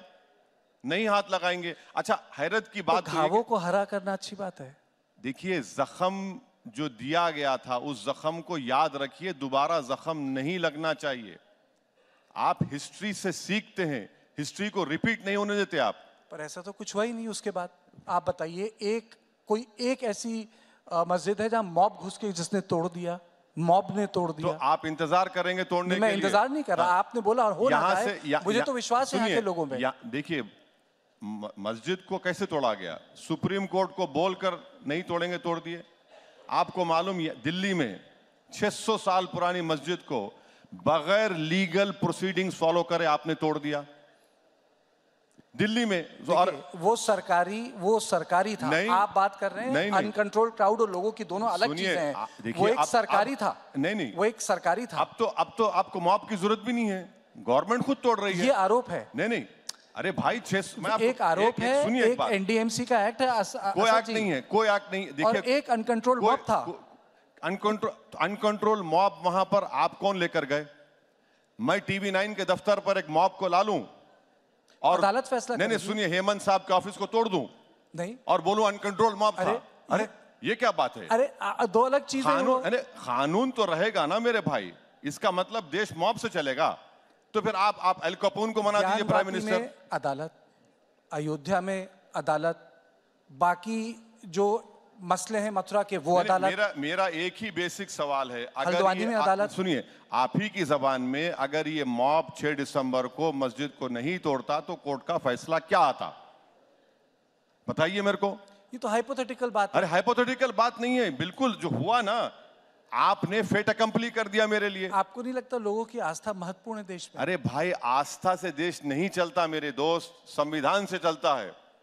अगर आप आस्था पे चलाएँगे तो फिर आपकी आस्था मेरी आस्था बड़ी कैसी होगी? ज़रूरी है कानून संविधान ज़रूरी है कानून के लिए पर देश तो हमारा हमारी देश में आस्था तो महत्वपूर्ण है। नहीं आस्था आस्था सब है मगर संविधान पर, पर भरोसा होना चाहिए। अच्छा बताए प्राण प्रतिष्ठान क्या था? संविधान था इस देश की आस्था थी जहाँ इस देश के सारे बड़े लोग मौजूद थे? कौन? प्राण प्रतिष्ठा अयोध्या में? अरे भाई मैं कह रहा हूँ कि अगर 49 में जीबी पंत मूर्तियों को रखने की इजाज़त नहीं देते और नायर साहब अपना ईमानदारी से काम करते तो 22 जनवरी होता उससे पहले भी कई बार कोशिश हुई क्या? है। निहंग भी थे वहाँ कहाँ पे अयोध्या में कौन ऐसा थे? नहीं है कि जो अयोध्या का इतिहास है कि कौन थे? अयोध्या का इतिहास 25 नहीं, नहीं, 30 कौन चालीस फिर से बोलिए। निहंग निहंग निहंग निहंग लोग जो निहंग लोग मूर्ति पूजा करते अरे अरे, आप कैसी क्या बात बात कर कर रहे हैं? आप? आप कैसी बात कर रहे हैं? किताब लोग मूर्ति पूजा करते ही नहीं है। निहंगों का एक बहुत अरे निहंग लोग मूर्ति पूजा नहीं करते मेरे भाई। अरे देखिए निहंगों का बहुत महत्वपूर्ण योगदान है। ऐसा ऐसा है ना कि हर हर मज़हब में गद्दार लोग होते हैं। तो क्या करेंगे उनको आप आप? निहंग बोल देंगे उनको। आप किसको गद्दार बोल रहे हैं? बहुत से लोग हैं। नहीं कौन गद्दार है? अरे बहुत मैंने गद्दार शब्द का इस्तेमाल नहीं किया। टीपू सुल्तान को शहीद करने मरवाने वाले मुसलमान गद्दारी थे उसमें। सिराजुद्दौला को नुकसान पहुँचाने वाले मीर सादिक। बहुत है। बहुत से आस्तीन के सांप हैं। चलिए अब आस्तीन के साथ अलग से बात की जाएगी। एक चीज़ बताइए आपको ये यूनिफॉर्म सिविल कोड से क्या आपत्ति है? नहीं भाई यूनिफॉर्म सिविल कोड में कार्तिकेय को हिंदू अनडिवाइडेड फैमिली में टैक्स रिबेट मिलेगा मुझे नहीं मिलेगा। ये क्या बात है? मुझे मिलना चाहिए। अगर महिलाओं सुन लीजिए, के सुन लीजिए। अगर महिलाओं के अधिकार हो जाएँ बराबर हो जाएँ तो अच्छा उसमें क्या कैसे होंगे बताइए? कैसे होंगे आप? विल का पावर निकाल रहे हैं आप। विल का पावर तो नहीं निकालेंगे आप। और विल का पावर बोलते हैं आपको will- भाई मुसलमानों में मैं विल के पावर में I cannot even exceed one third आप नहीं चाहते कि रिफॉर्म्स हो? रिफॉर्म आप क्यों रिफॉर्म करेंगे मेरा? क्यों? यानी सुनिए, आप क्या कर रहे हैं बताता हूँ। माने आपसे मुराद जो बीजेपी कर रही है, आप Hindu marriage act, Hindu succession act मुझ पर थोप रहे हैं। भाई, आपकी मोरालिटी मुझ पर क्यों थोपेंगे आप? मिसाल के तौर पर उत्तराखंड की मिसाल ले लीजिए आप। आपको मालूम उत्तराखंड में आप बोल रहे हैं कि प्रोहिबिशन लिस्ट बना दिए, शादी की आप, कि पिता के तरफ़, माँ के तरफ़। आपकी मोरालिटी मुझ पर क्यों थोपेंगे आप? भाई, मैं right to choice supreme court ने कह दिया फंडामेंटल राइट है। उत्तराखंड में आपने कह दिया कि प्रोहिबिटेड लिस्ट बना दिया आपने। वो कैसे होगा बताइए। अच्छा आप उसमें प्रॉपर्टी का डिवीज़न डिस्ट्रीब्यूशन पे एक इल्ज़ाम लगाते। नहीं, मुसलमान की बेटी को भाई के बराबर हिस्सा नहीं मिलता। ये ये क्यों नहीं बोलते कि मुसलमान की बेटी को अपने बाप की जायदाद में भी हिस्सा मिलता, अपने हस्बैंड की जायदाद में भी हिस्सा मिलता उसको? आप ये नहीं बताएँगे ये नहीं बोलेंगे कि ऐसे ट्वेंटी इंस्टेंसेस हैं जहाँ पर मुसलमान बेटी को भाई से बढ़ के मिलता है ये भी नहीं बोलते। अच्छा यूनिफॉर्म सिविल कोड की आप बात कर रहे हैं अरे भाई आप उसमें उत्तराखंड के लेटेस्ट है। खत्म कर लीजिए एक सवाल और उत्तराखंड में आप ट्राइबल को क्यों निकाल दिए? तो यूनिफॉर्म कहाँ हुआ? आर्टिकल ट्वेंटी सुनिए आर्टिकल 25 के तहत एक तो आप आप निकाल दिए ट्राइबल को राइट टू इक्वालिटी का वायलेशन है। और फिर आप उसमें कह रहे हैं कि नहीं एक्सेप्शन कहे का एक्सेप्शन दे रहे हैं आप? तो पूरा मकसद क्या है कि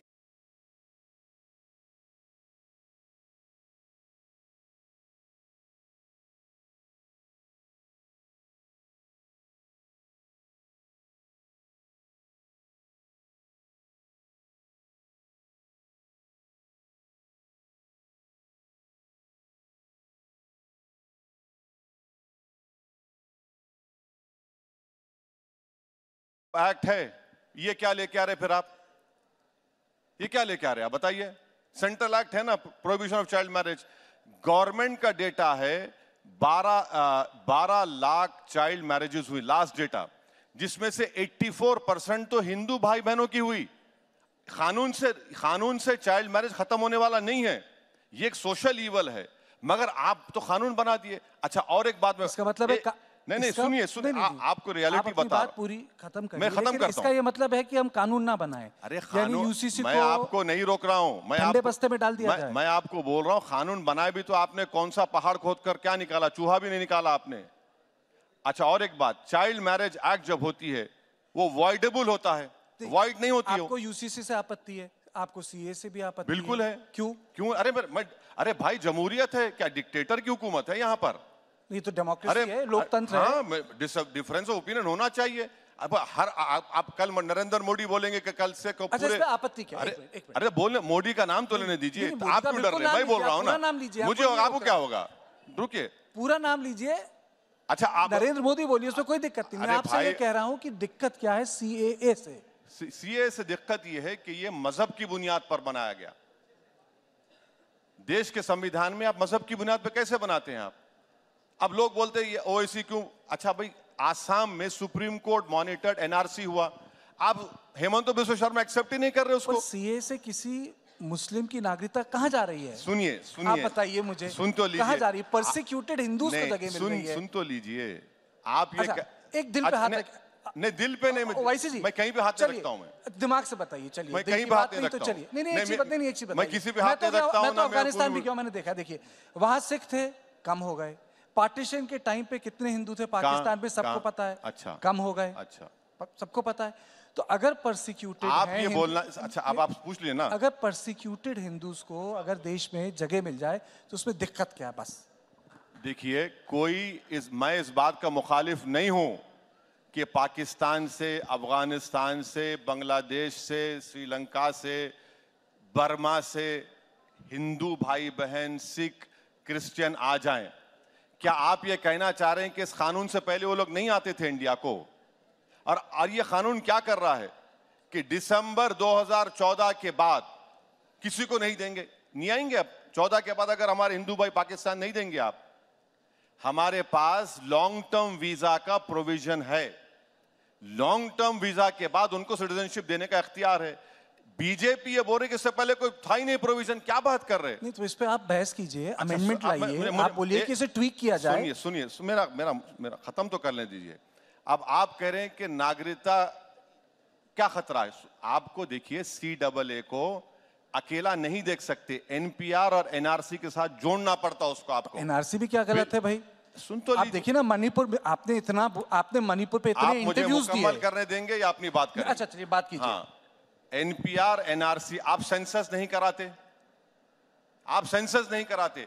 एनआरसी जब होगा तो मुझसे कहा जाएगा कि अपने दादा का बर्थ सर्टिफिकेट लाओ। आधार कार्ड ये, उस आधार कार्ड को भी पढ़ा आपने। उसमें लिखा हुआ है कि this is not proof of citizenship कितने लोगों के पास पासपोर्ट है? भारत में पाँच फ़ीसद।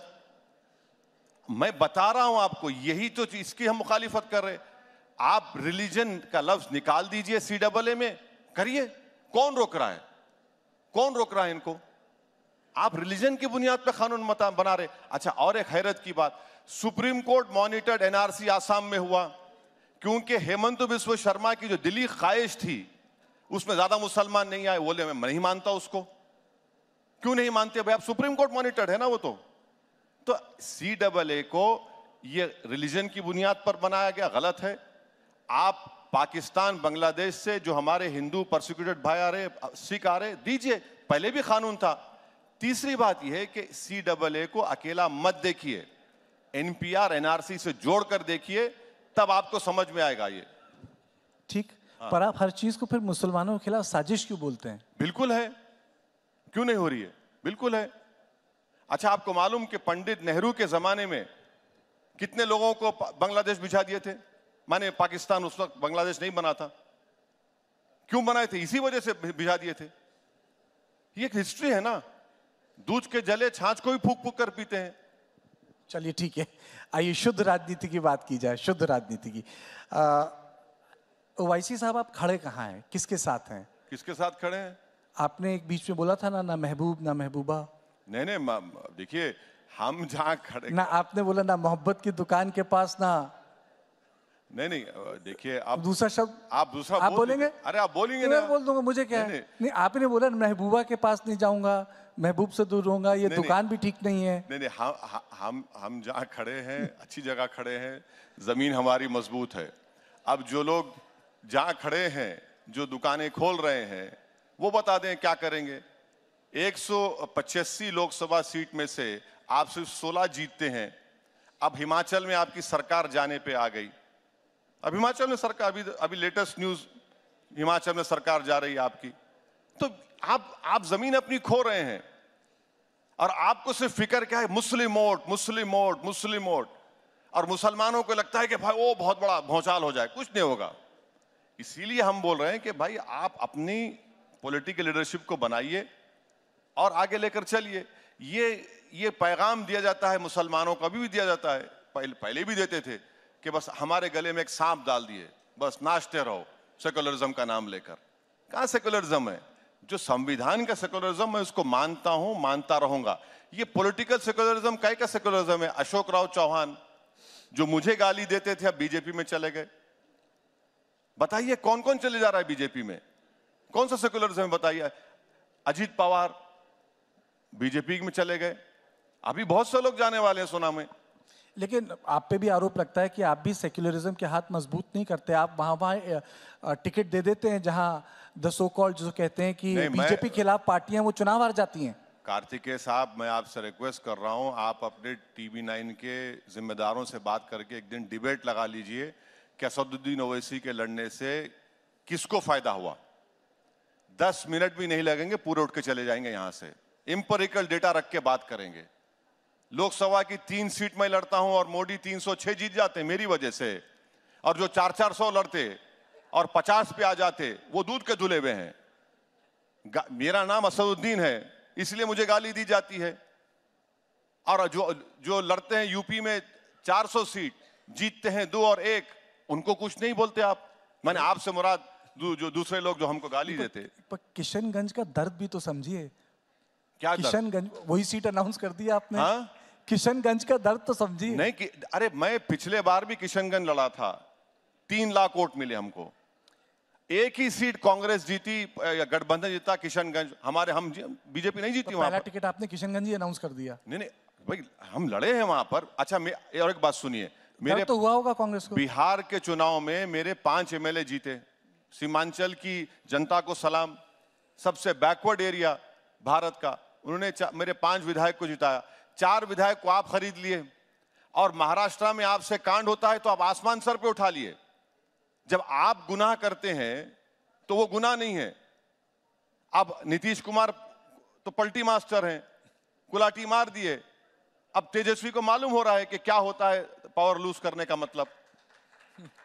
लोग कहते हैं कि ओवैसी साहब दिखते हैं बीजेपी से लड़ते हुए हाँ? लेकिन वो लड़ कांग्रेस से रहे हैं। किससे लड़ते हैं?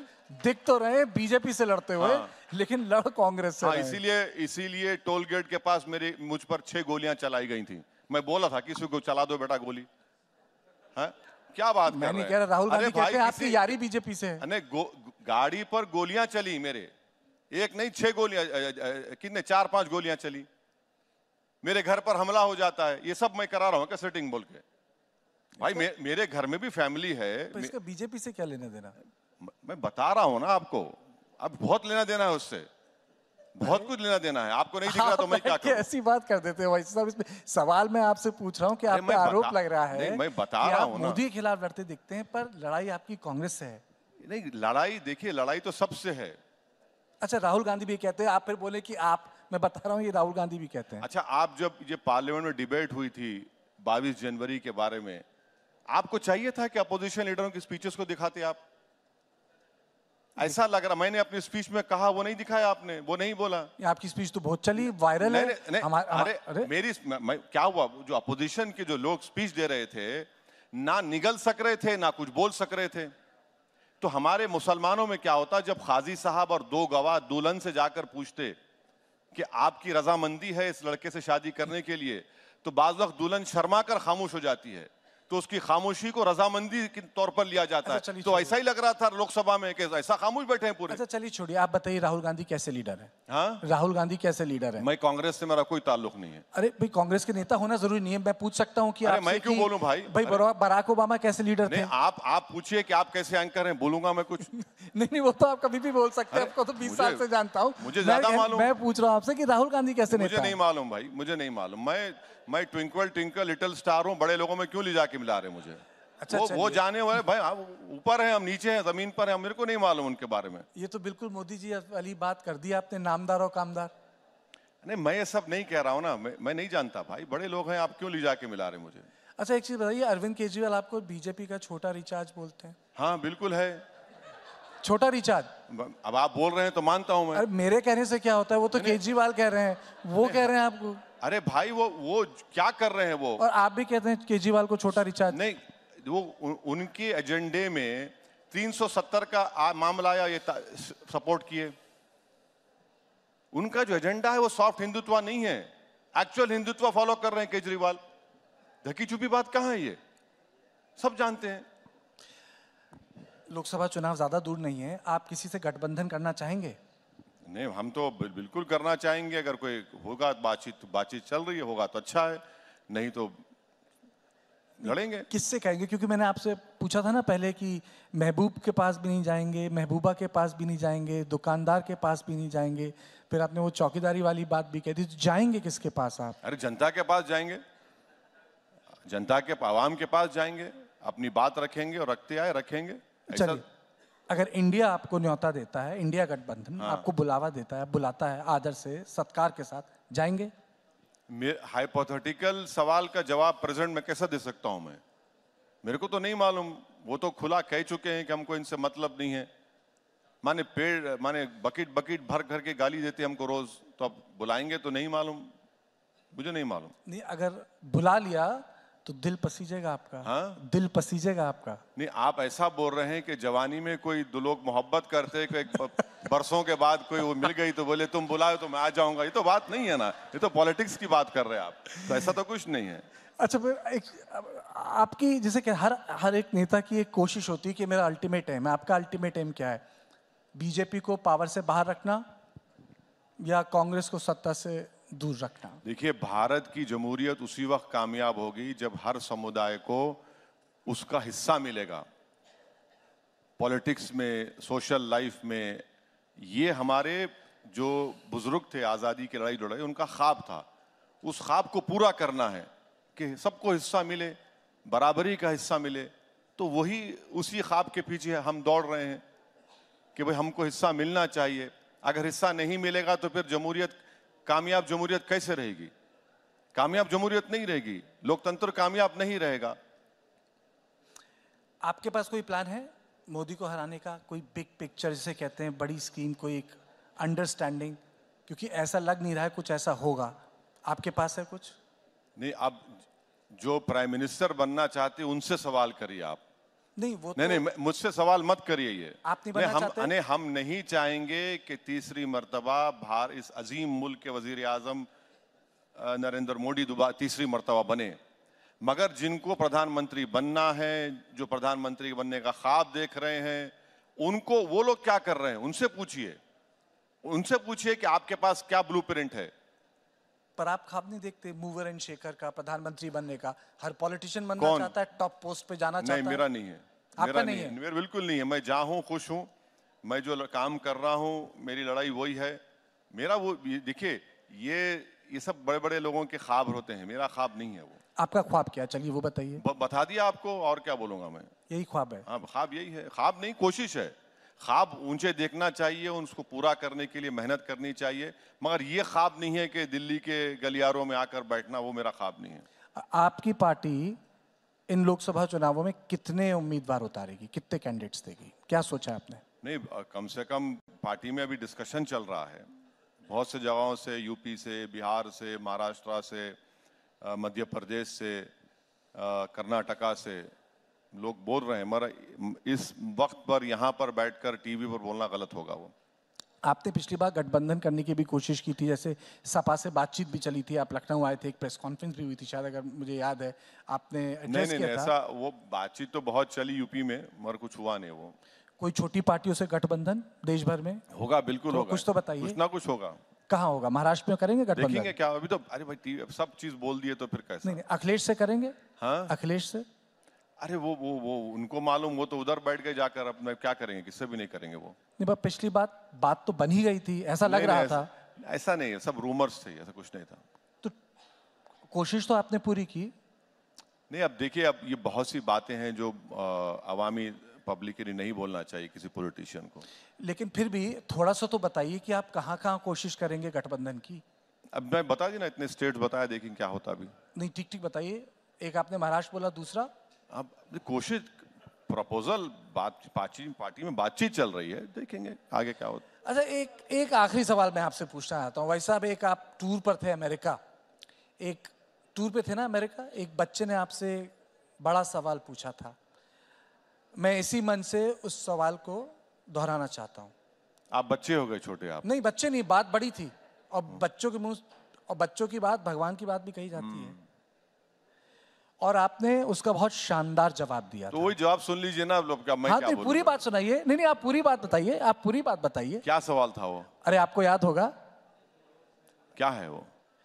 उन्होंने उस बच्चे ने आपसे सवाल पूछा था कि असदुद्दीन ओवैसी पाकिस्तान के मुसलमानों को अपना भाई मानते हैं या नहीं? ये सवाल था। अब ये देखिए ऐसा है ना कि ये 47 में आज़ादी मिली 200 साल की गुलामी से आज़ादी मिली और 2024 में आप मुझसे पूछ रहे हैं। तो, तो हमने जिना के टू नेशन थ्योरी को रिजेक्ट किया। तो ये सवाल पूछा ही नहीं जाना चाहिए था एक मुसलमान से क्योंकि हमने टू नेशन थ्योरी को रिजेक्ट किया और इस इस सरजमीन को हमने अपना वतन माना और वतन मानते रहेंगे।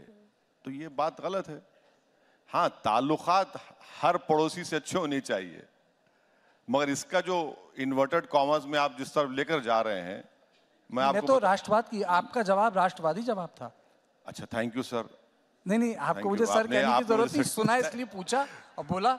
नहीं नहीं राष्ट्र भाई देखिए ये सच्चाई है। नहीं आप ही ने बोला था ना। नहीं नहीं हम हम हमारे बुज़ुर्गों ने पाकिस्तान आप ही ने कहा था जब कसाब जैसे बोला था ना। भेज आतंकियों को भेजना बंद करेगा। आपने बोला था।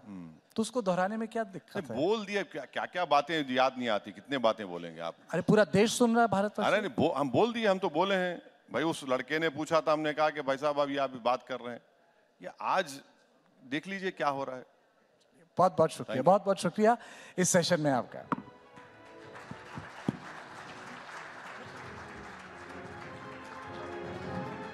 जोरदार तालियाँ हो जाए।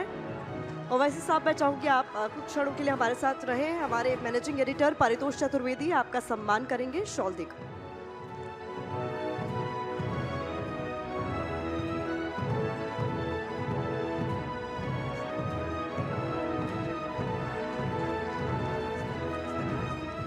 टीवी नाइन भारतवर्ष सत्ता सम्मेलन के मंच पर अब वो हस्ती आ रही है, जिसका सिर्फ़ यहाँ मौजूद मेहमान ही नहीं टीवी नाइन भारतवर्ष के करोड़ों दर्शक सुबह से इंतज़ार कर रहे हैं। एक ऐसे राजनेता जिनके पास हर सवाल का जवाब है जो सत्ता पक्ष को सड़क से संसद तक अपने ही अंदाज में ललकारते हैं। कौन है वो? कोई अंदाज़ा लगाएगा? चलिए इस स्क्रीन पर उनका एक छोटा सा परिचय देख लेते हैं। मैं हूँ क्योंकि मैं तुम्हारी बात कॉलेज के दिनों में क्रिकेट के तेज गेंदबाज रहे असदुद्दीन ओवैसी। राजनीति की पिच पर भी बयानों के बाउंसर के लिए मशहूर हैं। खुदा के लिए अपने मज़हब को बचा ले हिंदुत्व के लोगों से। और जोरदार तालियों से स्वागत करिए देश के लोकसभा सांसद बेजोड़ वक्ता एआईएमआईएम के चीफ असदुद्दीन ओवैसी का जिनसे सवाल जवाब के लिए मैं मंच पर बुलाना चाहूँगा। मेरे सहयोगी कार्तिकेय शर्मा को तालियाँ रुकनी नहीं चाहिए। एक बार जोरदार तालियों से स्वागत हो एआईएमआईएम चीफ और सांसद असदुद्दीन ओवैसी जी का। कैसे हैं आप? आपने देखा प्रोग्राम का नाम ऑल इंडिया भाईजान पसंद आया आपको? नहीं आप लोग बदनाम करने में तुले हुए हैं तो कुछ नहीं कर सकते। नहीं मैंने तो बड़े प्यार से भाईजान बोला। हम ही भाईजान बना बनाएँगे बाकी सब क्या है नहीं मालूम। चलिए मुझे तो लगता था भाईजान प्यार से बोला जाता है। वैसे साहब एक चीज़ बताइए। आपने 2008 से अब तक 11 राज्यों में अपनी पार्टी पहुँचा दी। दिल्ली पर नज़र है। नहीं नहीं, ऐसा कुछ नहीं है। दिल्ली पर नज़र नहीं है। मेरा, देखिए, कोई पॉलिटिकल पार्टी का एक नेचुरल एक्सपेंशन का प्लान होता है। तो हमारी पार्टी की भी हम कोशिश कर रहे हैं कि, और इससे भारत की लोकतंत्र मज़बूत होगा डेमोक्रेसी मज़बूत होगी। तो वही, उसमें काम कर रहे हैं। और ईमानदारी की बात तो यह है कि हमारे बुज़ुर्गों की मेहनत का फ़ायदा मैं उठा रहा हूँ। उन्होंने इतनी पार्टी को मज़बूत किया उस वक्त आंध्र प्रदेश में कि मैं अब उसको आगे लेके जा सकता हूँ तो क्रेडिट उनको जाता है। पर कुछ लोगों को दर्द भी है इस बात का कि आप मज़बूत हो रहे हैं वो कमज़ोर हो रहे हैं जहाँ पहुँचते हैं वो सत्ता से दूर हो जाते हैं। तो कंपटीशन है तो कंपटीशन में सबको मेहनत करना पड़ेगा कभी मैं कभी मैं नहीं जीतता हूँ कोई दूसरा जीतता है। तो इसमें तो कोई किसी कोई ताजुब की बात नहीं होनी चाहिए। उसमें तो सबको मेहनत करना है काम करना है आवाम का दिल जीतना है। आपकी फ़ैन फॉलोइंग तो बहुत है चाहे यहाँ हो हैदराबाद में हो कश्मीर में हो दिल्ली में हो। इसका सीक्रेट क्या है? सब इसमें देखिए ये बात सच नहीं है क्योंकि अगर इतना फॉलोइंग होती तो मैं कई चुनाव जीत जाता। तो लोग सुनते हैं मगर अभी बहुत मेहनत करना है बहुत कामयाबी हासिल करना है बहुत से मंजिलों को पाना है। तो अभी लड़ाई जारी रहेगी जदोजहद चलती रहेगी तो इस पर मैं खुश नहीं हो सकता हूँ मगर बहुत आगे जाना है। कोशिश करते रहेंगे। नहीं कुछ लोग कहते हैं कि ओवैसी साहब की डबल पावर है अगर जितवा ना सकें तो हरवा ज़रूर देंगे। नहीं ऐसा नहीं है। देखिए काशीराम साहब ने अच्छा कहा था कि इलेक्शन आप लड़िए पहले हारिए, हरवाइए, फिर जीतिए। तो इलेक्शन लड़ना है तो अपनी, आप जब तक आप इलेक्शन नहीं लड़ेंगे तो आप अपनी ताकत कैसे दिखाएँगे? आप अपनी पार्टी की स्ट्रेंथ कैसे दिखाएँगे? तो इसीलिए हम इलेक्शन लड़ते हैं और बहुत सी बार कामयाबी नहीं मिलती। मगर हम लड़ते हैं इलेक्शन ताकि हम, हमारे, हमारी सफ़र को हम जारी रख सकें और आज नहीं तो कल मिलेगी कामयाबी। एक चीज़ बताइए कि अखिलेश ममता और कांग्रेस के कई नेता आपको सोशल मीडिया स्टार बोलते हैं। हैदराबाद में रॉक स्टार ये लोग कहते हैं आप सोशल मीडिया स्टार सही बात है। नहीं चलिए कुछ तो मान तो लिए हैं। इनका बड़ापन है कि मुझे कुछ मान लिए लोग कि मैं कुछ हूँ। अच्छा ये पूरा किसान आंदोलन चला हुआ इसी साहब आप नज़र नहीं आए? नहीं किसान आंदोलन में तो आ, ये तो ए पॉलिटिकल आंदोलन है। और हम सब लोग उसकी तायद कर रहे हैं सपोर्ट कर रहे हैं उनको। तो उसमें जाकर खामखा हम लोग माहौल को क्यों ख़राब करें? वो लोग कर रहे हैं। हाँ उनकी डिमांड जो है, वो जस्टिफाइबल डिमांड्स हैं और सरकार को उसको मानना चाहिए, कबूल करना चाहिए और ये हम बोले हैं और फिर से बोल रहे हैं। वैसे साहब, आपको एक मैं मसले पे लाता हूँ। मैंने आपकी पूरी स्पीच सुनी संसद में। आपने लंबा भाषण दिया था। आप काफ़ी नाराज़ थे, गुस्से में भी थे जब आपने भाषण दिया। आपको इतना गुस्सा क्यों आ रहा था सदन में? नहीं कहाँ गुस्सा था वो? गुस्सा तो नहीं था। नाराज़ थे आप। नहीं नहीं अब यही बात नरेंद्र मोदी के बारे में क्यों नहीं बोलते? डेढ़ घंटे का भाषण दिए। नहीं वो बात अलग है। भाई आप तो नाराज़ थे तो आपने आठ मिनट बोला तो उसमें गुस्सा कहाँ नज़र आएगा आठ आपने बानवे की बात को प्राण प्रतिष्ठा से जोड़ दिया राम मंदिर वाले। हाँ बिल्कुल ये फैक्ट है। देखिए 22 जनवरी की बुनियाद तो अ, 1949 में डाली गई थी। जब जीबी पंत ने मस्जिद के अंदर मूर्तियाँ रखने की इजाज़त दी। 22 जनवरी की बुनियाद तो 6 दिसंबर को डाली गई। तो ये बिल्कुल सच है और अगर 6 दिसंबर नहीं होता बाईस, तेईस दिसंबर की रात में 49 में मस्जिद में मूर्तियाँ नहीं रखी जाती तो 22 जनवरी मुमकिन था क्या बताइए आप। लेकिन ओवैसी साहब ये जो मंदिर बना है वो तो कोर्ट के आदेश से बना है। हाँ हाँ और उसका दूसरा पहलू भी है। नहीं नहीं कोर्ट मस्जिद की जगह भी है। नहीं नहीं नहीं नहीं। कोर्ट इसीलिए तो इसीलिए तो हमने डिसग्री किया था सुप्रीम कोर्ट के जजमेंट को कि सुप्रीम कोर्ट ने ये कहा कि हम आस्था की बुनियाद पर ये फैसला दे रहे हैं। और वही सबसे बड़ा आज प्रॉब्लम बन चुका है। और कल भी बनेगा। क्यों? क्योंकि अगर आप आस्था को फैक्टर बनाएँगे तो फिर एविडेंस का क्या होगा? अगर कोर्ट आस्था के फैसले करेगा तो फिर आपकी आस्था मेरी आस्था से बढ़ के कैसे होगी? बताइए आप, वो तो वो तो गलत है वो। इसीलिए हम यकीनन सुप्रीम कोर्ट एपेक्स कोर्ट है, आखिरी कोर्ट है। और जस्टिस जे एस वर्मा ने कहा था, सही कहा था कि supreme court is supreme but not infallible तो वो फैसला बिल्कुल जो फैसला आया था वो आस्था की बुनियाद पर था और जिस बात का मुझे खदशा था डर था कि ऐसे कई इश्यूज़ ओपन हो जाएँगे। अब इश्यूज़ ओपन हो गए। आपका ऑब्जेक्शन किस चीज़ पे है ओवैसी साहब? आपका ऑब्जेक्शन राम मंदिर पे है या उससे जुड़ी आस्था से है? नहीं मेरा मेरा ऑब्जेक्शन इस बात पर है कि 6 दिसंबर को सुप्रीम कोर्ट को वादा कर कर वहाँ पर अडवाणी और जितने बीजेपी, आरएसएस के नेता थे, उन्होंने सुप्रीम कोर्ट को वादा किया था कि हम मस्जिद को हाथ नहीं लगाएँगे और मस्जिद को उन्होंने शहीद कर दिया डिमोलिश कर दिया। और तरफ़ तमाशा यह है कि किसी एक का भी कन्विक्शन नहीं हुआ उसमें। इसी एक का भी कन्विक्शन नहीं हुआ। अगर जीबी पंत उस वक्त उन मूर्तियों को हटा देते और बोलते कि नहीं, ये गलत हुआ है 145 सीआरपीसी इस्तेमाल कर लेते तो इशू नहीं बनता। आप बगैर मुस्लिम पक्ष को सुने 86 में ताले खोल दिया आप। तो ये तो एक नाइंसाफी की एक पूरी लिस्ट है। तो यही हम बता रहे हैं। क्यों किसी मंदिर के ऊपर हमारे को गुस्सा होगा भाई ये ये मुल्क जैसा अभी आपने कहा, ये मुल्क की खूबसूरती, इसकी डाइवर्सिटी है। इसका प्लूरलिज्म है, इस देश का कोई मज़हब कभी था नहीं, ना कभी रहेगा। ये देश तो उन लोगों को भी मानता है जो किसी भगवान या अल्लाह को नहीं मानते। तो इस देश को अगर आप एक समुदाय रिलीजन से जोड़ देंगे तो ये तो संविधान के खिलाफ है। लेकिन असदुद्दीन जी, अगर आप एक बात कह रहे हैं कि एक धर्म दूसरे धर्म से बड़ा नहीं होता, लेकिन आप सांसद हैं, आपने संसद में जब भाषण दिया तो आपने कहा आप राम के सम्मान करते हैं। और दूसरी तरफ़ आपने बाबरी मस्जिद जिंदाबाद बोला। हाँ बुरी बात क्या है उसमें? मैंने कहा कि मैं नाथुराम के खिलाफ हूँ। आप खिलाफ है नहीं नाथुराम के। सबको होना चाहिए नाथुराम के खिलाफ। और बाबरी मस्जिद जिंदाबाद बोलना गलत बात क्या है? बाबरी मस्जिद को तो मंदिर तोड़कर नहीं बनाया गया सुप्रीम कोर्ट ने कहा। बिल्कुल सुप्रीम कोर्ट ने कहा कि वहाँ पर मंदिर तोड़कर नहीं बनाया गया।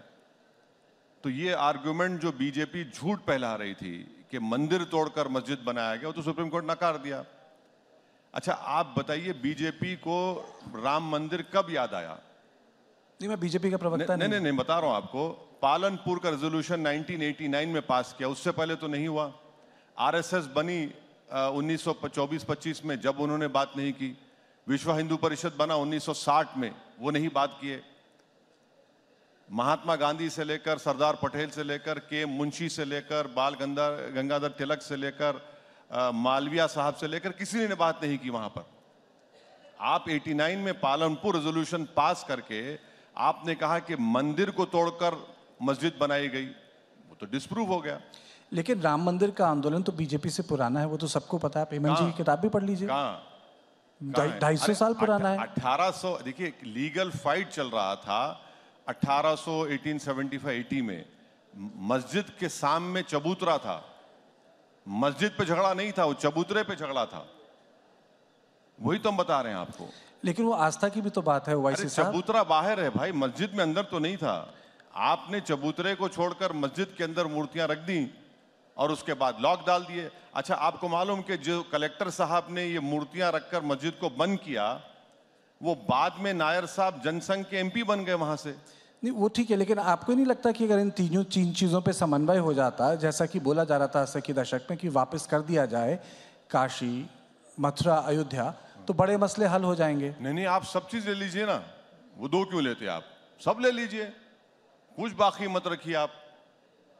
भाई, कुछ रूल ऑफ़ लॉ रहेगा नहीं रहेगा बताइए आप। अब आप कहेंगे कि भाई, वो आस्था की बुनियाद पर हम दे दिए। यहाँ पर क्या वो भी आस्था बोल देंगे आप? वहाँ पर भी आस्था बोल देंगे तो फिर संविधान किस लिए है फिर? कोर्ट किस लिए है? एविडेंस किस लिए है? सब दे दीजिए फिर आप खत्म कर दीजिए।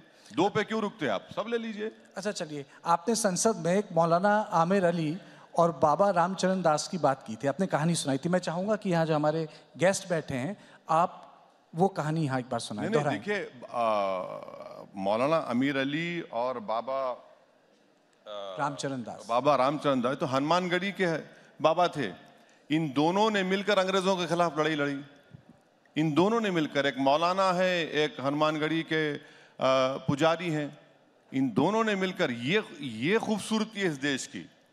और फिर उसमें मैंने अपने स्पीच में उनका भी ज़िक्र किया था कि अच्छन खान और शंभू प्रसाद, बाबा एक को जला, मुसलमान की लाश को अंग्रेज़ों ने जला दिया। और शंभू प्रसाद साहब की लाश को दफना दिया और किसी ने जाकर बोला कि हम नहीं चाहिए नहीं वैसे हिंदुस्तान चाहते हैं। हाँ? वैसे हिंदुस्तान ये चाहते हैं। मोहब्बत के मजाहरे थे इस देश के लिए और अंग्रेज़ों ने जो नफरत नाइन सत्ता के इस सम्मेलन में आप हमारे साथ जुड़े हैं उसके लिए बहुत बहुत शुक्रिया। Please be seated now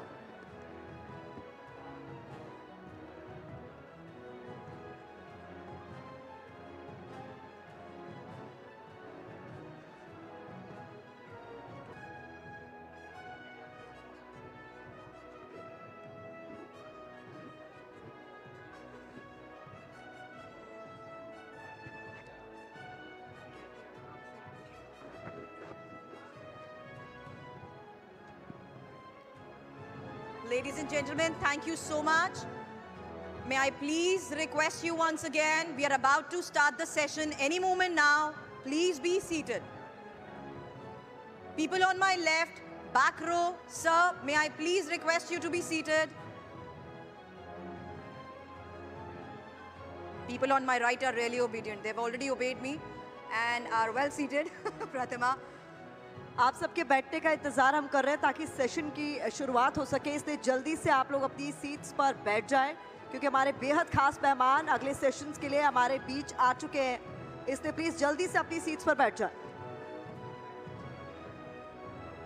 Also, may I please request everybody, everybody to form the security norms. I can see on my left people from the security are getting stand and getting in, and we are about to start a new session. और अब 2024 के चुनाव पर एक सार्थक चर्चा। देश के विपक्षी दलों के सबसे बड़े गठबंधन इंडिया के घटक दलों के साथ। क्या है उनका प्लान क्या है उनका एजेंडा और कैसे वो लोकसभा चुनाव में उतरेंगे? बिल्कुल, ये कई बड़े और दिलचस्प सवाल हैं और ऐसे में हमारे साथ तीन खास मेहमान, तीन खास चेहरे इस वक्त ज्वाइन कर चुके हैं। जोरदार तालियों के साथ स्वागत कीजिए कांग्रेस के नेता पवन खेड़ा सर का, दिल्ली सरकार की मंत्री आतिशी का और राष्ट्रीय जनता दल के नेता प्रोफेसर नवल किशोर का आप तीनों का स्वागत करते हैं हम। और और सेशन को मॉडरेट करने के लिए गौरव को हम मंच पर बुलाना चाहेंगे। Gaurav over to you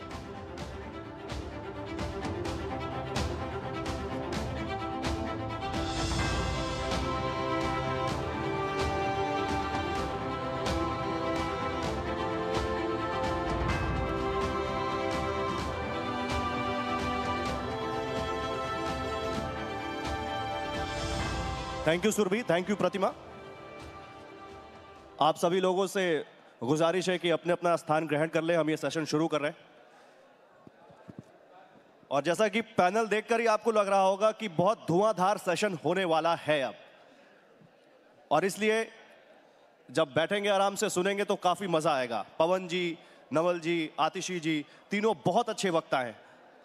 और पीछे आप देख सकते होंगे, हम बात कर रहे हैं हम सब एक हैं, यानी इंडिया गठबंधन की पवन जी। सबसे पहला सवाल तो आज जो कुछ हो रहा है, या जो कुछ पिछले दिनों हुआ, इंडिया गठबंधन में चल क्या रहा है, पवन जी? आपको पता है क्या कि शिवसेना एक नाथ शिंदे जी की जो शिवसेना है, जिसको मैं नकली शिवसेना कहता हूँ, उसको बीजेपी कितनी सीटें देने वाली है? नहीं मालूम।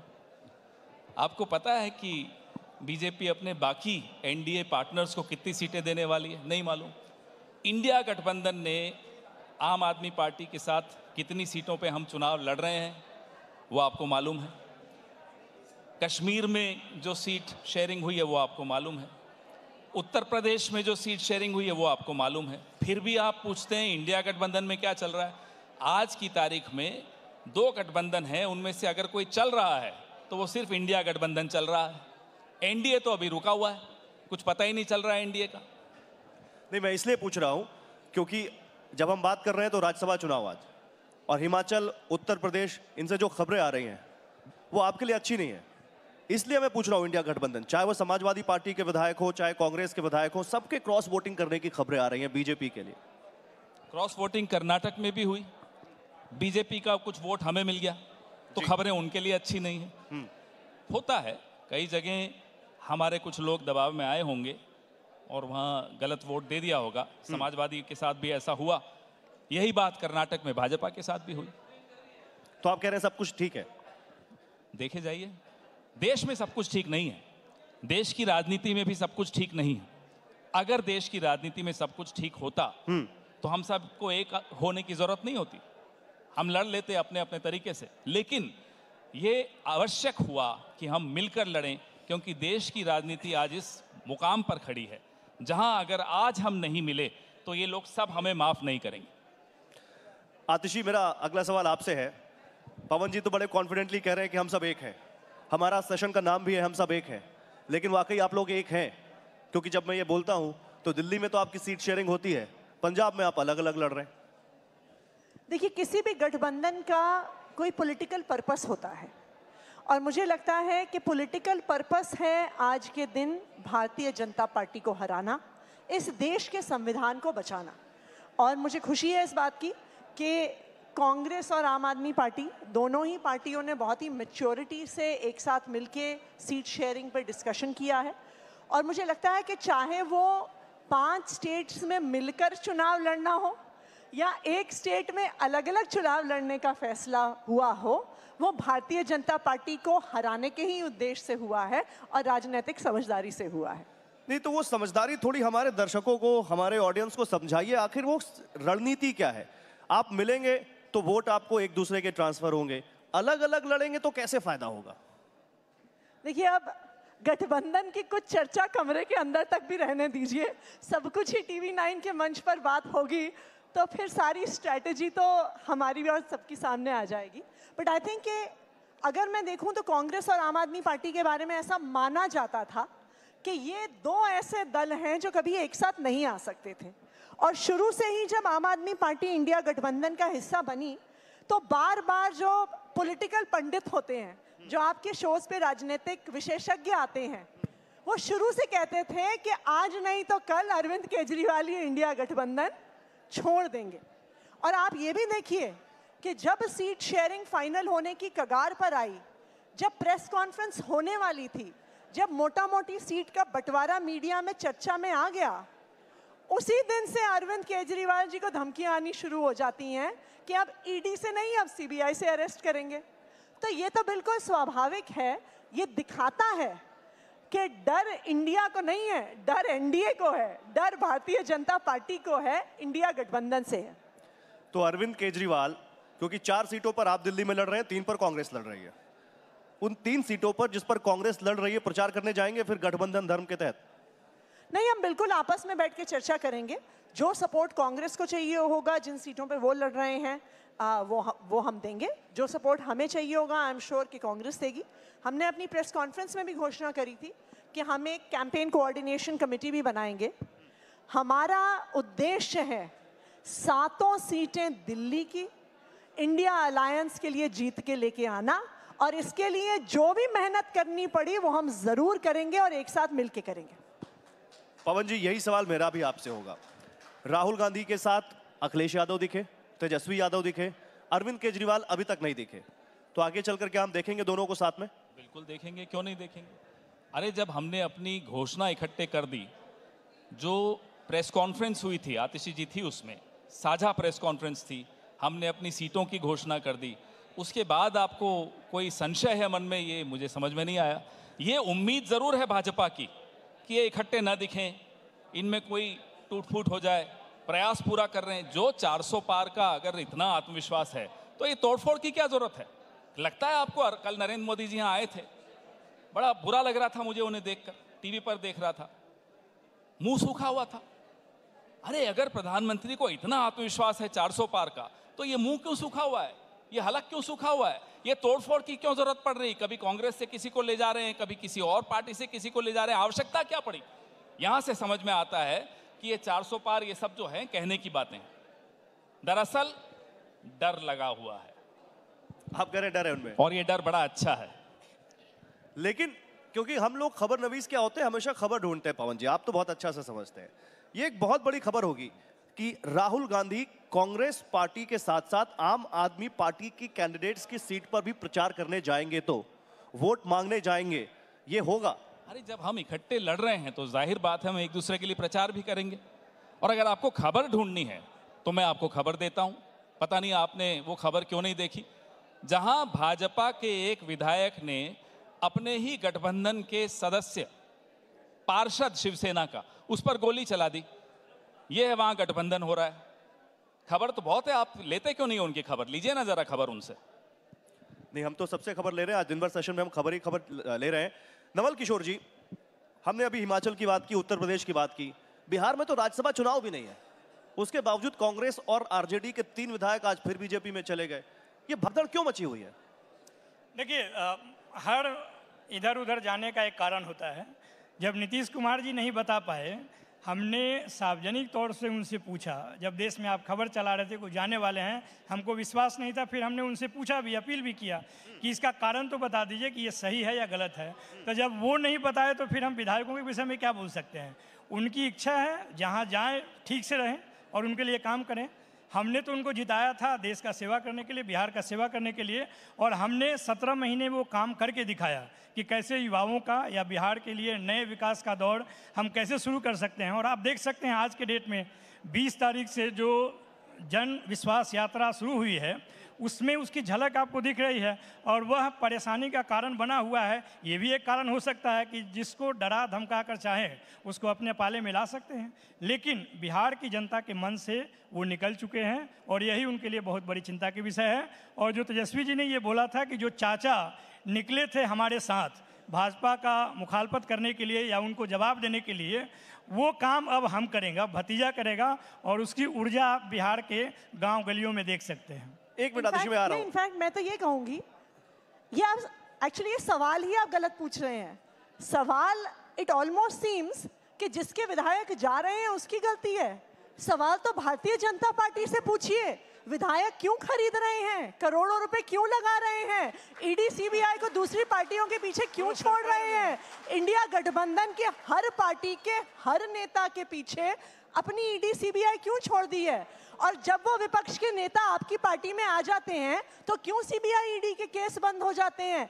क्यों छगन भुजबल की फ़ाइल गायब हो जाती है? क्यों अजीत पवार का केस बंद हो जाता है? क्यों हेमंत बिस्वा शर्मा के स्कैम खत्म हो जाते हैं? तो सवाल तो आपको भारतीय जनता पार्टी से पूछना पड़ेगा और मीडिया डेमोक्रेसी का एक स्तंभ है। आपकी भी ज़िम्मेदारी है सारी पब्लिक को बताना कि जो भारतीय जनता पार्टी कर रही है, वो लोकतंत्र को खत्म कर रही है। एक एक करके एक एक करके हर एजेंसी का मिसयूज हो रहा है। आप इस तरह देखिए, इलेक्शन कमीशन के लिए वो कानून लेके आ जाते हैं कि थ्री मेंबर कमेटी में दो भारतीय जनता पार्टी के रहेंगे। क्या वो खबर नहीं है पब्लिक को बताने के लिए? जो सीएजी का ऑडिटर आयुष्मान भारत का स्कैम दिखाता है उसको पेपर पे लेके आता है उसका अगले दिन ट्रांसफ़र हो जाता है। क्या ये लोकतंत्र का हनन नहीं है? हमने तो सवाल ये है कि लोकतंत्र पर हमला भारतीय जनता पार्टी कर रही है।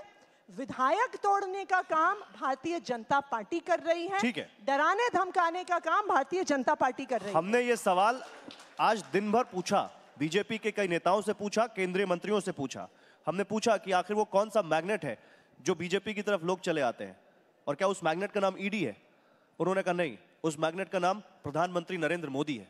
प्रधानमंत्री नरेंद्र मोदी के व्यक्तित्व की वजह से लोग चले आ रहे हैं और वो चाहते हैं राष्ट्र निर्माण में अपना योगदान देना आप आप इस बात पे विश्वास करते हैं क्या? आप मैं ये जानना आप इस चाहती हूँ विश्वास नहीं करती है। मैं ये जानना चाहती हूँ कि ऐसा क्या मैग्नेट है जो एक पार्टी से विधायक जीत के आते हैं दूसरी में चले जाते हैं।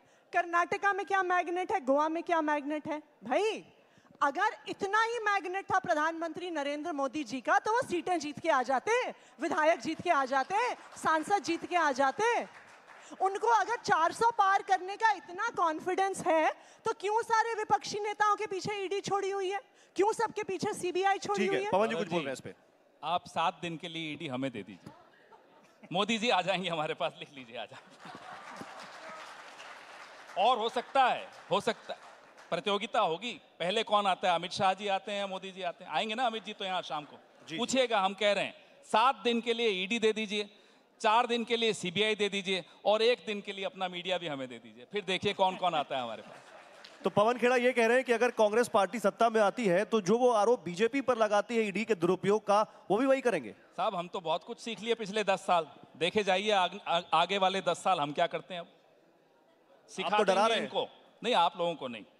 इन लोगों को सिखा देंगे कि लोकतांत्रिक प्रक्रिया के तहत चलकर भी राजनीति की जा सकती है। लेकिन हाँ इन लोगों को अपने किए की सजा मिलेगी और बराबर मिलेगी, ना केवल उन अधिकारियों को मिलेगी जो आज ईडी और सीबीआई में बैठे हैं, ना केवल भारतीय जनता पार्टी के बड़े नेताओं को सजा मिलेगी। हाँ मीडिया को ज़रूर थोड़ा सा आत्मचिंतन करना ज़रूरी है। प्रधानमंत्री नरेंद्र मोदी ने इंडिया गठबंधन पर एक बड़ा हमला किया उन्होंने, और उन्होंने कहा, माल वही, पैकिंग नहीं। और वो कह रहे थे कि उत्तर अपने संसदीय क्षेत्र में कह रहे थे कि इस बार 80 की 80 सीटें यूपी की हमें मिलेंगी। वो कह रहे हैं ये ट्राइड एंड टेस्टेड गठबंधन है पहले भी हो चुका है हार गए एक दूसरे को फिर एक दूसरे पर ठीकरा फोड़ने लगते हैं जब परिणाम निलबटे सन्नाटा होता है फिर एक साथ आ गए होने वाला कुछ नहीं। उनके लिए तो हम यही कहेंगे माल नहीं पैकेज नहीं। वहाँ माल है ही नहीं सिर्फ़ पैकेजिंग है। रोज चार चार बार कपड़े बदलते हैं। अरे साहब आपको प्रधानमंत्री बनाया कुछ करिए ना। पैंतालीस साल का बेरोजगारी का रिकॉर्ड टूटा है। चार सौ का सिलेंडर ग्यारह सौ में बिक रहा है। साठ रुपए का पेट्रोल सौ रुपए में बिक रहा है। नए नए कपड़े पहन के साहब चले आते हैं मेकअप भी करते हैं, बाकायदा करते हैं। सुबह से शाम तक एक आदमी का चेहरा इतना लाल दिखता है क्या? मेरा तो नहीं दिखता, आपका भी नहीं दिखता। बताइए कैसे दिखता है? तो माल नहीं पैकेज नहीं हर बार नया नारा ला ला कर देंगे और हमें और आपको नारों में बिज़ी रखेंगे। भावनाओं में बिज़ी रखेंगे। किसी को गुस्सा दिलवाएँगे, किसी को दुख पैदा करेंगे, किसी के अंदर नफरत पैदा करेंगे। क्या ऐसा, ये काम है प्रधानमंत्री का? क्या इसलिए आपको सरकार में बनाया था? हमें आपस में लड़वाते रहिए और आप सत्ता भोगते रहिए, कपड़े बदलते रहिए। ऐसे होता है, ऐसे देश चलाया जाता है। नहीं, लेकिन जब हम इंडिया गठबंधन की बात करते हैं तो इस गठबंधन में वो पार्टी भी है आपके साथ जिसका जन्म आपके खिलाफ भ्रष्टाचार के आरोपों को लगाकर हुआ, वो आपके साथ है। और आप भी है इस गठबंधन में जो हमेशा उनके खिलाफ लड़ते रहे। क्या ये इंडिया गठबंधन विचारधारा का गठबंधन है या केवल सत्ता पाने का गठबंधन है? यह इंडिया गठबंधन एक कॉमन विचार है। हम सबका एक विचार है। क्या है वो विचार? कि आज संविधान खतरे में है। आज बाबा साहब अंबेडकर ने जो हमें मूल मंत्र दिया था इस संविधान में, वो खतरे में है। आज हम सबकी आज़ादी खतरे में है। आज दिख नहीं रहा, लेकिन जो हो रहा है वो थोड़े सालों बाद इन सबको दिखेगा। आने वाली पीढ़ियों की लड़ाई लड़ने का विचार लेकर हम इकट्ठे आए। उसके लिए कुछ समझौते हमने किए, कुछ सीटें हमने छोड़ दी, कुछ इन्होंने छोड़ दी। लेकिन ये समझौते इसलिए ज़रूरी हैं कि हमें इन लोगों को सत्ता से बाहर तो करना ही है, खुद सरकार में आना है ताकि जो 10 साल में इन्होंने पूरे देश को जिस तरह से पिछड़ा है, जिस तरह से संविधान के ऊपर जो हमले हुए हैं अगर उसको दुरुस्त करना है तो हमें सत्ता में आना ज़रूरी है और उसके लिए कुछ समझौते करने ज़रूरी हैं। मैं आ रहा हूँ नवल जी आपके पास। आतिशी जब मैंने ये कहा तो आप तो उसी पार्टी से हैं जिसने रामलीला मैदान में आंदोलन किया और कहा कि कांग्रेस की जो मौजूदा सरकार है उसमें बहुत भ्रष्टाचार है। बाकायदा आप लोगों ने लेस गिनाई। और फिर आज आप उनकी का साथ उन्हीं के साथ सीट शेयरिंग कर रहे हैं। तो ये विचारधारा का गठबंधन है या केवल मोदी को हटाने का गठबंधन है? ये देश के संविधान को बचाने का गठबंधन है, गौरव जी। ये इस देश के लोकतंत्र को बचाने का गठबंधन है। अगर भ्रष्टाचार के खिलाफ भी लड़ाई लड़नी है तो देश का संविधान चाहिए। अगर भ्रष्टाचार के खिलाफ लड़नी है तो इंडिपेंडेंट एजेंसीज चाहिए। अगर भ्रष्टाचार के खिलाफ लड़ाई लड़नी है तो एक इंडिपेंडेंट मीडिया चाहिए। अगर आपको चुनाव ही लड़ना है तो आपको एक इंडिपेंडेंट इलेक्शन कमीशन चाहिए। आज आप देखिए एक एक करके एक एक करके इस देश की हर इंस्टीट्यूशन को खत्म किया जा रहा है। सेंट्रल इलेक्शन कमीशन को खत्म किया जा रहा है। सीएजी को खत्म किया जा रहा है। जो ऑडिटर उनके खिलाफ सीएजी में, उनकी किसी स्कीम के खिलाफ लिख देता है, अगले दिन खबर आ जाती है कि उसका ट्रांसफ़र हो गया। आज तक इस देश के इतिहास में चाहे एक पार्टी आई चाहे दूसरी पार्टी आई लेकिन जो लोकतांत्रिक नहीं मैं ये सवाल इसलिए पूछ रहा हूँ मैं इसलिए सवाल पूछ रहा हूँ कि एक गलत को हटाने के लिए आपने दूसरे गलत का साथ पकड़ लिया जिसको आप गलत कहते थे उसी के साथ आ गए देखिए अगर देश का संविधान ही नहीं बचेगा तो पार्टियाँ भी नहीं बचेंगी चुनाव भी नहीं बचेगा। तो आज अगर हम लोग साथ आए हैं तो इस देश के संविधान को बचाने के लिए आए हैं इस देश के लोकतंत्र को बचाने के लिए आए हैं। अगर लोकतंत्र नहीं बचेगा तो देखिए हम इनके खिलाफ भी चुनाव लड़ते आए हैं हो सकता है इनकी पार्टी के खिलाफ भी चुनाव लड़ें इस चुनाव में साथ हैं चाहे उसके बाद हो सकता है अनेकों चुनाव इनके खिलाफ लड़ें। लेकिन जो भी ये सारी लड़ाई है जो भी हम आवाज़ उठाते हैं एक कॉन्स्टिट्यूशनल फ्रेमवर्क में उठाते हैं। देखिए आज जो भारत की परिस्थिति हो रही है ना जी। आज भारतीय जनता पार्टी भारत को पाकिस्तान बनाने पे तुली हुई है कि एक दिन ऐसा आएगा कि यहाँ पे चुनाव हो रहा है और चुनाव के नतीजे क्या आ रहे हैं? चुनाव जीता कौन है? किसी को पता ही नहीं है। भारत के इससे पहले आपने नॉर्थ कोरिया कहा था आज पाकिस्तान। उपमाएँ चेंज होती जा रही हाँ। जी। इससे पहले आपकी पार्टी ने नॉर्थ कोरिया कहा था। इसके पहले? नॉर्थ कोरिया कहा हाँ पर सिचुएशन तो यही है ना। आज आप देखिए कि आज इस हम जब पाकिस्तान का चुनाव देखते हैं तो हमें इस बात से अचंभा होता है कि चुनाव हो गया काउंटिंग हो गई लेकिन आपको पता ही नहीं चल रहा कि चुनाव जीता कौन? क्या आप सोच सकते हैं कि भारत में ऐसी परिस्थिति हो सकती है? लेकिन आज हम धीरे धीरे करके हर संस्था को खत्म करके इसी ओर जा रहे हैं। नवल किशोर जी लेकिन इंडिया गठबंधन की एक साझा रैली अभी कुछ हफ्तों में इलेक्शन अनाउंस हो जाएँगे। कहीं पता नहीं। साझा प्रोग्राम कोई कॉमन मिनिमम प्रोग्राम कहीं पता नहीं। किस मुद्दे पर आप जाएँगे लोगों के बीच एक, क्योंकि इतने सारी पार्टियों का अगर यहाँ गठबंधन है तो सबकी अलग अलग विचारधाराएँ हैं और सबके अलग अलग मुद्दे भी हैं। कुछ राष्ट्रीय हैं, कुछ क्षेत्रीय हैं। तो एक कॉमन पेज पर तो आपको आना पड़ेगा ना। वो कहाँ है? इलेक्शन सामने है। उधर सारी क्लैरिटी है। वहाँ वो 370 और 400 तक का टारगेट दे रहे हैं। आपके पास कहाँ है कुछ एक क्लैरिटी देखिए, जब हम सब साथ में हैं तो मुद्दा भी साफ़ है और हमारे रहने का कारण भी साफ़ है। ये पूरा देश जानता है और हम उसके साथ उसके साथ लगातार हम संवाद भी कर रहे हैं। आप अपोजिट की बात करते हैं, नीतीश कुमार का जेडीयू और भारतीय जनता पार्टी को तो लोगों ने और जो लोग अध्ययन करते हैं उन लोगों ने बोला कि अलायंस ऑफ़ अपोजिट है अननेचुरल अलायंस है। वो केवल अपने जीत चुनाव जीतने के लिए 96 में आए और लगातार चुनाव लड़ते रहे साथ में। यहाँ पे तो कम से कम एक आधार पे तो सब एक साथ हैं कि भारतीय जनता पार्टी जो कहती है वो करती नहीं है। आपने तो हमसे 10 लाख नौकरी का हिसाब मांगा, हमने करके दिखाया सत्रह महीने में। उन्होंने तो 19 लाख रोज़गार की बात की। किसी ने 20 महीने में पूछा नहीं 19 रोज़गार दिया नहीं। दो करोड़ नौकरी का बात किया उन्होंने 2014 में, किसी ने उसका हिसाब नहीं लिया। लेकिन हमने तो जो कहा वो करके दिखाया। उन्होंने हमारे आने से पहले भी जातीय गणना पर विधानसभा से प्रस्ताव पारित किए दो दो वाले किए तो नहीं ना। किए तो इसी सत्रह महीने में हुए। गन्ना भी जातीय गन्ना भी हुई आबादी के हिसाब से हिस्सेदारी भी दी गई। तो ये जो तमाम तरह का परफॉर्मेंस है वो हिसाब सारी चीज़ें हमें पता है पब्लिक डोमेन में है। मैं उस कॉमन मिनिमम प्रोग्राम की बात कर रहा हूँ जो इंडिया गठबंधन का आपने कहा आएगा लेकिन अभी तक नहीं आया। नहीं नहीं नहीं मुद्दा देखिए मुद्दा स्पष्ट है। मुद्दा स्पष्ट है कि हम रोज़गार पे नौकरी पे काम करेंगे। आपने देखा होगा कि 2020 के बिहार विधानसभा चुनाव में मोदी जी भी थे नीतीश कुमार भी थे साथ में। हमने जो बात की कि हम नौकरी देंगे हम रोज़गार देंगे हम सिंचाई पे काम करेंगे हम कार्रवाई करेंगे हम स्वास्थ्य पे काम करेंगे लोगों ने हमें सिंगल लार्जेस्ट पार्टी दिया। लालू जी ने 2015 में जब मैं चुनाव इसलिए लड़ा। कह रहा हूँ मैं इसलिए कह रहा हूँ पवन जी ने अभी तो प्रेस कॉन्फ्रेंस की कहा उन्होंने कि सरकार में आएँगे तो अग्निवीर योजना हम खत्म कर देंगे। अरविंद केजरीवाल कह रहे हैं, दिल्ली की सातों सीटों हमें, सातों सीटों हमें, सातों सीटें हमें दे दो, हम वाटर टैक्स खत्म कर देंगे।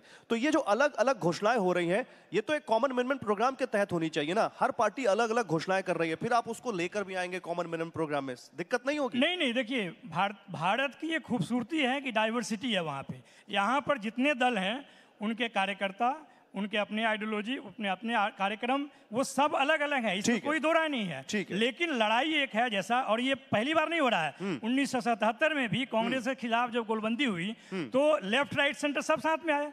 1989 में भी लेफ़्ट लेफ़्ट राइट सेंटर मतलब कोई कोई दिक्कत नहीं। लेकिन लेकिन जब जब ये ज़रूरत है कि उनको हराना है तो साथ में आकर उनको हराना पड़ेगा। लोकतांत्रिक तरीके से वो काम नहीं कर रहे हैं। मुद्दों पे बात नहीं कर रहे हैं इसलिए हम उनके खिलाफ में हैं। एक कॉमन मिनिमम प्रोग्राम दो ही उसके एजेंडा है। इस देश के संविधान को बचाना है, इस देश में लोकतंत्र को बचाना है। आज पूरे देश ने देख लिया कि भारतीय जनता पार्टी किस तरह से चुनाव की चोरी करती है। चंडीगढ़ का मेयर इलेक्शन अभी होता है तो खुल्लम खुल्ला दिखता है कि उनका प्रिजाइडिंग ऑफिसर वोट को डिफेस कर रहा है, चुनाव को चोरी कर रहा है। यहाँ तक कि अब एक छोटे से चुनाव को बचाने के लिए चीफ जस्टिस ऑफ़ इंडिया को इंटरफेयर करने के कहना पड़ता है तो ठीक है। कि हम तो लोकतंत्र की हत्या सही कह नहीं रही सहेंगे आप सही तो कह आप रही मुझे बताइए लोगों के वोट के अधिकार को बचाना क्या ये पर्याप्त कॉमन मिनिमम नहीं, नहीं, आप सही नहीं कह है? रही हैं। लोगों के लोकतांत्रिक अधिकार को बचाना इस देश के संविधान को बचाना इससे बड़ा प्रोग्राम मुझे लगता नहीं है किसी पार्टी का हो सकता है, मुझे लगता नहीं है किसी अलायंस का ठीक है। लेकिन आप तो कट्टर ईमानदार वाली पार्टी से हैं और वो लोग सुप्रीम कोर्ट का फैसला आने से पहले ही आपके तीन पार्षद चले गए उधर। तो ये सवाल तो आप इनसे पूछिए कि खरीदने वाला पैसा उनके पास ईमानदारी से कहाँ से आप आया? बिकने आपके आप आपके आपके आपके पार्षद आपके विधायक आपके सांसद बिकने को क्यों तैयार हैं? आप मुझे ये बताइए भ्रष्टाचार का पैसा कहाँ से आया? करोड़ों रुपए के जो विधायक खरीद रहे होंगे मतलब कोई अगर पैसे लेकर खड़ा है तो तैयार है बिकने के लिए आपके ईडी और सीबीआई जैसा पवन जी ने कहा ईडी सीबीआई हमें दो दिन के लिए दे दीजिए सारी राज्यों में सरकार हम बना लेंगे। मतलब आप सरकार ईडी से बनेगी, इलेक्शन से नहीं बनेगी। ये बिल्कुल साफ़ है। आप मुझे बताइए ऐसा कैसे हो जाता है कि हेमंत बिस्वा शर्मा की भ्रष्टाचार पे पूरी बुकलेट निकालती है भारतीय जनता पार्टी? हेमंत बिस्व शर्मा भारतीय जनता पार्टी में आ जाते हैं तो सारे ईडी के केस खत्म सारे सीबीआई के केस खत्म सारा भ्रष्टाचार खत्म भारतीय जनता पार्टी की वॉशिंग मशीन तो फिर जो दूसरी हो। पार्टियों से सुनिए। तो फिर जो दूसरी आतिशी जी एक मेरा सवाल ले लीजिए मेरे पास समय कम है। नहीं नहीं मेरा सवाल ले लीजिए इसी में उसी में जोड़ लीजिए आपकी पार्टी में जो दूसरी पार्टियों से नेता आते हैं चाहे वो गुजरात में आए हो चाहे वो गोवा में आए हो और चाहे दिल्ली में आए हो जिनको आपने आज टिकट भी दे दिया है आपने भी क्या पैसा दिया है उनको? देखिए गौरव जी, कोई व्यक्ति अगर पैसा लेके दबाव में आके जेल जाने की धमकी से एक पार्टी की दूसरी पार्टी में जाता है तो सवाल आपको पूछना होगा उससे, जो पैसा दे रहा है, जो भ्रष्टाचार का पैसा ऑफ़र कर रहा है, जो अपनी ईडी सीबीआई लेकर आ रहा है, और उसके बाद आप कहते हैं कि मोदी जी का मैग्नेट है तो भारतीय जनता पार्टी वाले बताएँ ना पश्चिम बंगाल में कितने चुनाव उन्होंने लड़ डाले? शुभेंदु अधिकारी के भ्रष्टाचार को उजागर करते हुए। कभी कहते थे शारदा स्कैम कभी कहते थे नारदा स्कैम कभी कहते थे चिट फंड स्कैम। फिर जब शुभेंदु अधिकारी उनकी पार्टी में आ जाते हैं तो भारतीय जनता पार्टी की वॉशिंग मशीन में धुल जाते हैं पाक साफ़ हो जाते हैं सारा भ्रष्टाचार खत्म हो जाता है। देश की जनता बेवकूफ़ नहीं है। पवन जी। देश की जनता सब कुछ देख रही है। दागी क्यों कि उनको धुलने की ज़रूरत पड़ रही है? बात ये नहीं है। बात ये है मेरे घर में कोई चोरी करे और आप मुझे आकर डांटें कि ताला क्यों नहीं लगाया था? अरे, चोर को पकड़िए ना। वो घुसा क्यों मेरे घर में? बताइए, आप हमसे सवाल पूछ रहे हैं आतिशी जी से और हमसे और नवल किशोर जी से कि साहब, आपके विधायक क्यों चले गए? जिसने चोरी की, उससे पूछिए कि चोरी क्यों की? पैसा कहाँ से आया? क्या ये इलेक्टोरल इलेक्टोरल बॉन्ड का पैसा है? किसका पैसा है? या ये हवाई अड्डे बेचकर जो पैसा मिलता है वो है? या कोयले की खदान बेचकर जो पैसा मिलता है वो है? ये पैसा आया कहाँ से? हम ये जानना चाहते हैं। पवन जी ये कोई पहली बार हुआ है? कर्नाटक में कितने बीजेपी के नेता आपकी पार्टी में आए? तो फिर तो ये सवाल आपसे भी पूछा जा सकता है। बिल्कुल पूछिए क्या ईडी हमारे पास है कि हम उन्हें डरा सके? बिना डर के आए। बताइए सीबीआई तो हमारे पास नहीं है। हमारे पास तो कोई एजेंसी नहीं है फिर भी अगर हमारे पास कोई आ रहा है तो वाकई अंतरात्मा की आवाज़ सुनकर आ रहा है। ठीक है। आगे बढ़ते हैं। एनडीए का सबसे बड़ा ब्रांड या उनकी सबसे बड़ी यूएसपी खुद प्रधानमंत्री नरेंद्र मोदी हैं। इंडिया गठबंधन की यूएसपी क्या है? हमारी सबसे बड़ी यूएसपी नरेंद्र मोदी है। वो जितनी बार टीवी पर आते हैं हमारे वोट बढ़ाकर जा रहे हैं आजकल। और जितनी बार वो बाहर निकलते हैं रैलियाँ करते हैं हमारी सीटें बढ़ाते हुए निकल रहे हैं। आगे आगे देखिए हम तो चाहते हैं कि अगले तीन महीने प्रधानमंत्री सबसे ज़्यादा घूमें बार बार प्रचार करें। जितनी बार बेरोजगार नौजवान उनकी शक्ल देखते हैं, उनको समझ में आ जाता है, इस व्यक्ति की वजह से मुझे नौकरी नहीं मिली। इस व्यक्ति की वजह से मेरे पेपर लीक हुए। इस व्यक्ति की वजह से मुझे पेट्रोल महँगा मिलता है। इस व्यक्ति की वजह से मेरे बहन की इज़्ज़त पर किसी ने हाथ डाला। वो जितनी बार घूमते हैं, हमारे वोट बढ़ाते हुए जाते हैं। अरविंद केजरीवाल और ममता बनर्जी दो लोग थे जिन्होंने कहा कि मल्लिकार्जुन खड़गे इंडिया गठबंधन के प्रधानमंत्री पद का चेहरा हो। क्या आम आदमी पार्टी आज भी उसी स्टैंड पर कायम है? देखिए, बिल्कुल इंडिया अलायंस की मीटिंग के दौरान ये प्रस्ताव हुआ था। कई और भी प्रस्ताव हुए थे। किसी भी गठबंधन को बनाने में, चाहे सीट शेयरिंग करने में, चाहे कॉमन मिनिमम प्रोग्राम बनाने में कई सुझाव होते हैं कई सुझाव एक्सेप्ट होते हैं कई सुझाव नहीं होते हैं। नहीं मेरे पास क्योंकि समय कम है मैं छोटा सा आंसर चाहता हूँ क्या आप आज भी अभी भी चाहते हैं कि मल्लिकार्जुन खड़गे इंडिया गठबंधन के पीएम उम्मीदवार हो? मुझे लगता है कि मल्लिकार्जुन खड़गे जी बहुत अच्छे पीएम उम्मीदवार हो सकते हैं। मुझे लगता है कि देश भर के लोग उनका बहुत सम्मान करते हैं। और मुझे ये भी लगता है कि अगर देश को हम इस देश का पहला दलित प्रधानमंत्री देंगे तो इससे बड़ा इतिहास इस देश के संविधान के लिए कुछ नहीं हो सकता। मुझे तो लगता है कि बाबा पवन जी- साहब पवन जी सामने बाबा पूछ लेते हैं। साहब के संविधान का ये बहुत बड़ा पवन जी राज़ी हैं आप फिर? अगर इस देश को एक दलित राज़ी हैं आप जो आतिशी कह रही हैं? अगर हमारे गठबंधन हम बनाते हैं तो क्या मैं अकेला कांग्रेस पार्टी तय करेगी कि किसको क्या बनना चाहिए? गठबंधन का धर्म होता है कि सब मिलकर तय करें। तो सब मिलकर जो तय करेंगे वो होगा। राहुल गांधी या मल्लिकार्जुन खड़गे कौन होगा? क्या चॉइस हो गठबंधन तय करेगा। गठबंधन तो मल्लिकार्जुन जी का नाम ले रहा है। तो गठबंधन तय करेगा उसके बाद नाम घोषित करेंगे। छोटा सा सवाल क्या कांग्रेस पार्टी इंडिया गठबंधन की धुरी है जिस पर वो पूरा गठबंधन चारों तरफ़ घूम रहा है? क्या कांग्रेस पार्टी ना हो तो ये गठबंधन ना हो? जी। इसमें कोई शक नहीं है कि इंडियन नेशनल कांग्रेस राष्ट्रीय पार्टी है और उसका रहना इस गठबंधन में बहुत ज़रूरी है। ये लगातार हमारी पार्टी भी कहती रही है और जो लोग गठबंधन में इस बात को मानते हैं कि अगर जो दो धूरी है आप यूपीए एनडीए का पहले भी देखेंगे तो दो धूरी में दोनों में नेशनल पार्टी थे। तो नेशनल पार्टी के रूप में और बड़े दल के रूप में तो वो है ही इसमें कोई दो राय नहीं है। लेकिन कांग्रेस पार्टी ने अपने कार्यक्रम पर अपने तो मैं एक छोटा सा सवाल पूछ रहा हूँ फिर राहुल गांधी जो भारत जोड़ो न्याय यात्रा कर रहे हैं क्या उनसे इन, उससे जो माहौल उनके पक्ष में अगर बन रहा है तो क्या वो पीएम पद की दावेदारी उनकी मज़बूत हो रही है इंडिया गठबंधन में? नहीं, देखिए, ये ये जो न्याय यात्रा है, या भारत जोड़ो यात्रा था वो लोगों को मुद्दों के आधार पर मोदी को घेरने की यात्रा थी। जो काम वो गलत काम मोदी जी कर रहे हैं, पिछले दस साल से लोगों को भड़का रहे, भटका रहे हैं उसको उजागर करने की बात थी और बहुत अच्छा रिस्पॉन्स मिला है। अभी बिहार में जो यात्रा चल रही है जन विश्वास रैली उसमें भी बहुत अच्छे से पता चल रहा है कि नीतीश जी कैसे मोदी जी के द्वारा भड़काए गए वहाँ पे। क्या बात है। बहुत शुक्रिया आप तीनों लोगों का हमारे साथ जुड़ने के लिए। एक बार जोरदार तालियाँ हो जाए हमारे मेहमानों के लिए। हम सब एक है इंडिया गठबंधन पर काफ़ी शानदार बातचीत हुई और मुझे लगता है काफ़ी कुछ हमें इससे सीखने को मिला जानने को मिला। बहुत शुक्रिया आप सभी का एक बार फिर से हमारे मंच पर आने के लिए। थैंक यू जोरदार तालियाँ।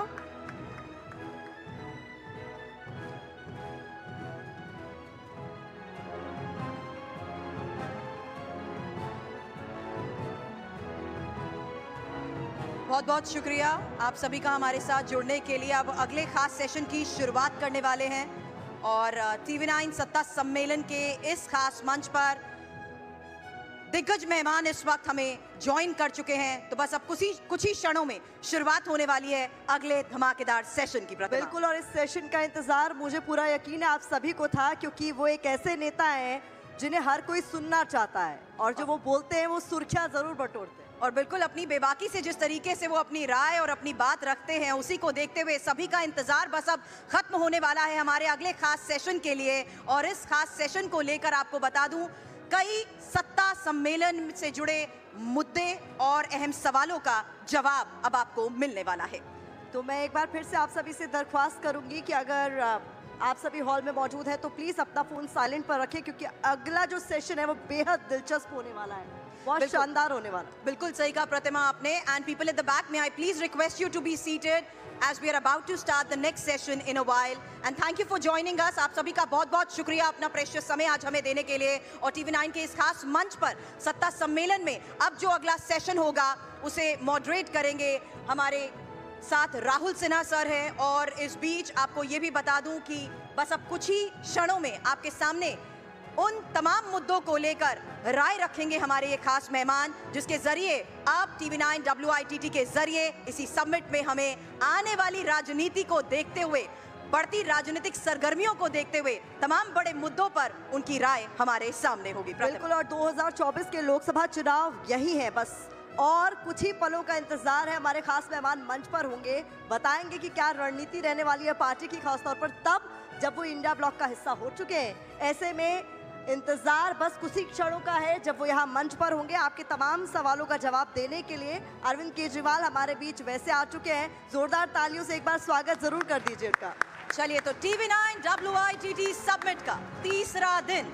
टीवी भारतवर्ष सत्ता सम्मेलन प्रेजेंटेड बाय पूनावाला फिनकॉप अपने आखिरी पड़ाव की ओर आगे बढ़ रहा है। और इस मंच पर आगे जो चर्चाएँ होने वाली हैं, उस पर पूरे देश की निगाहें होंगी। बिल्कुल, सुरभि। हमारा अगला सेशन देश की एक ऐसी ही हस्ती का इंतज़ार कर रहा है एक ऐसे राजनेता, जिन्होंने पिछले एक दशक में देश की राजनीति को बदल कर रख दिया जिन्होंने बिजली पानी शिक्षा स्वास्थ्य जैसे मुद्दों की राजनीति में वापसी करवा दी। कोई अंदाज़ा लगाएगा हम किसकी बात कर रहे हैं? ये ऐसा करते हैं उनके पॉलिटिकल करियर की एक झलक। सबसे पहले उनको मंच पर बुलाने से पहले आपके सामने उनके उसी पॉलिटिकल करियर की एक झलक। बारह साल पहले शुरू हुई एक राजनीतिक पार्टी आज दो राज्यों में सरकार चला रही है। बीस से ज़्यादा राज्यों में विस्तार कर चुकी है। विपक्ष की बड़ी आवाजों में से एक है और इस करिश्माई कामयाबी के केंद्र में है आम आदमी पार्टी के राष्ट्रीय संयोजक, दिल्ली के मुख्यमंत्री अरविंद केजरीवाल। आईआईटी खड़गपुर से मैकेनिकल इंजीनियरिंग और इंडियन रेवेन्यू सर्विस के अधिकारी रहे अरविंद केजरीवाल को नई पहचान मिली साल 2006 में, जब भ्रष्टाचार के खिलाफ मुहिम के लिए उन्हें रेमॉन मैगसेसे अवार्ड मिला। साल 2010 में जन लोकपाल बिल की मांग लेकर अरविंद केजरीवाल अन्ना हजारे के साथ सड़क पर उतरे और यूपीए सरकार पर भ्रष्टाचार का आरोप लगाते हुए एक बड़ा आंदोलन खड़ा कर दिया। भारत माता की। साल 2012 में अरविंद केजरीवाल ने आम आदमी पार्टी का गठन किया और लगातार तीन बार मुख्यमंत्री बनकर नया कीर्तिमान स्थापित किया। शिक्षा और स्वास्थ्य के क्षेत्र में केजरीवाल के मॉडल की देश में प्रशंसा की जाती है। जोरदार तालियों के साथ स्वागत कीजिए दिल्ली के मुख्यमंत्री अरविंद केजरीवाल का, जिनसे बातचीत के लिए मैं मंच पर बुलाना चाहूँगी राहुल सिन्हा को।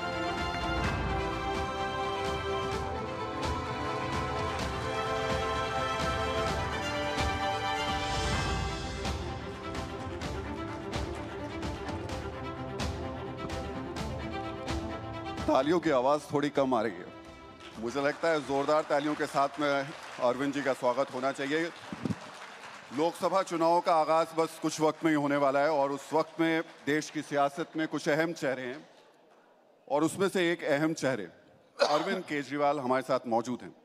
अरविंद केजरीवाल, यानी देश की सियासत में एक टर्निंग पॉइंट अरविंद केजरीवाल, जिनकी ज़रूरत इस वक्त बहुत सारे लोगों को है, उन्हें किसकी ज़रूरत है इस पर बात करेंगे। लेकिन इस संवाद को अरविंद जी मैं शुरू करूँ। उससे पहले आपके ओपनिंग रिमार्क्स राहुल जी, मैं कोई नेता नहीं हूँ और ना मुझे नेतागिरी करनी आती, मुझे राजनीति नहीं करनी आती। और आपके दर्शक पिछले तीन दिनों से जब से आपका ये कार्यक्रम चल रहा है, काफ़ी पॉलिटिक्स की बातें सुन चुके होंगे। तो मैं दो तीन बातें देश के बारे में करना चाहता हूँ। हम किस्मत वाले हैं कि हमें देश के लोगों का, दिल्ली के लोगों का बहुत प्यार मिला। पार्टी बनते ही हमारी सरकार बन गई दिल्ली के अंदर। और दिल्ली में हमने जो काम किए हैं, कई सारे क्षेत्रों में काम किए हैं। बिजली है, पानी है, सीवर है, सड़कें हैं, शिक्षा है, स्वास्थ्य है। लेकिन आज मैं तीन सेक्टर्स की बात करना चाहूँगा। और दिल्ली में हमने जो इन तीन सेक्टर्स में काम किया है, वो पूरे देश को एक दिशा देता है। पूरे देश के अंदर उन तीनों सेक्टर्स का समाधान करने का और विकास करने का एक दिशा देता है। उसमें सबसे इंपॉर्टेंट है शिक्षा। मैं नहीं समझता पूरी दुनिया में कोई भी ऐसा विकसित देश है डेवलप्ड कंट्री है, अमेरिका ले लीजिए, जापान ले लीजिए यूरोपियन कंट्री कोई भी ले लीजिए, कोई भी ऐसा देश है जो अपने बच्चों को अच्छी शिक्षा दिए बिना विकसित हुआ। हमें अपने बच्चों को अच्छी शिक्षा देनी पड़ेगी। अनफॉर्चुनेटली 75 साल में हमने इस तरफ़ ध्यान नहीं दिया। दिल्ली के अंदर हमने सात आठ साल के अंदर ही इतना शानदार सरकारी स्कूल बना दिए कि आज दिल्ली के हर बच्चे को उतनी अच्छी शिक्षा मिल रही है जितनी प्राइवेट स्कूलों के अंदर मिल रही है। यहाँ तक कि दिल्ली के अंदर प्राइवेट स्कूलों से लगभग चार लाख बच्चों ने अपने नाम कटवा के सरकारी स्कूलों में भर्ती हुए हैं। ये हमारा सबसे बड़ा एक तरह से सर्टिफिकेट है। अब पंजाब के अंदर हमने शिक्षा ठीक करनी चालू की है। तो हमारा मॉडल शिक्षा का ये है कि हर बच्चे को अच्छी शिक्षा मिले, चाहे वो गरीब का बच्चा हो, चाहे अमीर का बच्चा हो दिल्ली के अंदर अब सरकारी स्कूलों के नतीजे 99 परसेंट के करीब नतीजे आ रहे हैं, जो कि अनबिलीवेबल है। एक तरफ़ हमारा ये मॉडल है और दूसरी तरफ़ बीजेपी का मॉडल है, जिसमें उनके मैं राज्यों का नाम लेना ठीक नहीं है। एक राज्य ऐसा है जहाँ साढ़े चार हज़ार सरकारी स्कूल बंद कर दिए गए। एक राज्य ऐसा है जहाँ छः हज़ार सरकारी स्कूल बंद कर दिए गए। पॉपुलेशन कम नहीं हो रही, पॉपुलेशन बढ़ रही है। सरकारी स्कूल और खुलने की ज़रूरत थी, मौजूदा सरकारी स्कूलों को अच्छा करने की ज़रूरत थी, वो नहीं किया। सरकारी स्कूल बंद करते जा रहे हैं। एक तरह से मैसेज ये है कि अपने बच्चों को जो पढ़ा सकता है, पैसा है तो प्राइवेट में पढ़ा लो, अब सरकार तुमको नहीं पढ़ाने वाली। तो पूरा प्राइवेटाइजेशन की तरफ़ वो है। मेरे को स्कूल बनाने आते हैं, मेरे को बच्चे पढ़ाने आते हैं, अब पंजाब के अंदर भी हम सारे सरकारी स्कूल ठीक कर रहे हैं। मैंने हिसाब लगाया है। देश के अंदर 10 लाख सरकारी स्कूल हैं, जिसमें 17 करोड़ बच्चे पढ़ते हैं। इन 10 लाख सरकारी स्कूलों को प्राइवेट से भी अच्छा बनाने के लिए, शानदार बनाने के लिए पाँच लाख करोड़ रुपए की ज़रूरत है। देश पाँच लाख करोड़ रुपए दे सकता है, ये खर्चा नहीं है, ये इन्वेस्टमेंट है। ये बच्चे जो निकलेंगे, ये बच्चे इस देश का आगे विकास करेंगे। देश का विकास जनता करती है, ये सत्रह करोड़ बच्चों का भविष्य बनाएगा। मैं आपको एक उदाहरण देता हूँ। एक बच्चा है, उसके पिताजी प्लम्बर का काम करते हैं पूर्वी दिल्ली में। सात हज़ार रुपये महीना कमाते हैं। उस बच्चे को, क्योंकि अब दिल्ली के सरकारी स्कूल अच्छे हो गए, उसका अब कंप्यूटर साइंस में एडमिशन हो गया एक आईआईटी में। अब वो बच्चा जब निकलेगा, उसको चार लाख रुपए तीन लाख रुपए महीने की तनख्वाह मिलनी चालू होगी। तो उस बच्चे के घर की गरीबी दूर हुई कि नहीं हुई? अगर हमने अपने सारे बच्चों को पढ़ा दिया, मैं आपको बता रहा हूँ सात आठ साल के अंदर, एक जनरेशन के अंदर हमारे देश के अंदर से गरीबी दूर हो सकती है। तो ये एक मॉडल है, जिसके ज़रिए हम देश की शिक्षा व्यवस्था को ठीक कर सकते हैं। दूसरा, स्वास्थ्य के ऊपर आते हैं। स्वास्थ्य के अंदर दिल्ली में हमने ढेरों मोहल्ला क्लिनिक बनाए, सारे सरकारी अस्पतालों को अच्छा कर दिया सबका इलाज मुफ़्त कर दिया, चाहे अमीर हो, चाहे गरीब हो, चाहे दस लाख रुपए का हो, चाहे पाँच लाख रुपए का हो, चाहे जितना भी खर्चा हो, डिस्प्रिन हो, वो भी फ्री, ब्लड टेस्ट हो, वो भी फ्री, सर्जरी हो, वो भी फ्री, कैंसर हो, वो भी, सब चीज़ों का इलाज मुफ़्त कर दिया हमने। पूरे देश के अंदर हर व्यक्ति 140 करोड़ लोगों का इलाज मुफ़्त करने के लिए गाँव गाँव के अंदर मोहल्ला क्लिनिक खोलने के लिए और पूरे देश के अंदर शानदार सरकारी अस्पताल बनाने के लिए पाँच लाख करोड़ रुपए का खर्चा है। मुझे लगता है पाँच लाख करोड़ रुपए देश दे सकता है। पाँच लाख करोड़ रुपए में आपके स्कूल ठीक हो जाएँगे और पाँच लाख करोड़ रुपए के अंदर आपको, आप सबका इलाज मुफ़्त कर सकते हो। इसका पूरा, दूसरी तरफ़ उनका मॉडल है। उनका मॉडल क्या है हेल्थ का? आयुष्मान भारत। आयुष्मान भारत मतलब इंश्योरेंस मॉडल। वो कहते हैं कि पाँच लाख रुपए का इलाज हर परिवार को हम मुफ़्त देंगे। और पाँच लाख रुपए से ज़्यादा का इलाज हुआ तो? और उसमें भी वो कहते हैं केवल जिसकी ढाई लाख रुपए सालाना तनख्वाह है, उसको कम। दिल्ली में हमने वो कहते हैं ढाई लाख रुपए से जिसकी ज़्यादा तनख्वाह है, उसको आयुष्मान भारत नहीं मिलेगा। दिल्ली में हमारा मॉडल है, हम सबको फ्री इलाज देते हैं, चाहे चार लाख रुपए तनख्वाह वाला हो। वो कहते हैं हम पाँच लाख रुपए तक का परिवार को इलाज देंगे, हम कहते हैं, जितना भगवान ना करे बीमार हो कोई, लेकिन बीमारी में जितना खर्चा आएगा, हम सारा देंगे। और उनके मॉडल के अंदर इंश्योरेंस कार्ड दे देते हैं। अब उत्तराखंड के पहाड़ों में चले जाओ, उस कार्ड का क्या करेंगे, वहाँ अस्पताल ही नहीं है। तो देश में अस्पताल बनाने पड़ेंगे गाँव गाँव के अंदर मोहल्ला क्लिनिक खोलने पड़ेंगे, हेल्थ का इंफ्रास्ट्रक्चर क्रिएट करना पड़ेगा, वो हमारा मॉडल है। और तीसरी चीज़, बिजली। आज दिल्ली के अंदर जब हमारी सरकार बनी छः छः सात सात घंटे के पावर कट लगते थे। आज दिल्ली के अंदर 24 घंटे बिजली आती है। दो साल पहले जब हमारी पंजाब में सरकार बनी 10-10 घंटे के पावर कट लगते थे। आज पंजाब में 24 घंटे बिजली आती है। देश के अंदर ना किसानों को बिजली मिल रही, ना इंडस्ट्री को बिजली मिल रही और 10-10 12-12 घंटे के गाँव गाँव में चले जाओ, गाँव में तो बिजली है ही नहीं पूरे देश के अंदर।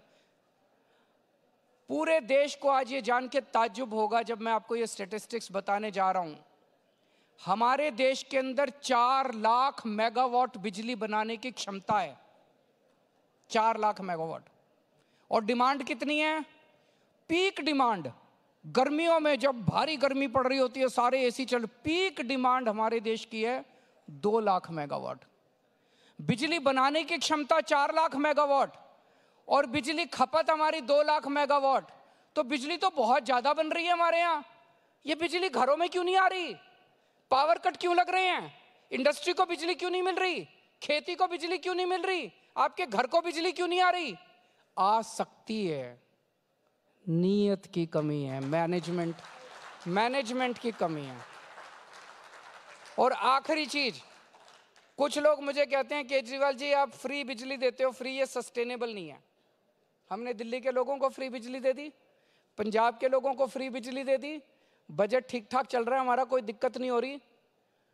पूरे देश के हर परिवार को 200-200 यूनिट बिजली फ्री देने के लिए डेढ़ लाख करोड़ रुपए का खर्चा है, बस।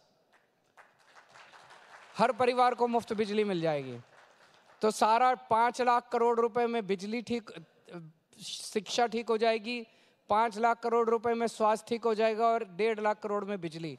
साढ़े ग्यारह लाख करोड़ रुपए में अच्छी एजुकेशन मिल जाएगी, अच्छी हेल्थ केयर मिल जाएगी, बिजली 24 घंटे मिल जाएगी, बिजली फ्री मिल जाएगी। और 11 लाख करोड़ रुपए इन्होंने अपने दोस्तों के लोन माफ़ करे हैं। अगर वो दोस्तों के लोन माफ़ नहीं करते, दोस्तों के लोन माफ़ नहीं करते तो देखो कितने काम हो सकते थे। तो मेरे ओपनिंग रिमार्क्स तो इतने बाकी जो आप मुझसे पूछेंगे। फिर से मैं यही कहूँगा, मेरे को राजनीति करनी नहीं आती। इंजीनियर हूँ, मैकेनिकल इंजीनियर हूँ, आईआईटी खड़गपुर से पढ़ा लिखा हूँ। काम करवा लो मेरे से जितना देश की तरक्की के लिए मेरे को मौका दिया आप लोगों ने, आपका बहुत बहुत शुक्रिया। आप तो काम करना चाहते हैं अरविंद जी, लेकिन जो एजेंसीज काम करना चाह रही हैं, आप उसमें सहयोग ही नहीं कर रहे हैं। ईडी जिसको लेकर के कहा जाता है कि उनका दावा है कि उनके पास में आपकी मोटी फ़ाइल है। लेकिन अब आपके घर पे भी एक मोटी फ़ाइल बन गई है जो लगातार उनके सम्मन आ रहे हैं। आठवां सम्मन आज आ गया। आप जा क्यों नहीं रहे ईडी के दफ्तर? देखिए, ये दो साल से इनका केस चल रहा है। कहते हैं कोई शराब घोटाला हुआ था दिल्ली में। दो साल से इनका केस चल रहा है। इन दो सालों के अंदर पता नहीं हज़ार से ज़्यादा रेड मार चुके पता नहीं कितने लोगों को गिरफ़्तार कर चुके इनको अभी तक एक नए पैसे की रिकवरी नहीं हुई। पता नहीं कितने रेड मार चुके हैं। मनीष जी के यहाँ कितनी बार रेड मार चुके हैं। हमारे लोगों पे कितनी रेड मार चुके हैं। मनीष जी अंदर हैं, सतेंद्र जैन अंदर हैं, विजय नायर अंदर हैं, सबके, संजय सिंह अंदर हैं। सबके यहाँ रेड हुई, किसी के यहाँ कोई एक पैसे की रिकवरी नहीं हुई, कहीं कोई रिकवरी नहीं हुई। सुप्रीम कोर्ट में जब ये केस चला तो सुप्रीम कोर्ट की सुनवाई के दौरान जज साहब ने बार बार बोला कि एक, आपके पास जरा सा भी एविडेंस नहीं है इस केस के अंदर। This case will not stay stay for two minutes also in the trial court ये जज के रिमार्क्स थे। तो ज़ाहिर तौर पे इनका मकसद कोई जाँच वांच करना नहीं है। ये केस जाँच करने के लिए नहीं है। ये केस आम आदमी पार्टी को क्रश करने के लिए है। ये आम आदमी पार्टी को क्रश करना चाहते हैं। पूरे देश के अंदर ऐसी पार्टी बता दी जिसके टॉप के number two, number three, number four के नेता जेल के अंदर बैठे बिना किसी आरोप के, कोई आरोप नहीं, कुछ नहीं। तो ये आम आदमी पार्टी को क्यों क्रश करना चाहते हैं? मुझे लगता है देश नहीं, दुनिया के इतिहास में ये अकेली पार्टी है जिसकी 10 साल के अंदर, दो राज्यों के अंदर सरकार बन गई। आज हमारी अकेली पार्टी है जो जनता के मुद्दों की बात करती है। इन लोगों से पूछ लीजिए, इनको क्या चाहिए? इनको अपने बच्चों को पढ़ाना है। बीमार हो जाए घर में तो उसका इलाज कराना है। इनको सड़क चाहिए, इनको बिजली चाहिए, इनको पानी चाहिए। कौन सी पार्टी इन मुद्दों की बात करती है? केवल हमारी पार्टी इन मुद्दों की बात करती है। तो ये इनको अगर बीजेपी को आज खतरा है भविष्य में तो केवल आम आदमी पार्टी से खतरा है। और जैसे अंग्रेज़ी में कहते हैं निपिंग इन द बड वो आम आदमी पार्टी को अभी क्रश कर देना चाहते हैं कि भविष्य का कोई खतरा ना बचे। तो इनका कोई जाँच वांच इनका मकसद थोड़ी है। अरविंद जी, लेकिन आम आदमी के मन में जो सवाल है, वो यही है कि अरविंद केजरीवाल इतने बुलाने के बाद क्यों नहीं जा रहे? कुछ गिरफ्तारी का डर है क्या? और आपकी पार्टी जो बार बार कहती है, हर बार जब सम्मान आता है कि देखिए गिरफ़्तार कर लेंगे। ये जो कहते हैं बार बार ये क्यों कहते हैं? उत्सुकता है उम्मीद है या आपकी कोई स्ट्रेटेजी है? सो so, पूरा देश देख रहा है जब इनका मकसद जाँच करना नहीं है तो इनका मकसद गिरफ्तारी करना है। इन्होंने जैसे मैंने कहा number two number three number four सबको गिरफ़्तार कर लिया। अब ये केजरीवाल को गिरफ़्तार करना चाहते हैं। आज मेरे पास कुछ वॉल्टियर्स का फ़ोन आया वो कच्ची कॉलोनी में घूम रहे थे। उन्होंने फ़ोन करके बताया, सर, यहाँ पे लोग आपस में चर्चा कर रहे हैं। लोगों ने कहा कि अपने केजरीवाल को बोल देना बिल्कुल नहीं जाएगा ईडी में। बहुत अच्छा कर रहा है जो वो ईडी में नहीं जा रहा। ईडी का मकसद, केंद्र सरकार का मकसद कोई जाँच वांच करना नहीं है। केंद्र सरकार का मकसद केवल और केवल केजरीवाल को गिरफ़्तार करना है। तो इनका मकसद जाँच से कोई आज ईडी सीबीआई इनकम टैक्स इन एजेंसीज का मकसद कोई जाँच तो रह ही नहीं गया। जगह जगह ये एजेंसीज का इस्तेमाल करके पार्टियों को तोड़ रहे हैं। एनसीपी को तोड़ दिया शिवसेना को तोड़ दिया सरकारें गिरा रहे हैं एमएलए को खरी एक चीज़ बताओ। शिवराज सिंह चौहान बड़े कद्दावर नेता होते थे। छोटे मोटे नेता थोड़ी थे हमारे देश के। थ्री टाइम्स चीफ मिनिस्टर थे थ्री या फोर टाइम्स चीफ मिनिस्टर थे। थ्री टाइम्स वसुंधरा राजे जी कद्दावर नेता होती थी। एक झटके में उठा के उन्होंने शिवराज सिंह चौहान को परे कर दिया। एक झटके में उठा के उन्होंने वसुंधरा राजे को परे कर दिया। मैं आपको गारंटी के साथ कह सकता हूँ, अगर ईडी नहीं होती तो आज इन दोनों ने अपनी अलग पार्टी बना ली होती। और बीजेपी की नाक में दम कर दिया होता इन दोनों ने। ईडी से डरा डरा के आज केंद्र सरकार चली ईडी से रही है। इस पार्टी को तोड़ दो उस सरकार को गिरा दो ये ये क्या है? ये जनतंत्र नहीं है हमारे देश के लिए बहुत खतरनाक है जो भी हो रहा है देश के अंदर। अरविंद जी तो आज आप इस मंच पे कह रहे हैं कि ईडी सम्मन भेजती रहे आप नहीं जाएँगे? मैं वही करूँगा जो कानूनी रूप से जायज़ है। अब मैं कानून पे आ जाता हूँ पॉलिटिकल बात छोड़ दीजिए। मैं कुछ सम्मन पे नहीं गया। ईडी ने मेरे खिलाफ कोर्ट में केस कर दिया। अब मैं कोर्ट में जाके कोर्ट को बताने वाला हूँ कि कैसे ईडी के संबंध इलीगल हैं। मेरे वकीलों ने बताया कि ईडी जो संबंध भेज रही है वो इलीगल है। कानूनी रूप से सही नहीं है। मैं कोर्ट में जाके बताऊँगा। तो अब जब तक खुद ही ईडी वाले कोर्ट में गए, जब तक कोर्ट का ऑर्डर नहीं आ जाता तो ईडी को इंतज़ार करना चाहिए। वो ईडी कोर्ट के, भाई, आपको कोर्ट पे यकीन नहीं है क्या? आप ही तो गए हो कोर्ट में। कोर्ट पे भरोसा रखो। कोर्ट का जजमेंट आ जाने दो। कोर्ट का जजमेंट आने तक इंतज़ार नहीं करते रोज कल एक जवाब दिया आज फिर एक सम्मन आ गया कल फिर एक सम्मन आ जाएगा। तो ये तो एक तरह से तमाशा बना रखा है कोर्ट कहेगा तो जाएँगे आप। कोर्ट कहेगा तो जाएँगे। कोर्ट कहे तो सही। इनके इनके सम्मन जो है वो बिल्कुल इलीगल है। और क्यों इलीगल है मैंने इनको कानूनी जवाब दिया है लेकिन मेरे ऑब्जेक्शंस का वो जवाब ही नहीं देते। अरविंद जी जब आपने कोर्ट की बात की तो आपके उप मुख्यमंत्री मनीष सिसोदिया जेल में हैं। बेल नहीं मिल पा रही है उन्हें। क्यों ऐसा हो रहा है कि आप अदालत के सामने ऐसी बातें नहीं रख पा रहे कि वो निर्दोष हैं और कम से कम बिल दे, बेल तो दे ही दीजिए। दो चीज़ें हैं। सुप्रीम कोर्ट में जब ये केस चला, आपने देखा होगा। सुप्रीम कोर्ट में जज साहब ने बार बार बार बार बार बार कहा कि ईडी के पास कोई सबूत नहीं है। ईडी के पास कोई सबूत नहीं है। कोई सबूत नहीं है, कोई रिकवरी नहीं है, एक पैसे की रिकवरी नहीं है। ये केस दो मिनट के लिए नहीं टिचेगा ये तो उनकी लाइन थी, ये केस दो मिनट में नहीं चलेगा। ईडी के केसेस में जमानत क्यों नहीं मिल रही लोगों को? किसी को नहीं मिल रही जमानत ईडी के केस के अंदर? क्यों नहीं मिल रही? अभी तक देश का कानून ये होता था क्रिमिनल लॉ ये होता था you are innocent till proved guilty अगर आपके ऊपर कोई आरोप लगा, आपके ऊपर कोई एफ़ हुई, आपको गिरफ़्तार करते थे, आपसे पूछताछ करते थे, और पूछताछ के बाद 10-15 दिन के बाद आपको बेल मिल जाती थी आप घर आ जाते थे, फिर आपके ऊपर मुकदमा चलता था। मुकदमे में अगर आप दोषी पाए जाते थे, तब आपको सजा होती थी और आप जेल जाते थे। अब ये पूरा कानून इन्होंने ईडी में पलट दिया। अब इसमें हो गया you are guilty till proved innocent इस कानून में इन्होंने लिख दिया। इस कानून में इन्होंने ये लिखा है कि आपके ऊपर आरोप लगेगा, आपके ऊपर एफआईआर होगी, झूठा सच्चा जो मर्ज़ी आरोप लगा दें, आपको गिरफ़्तार कर लिया जाएगा। और आपको बेल तब तक नहीं मिलेगी जब तक आपका मुकदमा पूरा नहीं हो जाता और आप इनोसेंट प्रूव नहीं हो जाते। मुकदमे तो इस देश में पंद्रह पंद्रह साल चलते रहते हैं। तो पंद्रह साल तक आप मनीष सिसोदिया को जेल में रखोगे? तो ये बेल इसलिए नहीं मिल रही कि वो दोषी हैं। बेल इसलिए नहीं मिल रही कि उन्होंने ये पूरा कानून पलट दिया। इसीलिए ईडी की वजह से आज पार्टियाँ टूट रही हैं। आप, पहले जो कानून था भाई आपने एफआईआर करी आप गिरफ़्तार कर लो मुझे मेरे से पूछताछ कर लो। दस दिन में पंद्रह दिन में मेरे को बेल मिल जाती थी। अब बेल तब तक नहीं मिलेगी जब तक पूरा मुकदमा ट्रायल पूरा होके आप इनोसेंट प्रूव नहीं हो जाते। ये तो गलत कानून है। अरुण जी जो आपने बात कही कि ईडी की वजह से पार्टी टूट रही है कई आपने अभी हाल फ़िलहाल में आरोप लगाया था कि आपकी पार्टी के विधायकों को भी तोड़ने की कोशिश की गई और 25 करोड़ रुपए ऑफ़र दिए गए। वो मामला थोड़ा आप बताएँ ये कई बार इन्होंने कोशिश कर ली, ये पहली बार नहीं है। उसके पहले भी इन लोगों ने कोशिश की है। ये ऑपरेशन लोटस 2016-17 से चल रहा है इनका ये। कई बार इन्होंने हमारे एम को खरीदने की कोशिश की। हमारी पार्टी को ये तोड़ नहीं पा रहे हैं। आज तक इन हमारे एम आपको याद होगा जब सबसे पहले हमारी सरकार बनी थी, अट्ठाईस एम थे हमारे। छत्तीस चाहिए थे, आठ की कमी थी। और इनके बत्तीस थे। इनके, बीजेपी के बत्तीस थे, इनको केवल चार एमएलए तोड़ने थे। ये अट्ठाईस में से हमारे चार एमएलए भी नहीं तोड़ पाए। इन्होंने बहुत कोशिश की उन दिनों में। तो ये कई बार कोशिश कर चुके हमारी पार्टी तोड़ने की, हमारे एमएलए तोड़ने की, लेकिन हमारे लोग मज़बूत हैं, हमारे साथ खड़े हो। हमने कोई गलत काम नहीं किया।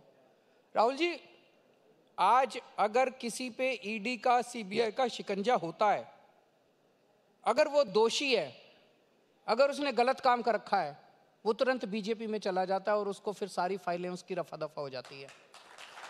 अगर कोई दोषी नहीं है, मनीष सिसोदिया की तरह तो उसको दस बार कोशिश की जाती है बीजेपी ज्वाइन कराने के लिए, वो अड़ा रहता है। उसे पता आज इतनी तो कल मैं बाहर तो आ ही जाऊँगा। तो आज ईमानदार की परिभाषा, ये नहीं है कि आपको ईडी ने गिरफ़्तार किया। आज ईमानदार की परिभाषा है ईडी के एक्शन के बाद अगर आप बीजेपी में चले गए तो आप बेईमान हो। और अगर ईडी के एक्शन के बाद भी आप डटे रहे और जेल चले गए। आप ईमानदार हो इसका मतलब आपने कोई गलत काम नहीं किया। अरविंद जी मुझे याद आ रहा है जब आपकी सरकार बनी थी तब आपका एक एड बहुत चला था उस समय और उसमें आपने कहा था कि अब कोई अगर रिश्वत देने आए तो उसका स्टिंग कर लेना और हमें भेज देना और हम कार्रवाई करेंगे। या आपके विधायक उनका स्टिंग क्यों नहीं कर लेते जो आपको ऑफ़र कर रहे हैं? स्टिंग पहले किए भी हमारे एक या दो स्टिंग हमने जारी भी किए थे। लेकिन राहुल जी सारा दिन अब आप आए हमारे पास आप मेरे दोस्त हो। और आप उन लोगों का मैसेज लेके आए, मान लीजिए। अब मैं अपने फ़ोन पे आपकी रिकॉर्डिंग थोड़ी करूँगा यार। आप मेरे पास मान लीजिए मैसेज लेके आए, आपने कहा, अरविंद जी, वो लोग आपसे बात करना चाहते हैं, वो कह रहे हैं कि मनीष को भी छोड़ देंगे, सतिंदर को भी छोड़ देंगे, संजय सिंह को भी छोड़ देंगे। आप ये इंडिया गठबंधन मत करो। अब मैं यार आपकी थोड़ी वो करूँगा, आप मेरी और आपकी तो दोस्ती है। है ना? तो मैं अब आपकी आपकी आवाज़ रिकॉर्ड करूँगा और फिर जनता को दिखाऊँगा तो रिश्ते खराब होते हैं। इसी तरह से करते हैं ये लोग। इसी तरह से करते हैं। मैं कितनी कहानियाँ सुनाऊँगा आपको? अच्छा आपने मेरा नाम लिया तो, तो कोई एक नाम आप नहीं करते। कोई एक नाम तो बता दीजिए।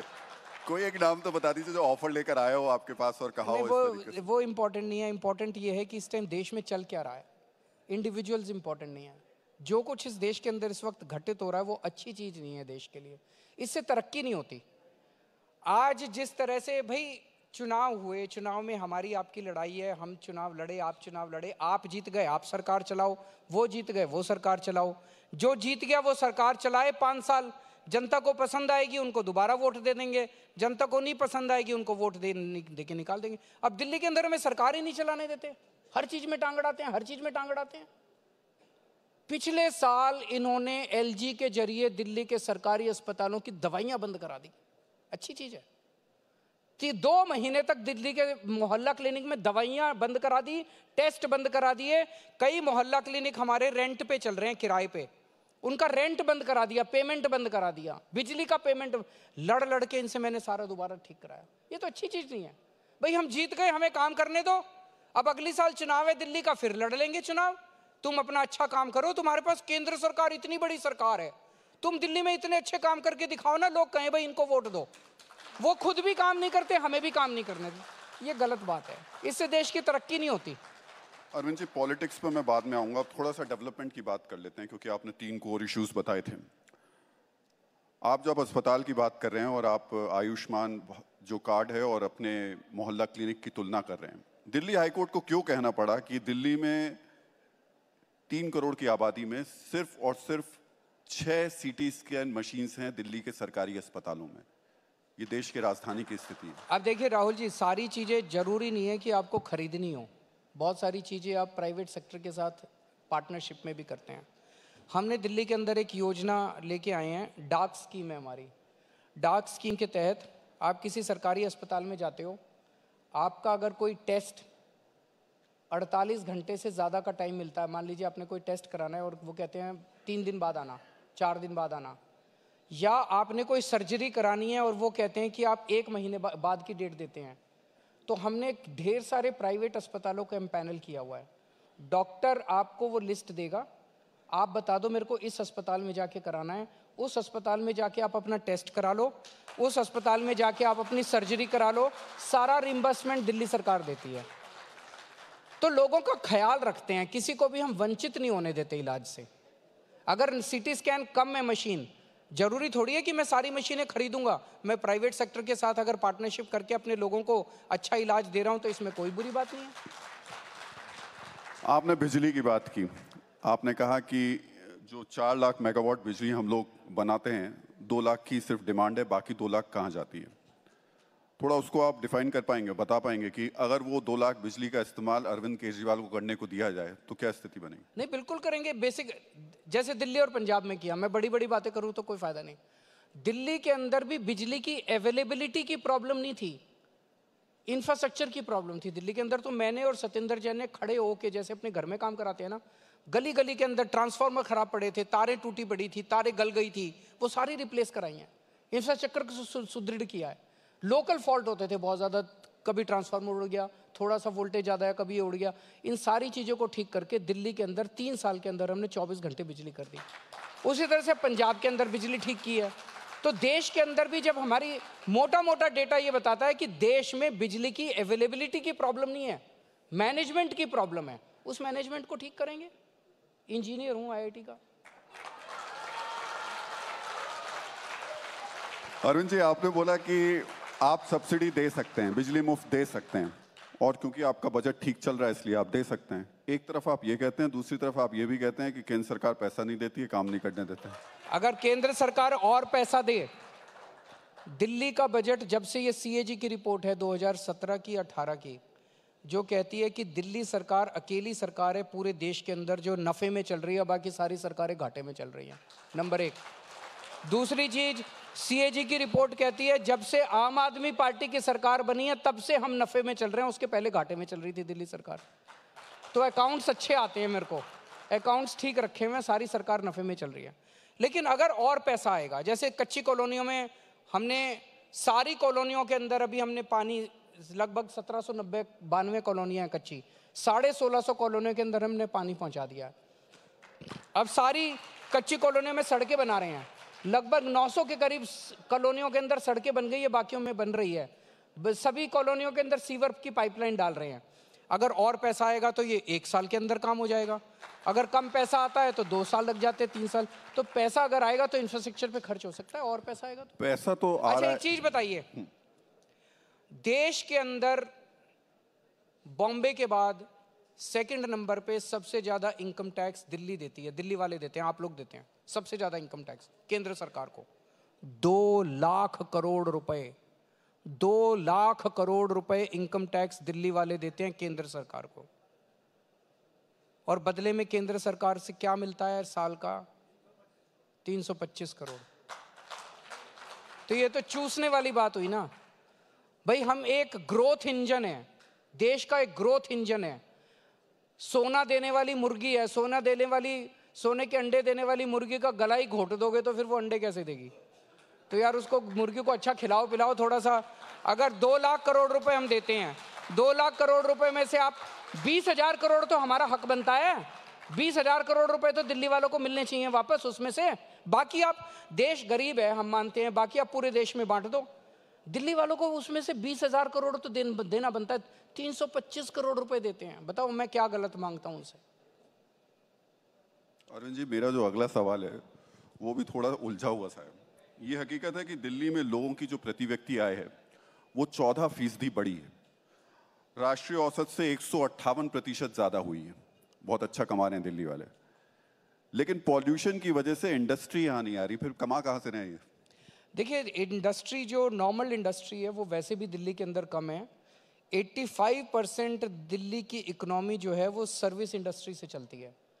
जो ये पोल्यूटिंग इंडस्ट्री जो होती थी, वो वैसे भी दिल्ली के बाहर भेज दी गई थी कई साल पहले सुप्रीम कोर्ट के ऑर्डर्स के तहत। तो आज ये वाली इंडस्ट्री वैसे भी दिल्ली के अंदर नहीं आ सकती।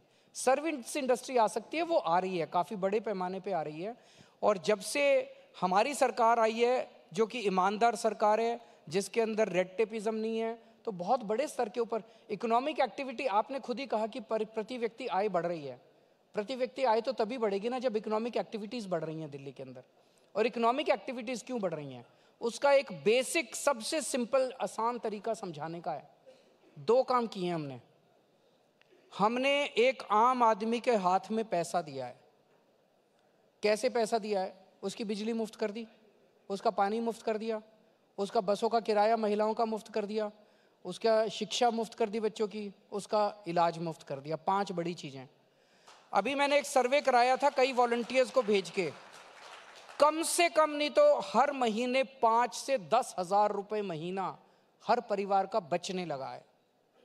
अगर आपके हाथ में दस हज़ार रुपये महीना एक्स्ट्रा इनकम आएगी तो आप फिर उससे सामान खरीदोगे। बच्चों के लिए और सब्ज़ी खरीदोगे, बच्चों के लिए खाने पीने की चीज़ें खरीदोगे, कपड़े खरीदोगे, घर का सामान खरीदोगे। इससे इकोनॉमी के अंदर डिमांड बढ़ती है। और जब इकोनॉमी में डिमांड बढ़ती है, तभी इकोनॉमिक ग्रोथ होती है। दूसरा, हमने आने के बाद दिल्ली के अंदर मिनिमम वेज पहले सात हज़ार या आठ हज़ार होता था, हमने आते ही पंद्रह हज़ार कर दिया, डबल कर दिया मिनिमम वेज। जब मजदूरों के हाथ में पैसा आएगा तो वो पैसा खर्चेगा मार्केट में जाके। और जब पैसा खर्चेगा तो डिमांड क्रिएट होती है और उसी से इकोनॉमिक ग्रोथ होती है। अभी तक 75 साल के अंदर सिस्टम ये था, trickle down impact. Trickle down impact में होता था, अमीरों को और अमीर बनाओ। अरबपति को और पैसे दे दो उसके हाथ में, वो फिर फैक्ट्री खोलेगा और वो फैक्ट्री खोलेगा, उससे लोगों को जॉब मिलेगा। अरे जब खरीदने के लिए पैसे नहीं होंगे तो फैक्ट्री कहाँ से खुलेंगी? पहले खरीदने के लिए डिमांड तो चाहिए इकोनॉमी के अंदर, वो डिमांड हम लोगों ने क्रिएट की है दिल्ली के अंदर। आज पूरे देश में सबसे कम महँगाई दिल्ली के अंदर है। क्यों? हमारी बिजली फ्री पानी फ्री बसों का किराया फ्री शिक्षा फ्री स्वास्थ्य फ्री। तो ये दिल्ली केंद्र सरकार का डेटा है एवरेज पूरे देश में महँगाई दर छः परसेंट है। उत्तर प्रदेश में गुजरात में seven seven point five percent है। दिल्ली के अंदर महँगाई दर तीन परसेंट है। सबसे कम है देश के अंदर। अरविंद जी जो सवाल आ, मैं आगे आपसे पूछने वाला हूँ वो सवाल आप पर भी है वो सवाल हमारे ऊपर मीडिया पर भी उठता है। इसलिए उठता है क्योंकि जब साल में एक बार पॉल्यूशन आता है तो हमें भी पॉल्यूशन की याद आती है, वरना मीडिया भी भूल जाता है। पॉल्यूशन एक बहुत बड़ी समस्या है दिल्ली के लिए। आपके दोनों स्टेट्स हैं, दिल्ली भी और पंजाब भी, जहाँ से ये दोनों समस्या बनी हुई है। आप इलेक्ट्रिक बसेस लेकर आए हैं। लेकिन कोई परमानेंट सॉल्यूशन होगा, क्योंकि फिर अगली बार वैसी स्थिति बनेगी और कोई ऐसे कॉन्क्रीट प्लान दिखाई नहीं देते हमें। ना सेंटर की तरफ़ से दिखाई देता है, ना आपकी तरफ़ से कोई दिखाई देता है। तो दो चीज़ें, एक तो बाकी साल के दौरान सर्दियों में समस्या ज़्यादा होती है पोल्यूशन की। इस वक्त अगर आप देखें तो पोल्यूशन रीजनेबली कंट्रोल्ड लेवल में है। इस टाइम पोल्यूशन ज़्यादा नहीं है दिल्ली के अंदर। लेकिन जब वो अक्टूबर नवंबर आता है और पराली जो हरियाणा पंजाब से आके जल ज, ज, ज, जलती है और यहाँ पे धुआँ आता है उस टाइम बहुत ज़्यादा बढ़ जाता है। तो मान साहब जो हैं पंजाब के अंदर कई सारे उन्होंने स्टेप्स उठाए हैं। इस साल बताया जा रहा था कि 30 परसेंट पोल्यूशन कम हुआ है। लेकिन 30 परसेंट पोल्यूशन कम होना सेटिस्फैक्ट्री नहीं है हमें पोल्यूशन खत्म करना है। तो कई सारे स्टेप्स लिए जा रहे हैं। दिल्ली सरकार अपने लेवल पे ले रही है कि हम इंटरनल सोर्सेज को कम करें और वो पंजाब के स्तर के ऊपर ले रहे हैं। मुझे उम्मीद है कि ये पचहत्तर साल पुरानी प्रॉब्लम है। साल दो साल और लगेंगे लेकिन ठीक हो जाएगा। मुझे पूरी उम्मीद है कि ठीक हो जाएगा। मतलब आप कह रहे हैं कि अगले दो साल में दिल्ली में पॉल्यूशन की समस्या कम हो काफ़ी कम होगा काफ़ी कम होगा। ये एक खासकर इस इस इन दो महीनों के दौरान। तो अब पराली की धुंध से हट के राजनीतिक धुंध की तरफ़ चलते हैं। ये जो इंडिया गठबंधन पे धुंध छाई हुई थी ये साफ़ हो गई? मैं समझता हूँ कि कुछ मूवमेंट शुरू हुआ है लेकिन मैं सेटिस्फाइड नहीं हूँ। मुझे लगता है कि काफ़ी पहले काफ़ी सारी एक्टिविटीज़ करनी चाहिए थी और हम लोगों ने नहीं की तो ये ठीक नहीं हुआ। अगर समय रहते काफ़ी पहले अगर हम तेज़ी से काम करते एक्टिविटी करते तो नतीजे बहुत अच्छे और हो सकते थे। कहाँ किसकी तरफ़ से चूक रह गई? देखिए अगर इंडिया गठबंधन को लीड कांग्रेस कर रही है कांग्रेस को इनिशिएटिव लेना चाहिए था।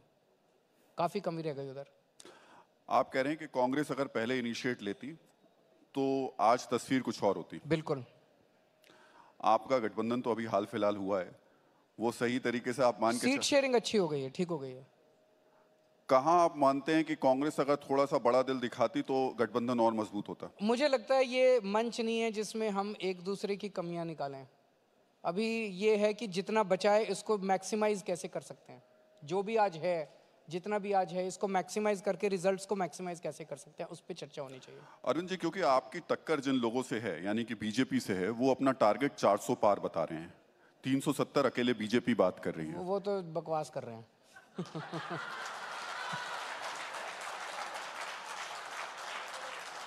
हालत देश की ये है युवाओं को रोज़गार नहीं मिल रहा। पेट्रोल सौ पार चला गया है। महँगाई इतनी ज़्यादा हो रही है। तो 270 भी पार कर जाए तो बहुत बड़ी बात है। वो तो 370 की बात कर रहे हैं। मतलब आप कह रहे हैं कि पूर्ण बहुमत भी नहीं मिल पाएगा। मतलब हालत तो देश के अंदर हालत तो यही है। नाराज़गी केंद्र सरकार से नाराज़गी इतनी ज़्यादा है कि एक वो इंडिया शाइनिंग भी हुआ था। इंडिया शाइनिंग में भी उन्होंने कहा था देश बड़ी तरक्की कर रहा है और ये और वो लोगों ने बता दिया तरक्की कितनी कर रहा है। तो आज भी ये वही माहौल बनाने की कोशिश कर रहे हैं कि ये विश्व गुरु बन गए हैं ये कर रहे हैं वो कर रहे हैं। आम आदमी की ज़िंदगी के अंदर ज़रा सा भी सुधार नहीं हो रहा है। एक फॉल्स परसेप्शन क्रिएट किया जा रहा है। इवेंट मैनेजमेंट हो रहे हैं।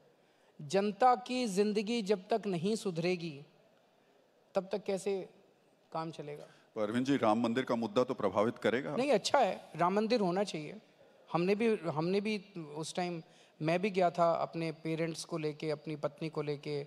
मान साहब भी गए थे, मान साहब, भगवंत मान जी अपनी माता जी को और अपनी पत्नी को लेके गए थे। सबकी श्रद्धा है 140 करोड़ लोगों की श्रद्धा है राम मंदिर के अंदर।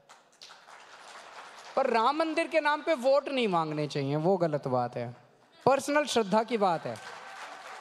मैं राम जी का भक्त हूँ, मैं हनुमान जी का भक्त हूँ, मैं शिव जी का भक्त हूँ, ये मेरी पर्सनल श्रद्धा है, सबको अधिकार है। 2014 के जो अरविंद केजरीवाल थे वो जब बात करते थे तो बिजली पानी शिक्षा इन सब की बात करते थे। 2023 तक आते आते अरविंद केजरीवाल सॉफ्ट हिंदुत्व की बात करने लगे। उन्हें भी मंदिर में उन्हें भी पूजा पाठ करते हुए दिखाना पड़ा। ना बिल्कुल नहीं है। आप मुझे जानते नहीं हो। ये मैं तो बहुत पहले से जानता हूँ आपको। ना आप मेरे को मैं मैंने कभी आपको बताया ही नहीं कि मैं किस किस की भक्ति करता हूँ किस किस की भक्ति नहीं करता। ना आप ना आपने कभी मेरे से पूछा और ना कभी मैंने आपको बताया। आप मेरे घर आते तो मैं आपको बताता कि ये हमारे घर में मंदिर है, यहाँ पे मैं अपने माता पिता के साथ, पत्नी के साथ यहाँ पूजा करता हूँ। अब अगर मैं राम मंदिर चला गया, मैंने तो कोई उसका ढिंडोरा नहीं पीटा चारों तरफ़, मैं तो गया और आ गया भक्ति करके, ना मैंने कोई ढिंडोरा पीटा। तो मैं अगर वहाँ चला गया, पूजन कराया उनका आशीर्वाद ले आया भगवान जी का। तो इसमें क्या गलत है? कहते हैं ये सॉफ्ट हिंदुत्व है। ये मेरी अपनी श्रद्धा है, मेरी अपनी भक्ति है। ये कोई हिंदुत्व सॉफ्ट हिंदुत्व हार्ड हिंदुत्व, ये टर्म्स तब आती हैं जब आप हिंदुत्व के ज़रिए वोट लेने की कोशिश करते हैं, जब आप हिंदुत्व के ज़रिए अपने भक्ति की नुमाइश करते हैं, जब आप। वो सही नहीं है। अरविंद जी, एक सवाल ज़रूर जो कि इस वक्त हर आम आदमी के मन में है। आपने जो गठबंधन कांग्रेस से किया, एक वक्त था जब आपने कांग्रेस पर ही कहा था कि ये पार्टी सही नहीं है, करप्शन के चार्जेस लगाए। फिर उसी कांग्रेस से गठबंधन करने की वजह? आज देश की हालत इस समय समय अलग होता है, हर समय अलग होता है, परिस्थितियाँ अलग होती हैं। आज देश की हालत इस जिस की केंद्र सरकार है, उस सरकार ने पूरे देश का बेड़ा गर्क कर दिया है। एक तरफ़ लोग दुखी हैं और दूसरी तरफ़ जनतंत्र के ऊपर पूरी तरह से प्रहार हो रहा है। इस वक्त सब लोगों को साथ आके, केवल बात कांग्रेस की नहीं है 140 करोड़ लोगों को साथ आके ये केंद्र से सरकार हटाने की ज़रूरत है। स्कूलों की थोड़ी बात कर लेते हैं। स्कूलों की जो व्यवस्था दिल्ली में लागू की गई। जब हम पूरे देश की स्कूलों में देखते हैं तो अभी एक रिपोर्ट आई थी जिसमें गुजरात को थोड़ा सा बेहतर बताया गया था स्कूलों के मामले में। ऐसा क्यों? वो रिपोर्ट मैंने तो नहीं देखी। ऐसी कौन सी रिपोर्ट है जो गुजरात के, मैं भी गया था स्कूलों में। अच्छा एक चीज़ बताओ, प्रधानमंत्री जी को जब गुजरात के सरकारी स्कूल में जाके फ़ोटो खिंचवानी थी, उनको एक स्कूल पूरे गुजरात में ऐसा नहीं मिला जो फ़ोटो खिंचवाने लायक था। फिर एक टेम्पोरेरी टेंट के अंदर एक क्लासरूम बनाया गया। आर्टिफिशियल क्लासरूम बनाया गया, जिसमें चार बच्चों को बिठाया गया और वहाँ पे उनको फ़ोटो खिंचवानी पड़ी। कहाँ से गुजरात के स्कूल अच्छे हो गए? ये अपनी रिपोर्ट बना लेते हैं बिकॉज़ इन्हीं की अपनी सरकार है। सेंट्रल गवर्नमेंट की रिपोर्ट होगी? सेंट्रल गवर्नमेंट हाँ सेंट्रल गवर्नमेंट की रिपोर्ट। लेकिन उसी सेंट्रल गवर्नमेंट की रिपोर्ट आपने पहले भी कोट की थी अरविंद जी।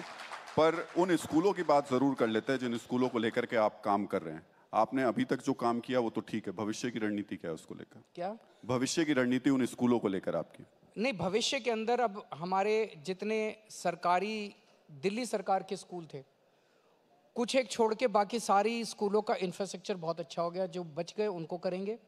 एमसीडी अब हमारे पास आई है। एमसीडी के लगभग 1800 प्राइमरी स्कूल हैं। उनकी भी हालत बहुत ख़राब है।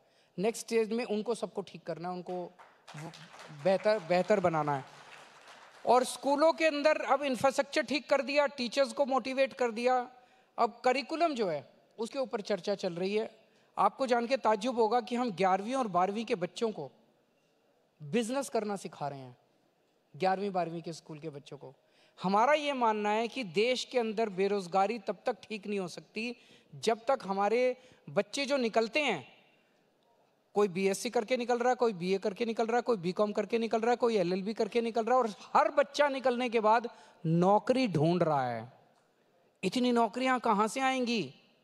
हमें अपने बच्चों को बिज़नेस करना सिखाना है ताकि वो स्कूल से निकलने के बाद नौकरी ढूँढने वाला नहीं, नौकरी देने वाला बने। वो हम सिखा रहे हैं। आपको जान के वहाँ पे अब हमारे लगभग ढाई लाख बच्चे हैं बारहवीं क्लास के अंदर पूरे सिस्टम में। हर बच्चे को हम दो दो हज़ार रुपये देते हैं और उनको कहते हैं, कोई बिज़नेस आइडिया सोचो। तो पाँच बच्चे, दस बच्चे इकट्ठे हो जाते हैं। तो दस बच्चे इकट्ठे हो गए तो उनके बीस हज़ार रुपये हो गए। वो फिर कोई बिज़नेस आइडिया सोचते हैं, उसको मार्केटिंग करते हैं फेसबुक पे व्हाट्सएप पे, अपना माल बेचते हैं, फिर हम बड़े बड़े देश के उद्योगपतियों को लाके उन बच्चों से प्रेजेंटेशन कराते हैं। वो बच्चे प्रेजेंटेशन करके उन उद्योगपतियों से अपना लोन रेज करते हैं, ग्यारहवीं के बच्चे, बारहवीं के बच्चे, सरकारी स्कूलों के बच्चे। आपको जान के एक ताज्जुब होगा, एक बच्ची से जब हम, एक टीम से जब हम प्रेजेंटेशन ले रहे थे, वो टीम की बच्ची कहती है प्रेजेंटेशन देते टाइम कि सर अब मैंने लगभग तीस तीस लोगों को, युवाओं को रोज़गार दे दिया है। अब अगली स्टेज के अंदर हम आईआईटी दिल्ली में जा रहे हैं रिक्रूटमेंट करने के लिए। बारहवीं की बच्ची, दिल्ली के सरकारी स्कूल की बच्ची कॉन्फिडेंस के साथ कह रही है कि मैं कैंपस इंटरव्यू करने के लिए आईआईटी दिल्ली जा रही हूँ। देश के लोगों को रोज़गार तो तभी मिलेगा जब हमारे बच्चों को हम तो ये करिकुलम को लेके अब हम नए नए एक्सपेरिमेंट्स कर रहे हैं अपने स्कूलों के अंदर। कैरिकुलम में जब आप चेंजेस कर रहे हैं तो इतिहास की किताब तो नहीं बदलेंगे आप? नहीं, इतिहास की किताब नहीं बदली, लेकिन जैसे अभी हमने हैप्पीनेस करिकुलम किया, खुश कैसे रहना है? तो हर क्लास के अंदर रोज सुबह 45 मिनट पहले 45 मिनट मेडिटेशन होती है। उनको इंस्पायरिंग कहानियाँ सुनाई जाती है। और आपको जान के ताज्जुब होगा जब वो राष्ट्र, ट्रंप साहब आए थे देश में, उनकी वाइफ मिलेनिया ट्रंप वो दिल्ली के सरकारी स्कूल के हैप्पीनेस क्लास अटेंड करके गई थी हमारी। उसने वहाँ सुना हुआ था। अमेरिका में सुना था कि दिल्ली के सरकारी स्कूलों में कोई हैप्पीनेस क्लास चलती है जो बहुत अच्छी है। वो आई, उसने 45 मिनट पूरी हैप्पीनेस क्लास अटेंड की थी। अरविंद जी, फिर से थोड़ा सा पॉलिटिकल सवाल मैं ज़रूर पूछूँगा। थोड़ी देर पहले इसी मंच पर असदुद्दीन ओवैसी साहब थे। और आपका जब ज़िक्र आता है तो वो आपको बीजेपी का छोटा रिचार्ज कहते हैं। उनको कहने दो यार उनकी क्या सच्चाई है सारा देश जानता है। आप उनको सीरियसली आप उनको अपने मंच पे बुलाते ही क्यों हो? उनके प्रश्नों के जवाब नहीं देने मुझे। पर आप उनको अपने गठबंधन में शामिल क्यों नहीं करते? वो भी तो बीजेपी के विरोध में ही रहते हैं। हाँ वो तो बीजेपी की के साथ ही मिले हुए हैं। सब लोग जानते हैं कि उनको बीजेपी वोट काटने के लिए इस्तेमाल करती है। ममता बनर्जी जिस तरीके से शुरुआत में आई और कांग्रेस का भी उनके साथ में जिस तरीके से अभी गतिरोध बना हुआ है बहुत हद तक अभी बहुत क्लियरिटी नहीं हो रही है। आपको लग रहा है अरविंद जी नीतीश कुमार का जाना ममता से उस तरीके से बातचीत ना हो पाना? यूपी में तो हो गया आपसे हो गया। ये आपके लिए वो जादुई आंकड़ा नहीं ला पाएगा जो आप उम्मीद कर रहे हैं? मैं उम्मीद करता हूँ कि आने वाले समय में जो भी कड़वाहट है या जो भी ऑब्स्टेकल्स हैं वो दूर होंगे। और बाकी भी जितने पार्टनर्स हैं उनके साथ भी सीट शेयरिंग अच्छे माहौल में पूरी होनी चाहिए। आपने तो बातचीत की है मामला फंसता कहाँ है? पे किस जगह जाकर फंस जाता है? देखिए अंदर दो दस तरह के वो होते हैं यहाँ चर्चा नहीं की जा सकती लेकिन अ, सब लोगों को बैठ के एक अच्छे माहौल के अंदर देश को बचाने के लिए ये करना चाहिए।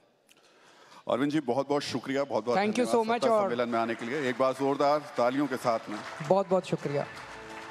अरविंद जी रुके रहिए मंच पर।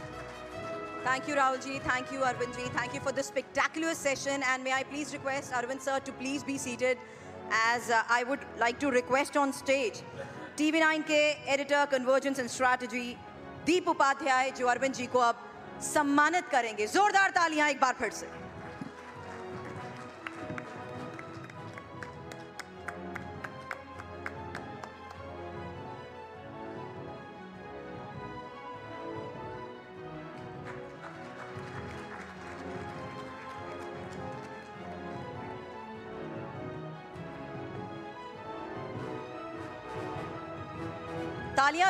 चाहिए। बहुत बहुत शुक्रिया हमारे सभी खास मेहमानों का, टीवी नाइन के इस खास मंच पर आज हमारे साथ जुड़ने के लिए।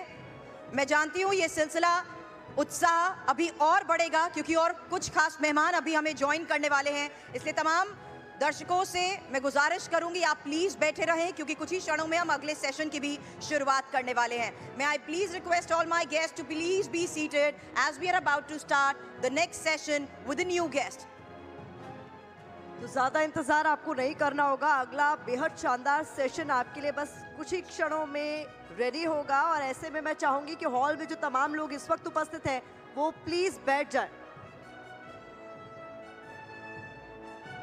टीवी नाइन भारतवर्ष का सत्ता सम्मेलन आज ये खास मंच है, जिसमें आने वाली राजनीति को देखते हुए किस तरीके से इस चुनावी महोत्सव की तैयारियाँ सभी दिग्गजों ने की है, उसी को लेकर हो रहे हैं सवाल जवाब और व्हाट इंडिया थिंग्स टुडे में आज के इस खास मंच पर और खास मेहमान भी अब हमारे साथ जुड़ने वाले हैं। इसलिए मैं प्लीज़ आप सभी से रिक्वेस्ट कर रही हूँ कि आप एक बार फिर से बैठ जाएँ, क्योंकि अब से कुछ ही देर में हम दूसरा सेशन भी शुरू करने वाले हैं।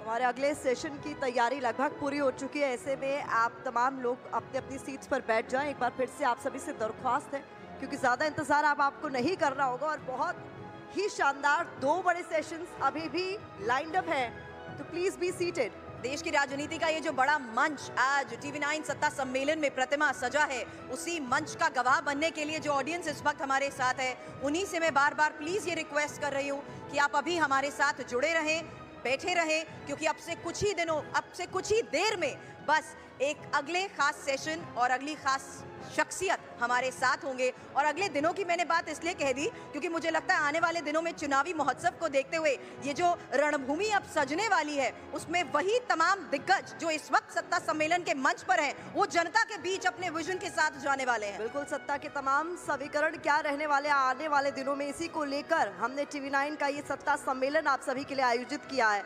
और अब कुछ ही मिनटों का इंतज़ार आपको करना होगा। हमारे अगले सेशन की तैयारियाँ पूरी हो चुकी हैं और बेहद खास अगला सेशन भी रहने वाला है सुरभि। अब तक जो तमाम मेहमान आ गए, आए हैं यहाँ पर, इस मंच पर उन्होंने कई ऐसी बातें कही हैं जो कि 2024 के लिए एक पॉलिटिकल स्टेज सेट कर रहे हैं। बिल्कुल, और जो बड़े संकेत मिले हैं, जिसमें गठबंधन को लेकर तमाम दिग्गजों से हमने सवाल हैं, उन्होंने ये बता दिया कि आखिर किस तरीके से इस बार चुनाव में किन बड़े मुद्दों के साथ वो जनता के बीच जाने वाले हैं? लेकिन अभी बहुत कुछ खास बाकी है। काउंटडाउन एक बार फिर से शुरू हो चुका है अगले सेशन का। इसलिए मैं एक बार फिर से आप सभी से रिक्वेस्ट कर रही हूँ। Few more seconds after that we are going to start a new session and may I please request all my guest to be seated Sagar if you could please help the people to take their place as we are about to start the next session thank you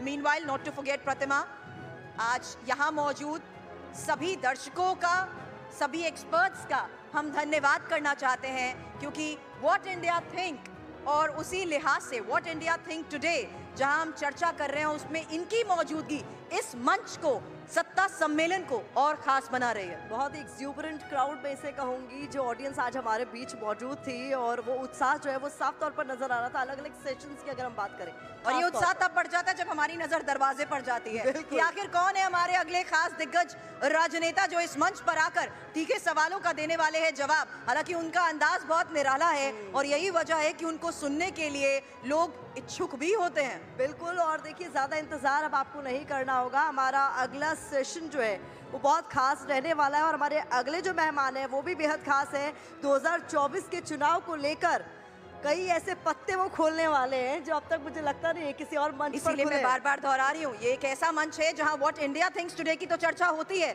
लेकिन TV nine सत्ता सम्मेलन में सत्ता से जुड़े लोग जब जनता के बीच जाने वाले हैं तो चुनावी रणभूमि में किस बड़ी भूमिका के साथ वो जनता के बीच रहेंगे उसी का जवाब आज टीवी नाइन के इस मंच पर मिल रहा है। बिल्कुल।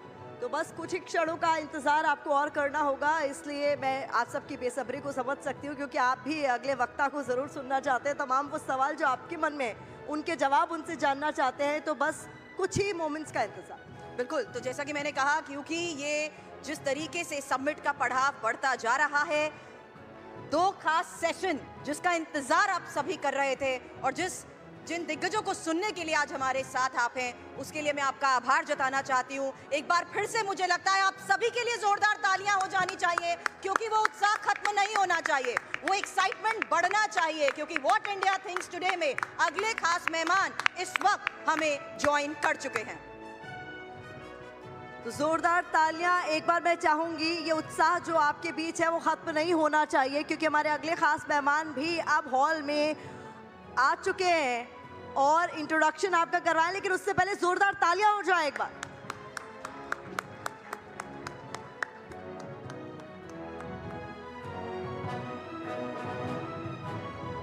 टीवी नाइन सत्ता सम्मेलन में आज हमारे साथ जुड़ने के लिए सभी का धन्यवाद। बेहद शुक्रिया अपना कीमती वक्त निकालने के लिए और इंडिया के number one news network TV nine के इस खास मंच में व्हाट इंडिया थिंग्स टुडे में टीवी नाइन सत्ता सम्मेलन के अगले सेशन की हम करने जा रहे हैं। शुरुआत। तो टीवी नाइन डब्ल्यू समिट का तीसरा दिन है, जो देश की राजनीति का सबसे बड़ा मंच है। सजा हुआ है टीवी नाइन भारत वर्ष सत्ता सम्मेलन में। इस वक्त पूरे देश में देखा जा रहा है। दर्शकों में तमाम संदेश आ रहे हैं, तमाम सवाल भेजे जा रहे हैं, लेकिन जो अगले खास मेहमान हमारे बीच है, उनको लेकर एक एवी हमने तैयार किया टेक लो मल्लिकार्जुन खड़गे, भारतीय राष्ट्रीय कांग्रेस पार्टी के अध्यक्ष। राजनीति में पाँच दशक से ज़्यादा का अनुभव रखने वाले मल्लिकार्जुन खड़गे इस वक्त देश के सबसे सीनियर और मंझे हुए राजनेताओं में से एक हैं। कर्नाटक के एक आम परिवार से रिश्ता रखने वाले मल्लिकार्जुन खड़गे ने शून्य से शिखर तक का लंबा सफ़र तय किया। एक जमाने में बड़े अभिवक्ता रहे मल्लिकार्जुन 1972 में पहली बार विधायक बने। जिसके बाद एक ही सीट से लगातार नौ बार विधायक बनने का रिकॉर्ड बनाया। देश की राजनीति में मल्लिकार्जुन खड़गे को बड़ी पहचान मिली साल 2014 में, जब वो पहली बार लोकसभा पहुँचे और सदन में कांग्रेस के नेता चुने गए। फ़िलहाल मल्लिकार्जुन खड़गे राज्यसभा सांसद हैं और विपक्ष के नेता भी। कांग्रेस अध्यक्ष बनने के बाद कर्नाटक और तेलंगाना चुनाव में पार्टी की जीत का बड़ा श्रेय मल्लिकार्जुन खड़गे को दिया गया। इंडिया गठबंधन से उठ रही आवाजों के बीच 2024 में मल्लिकार्जुन खड़गे को प्रधानमंत्री पद के चेहरे के रूप में भी देखा जा रहा है।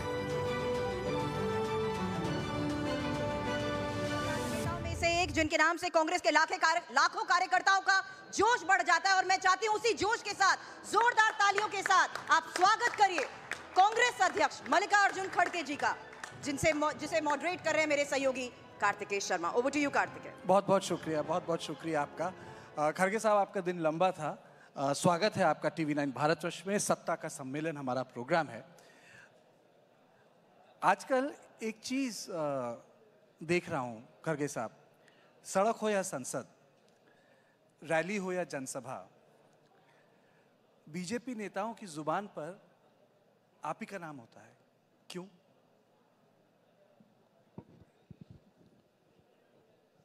अब डेमोक्रेसी में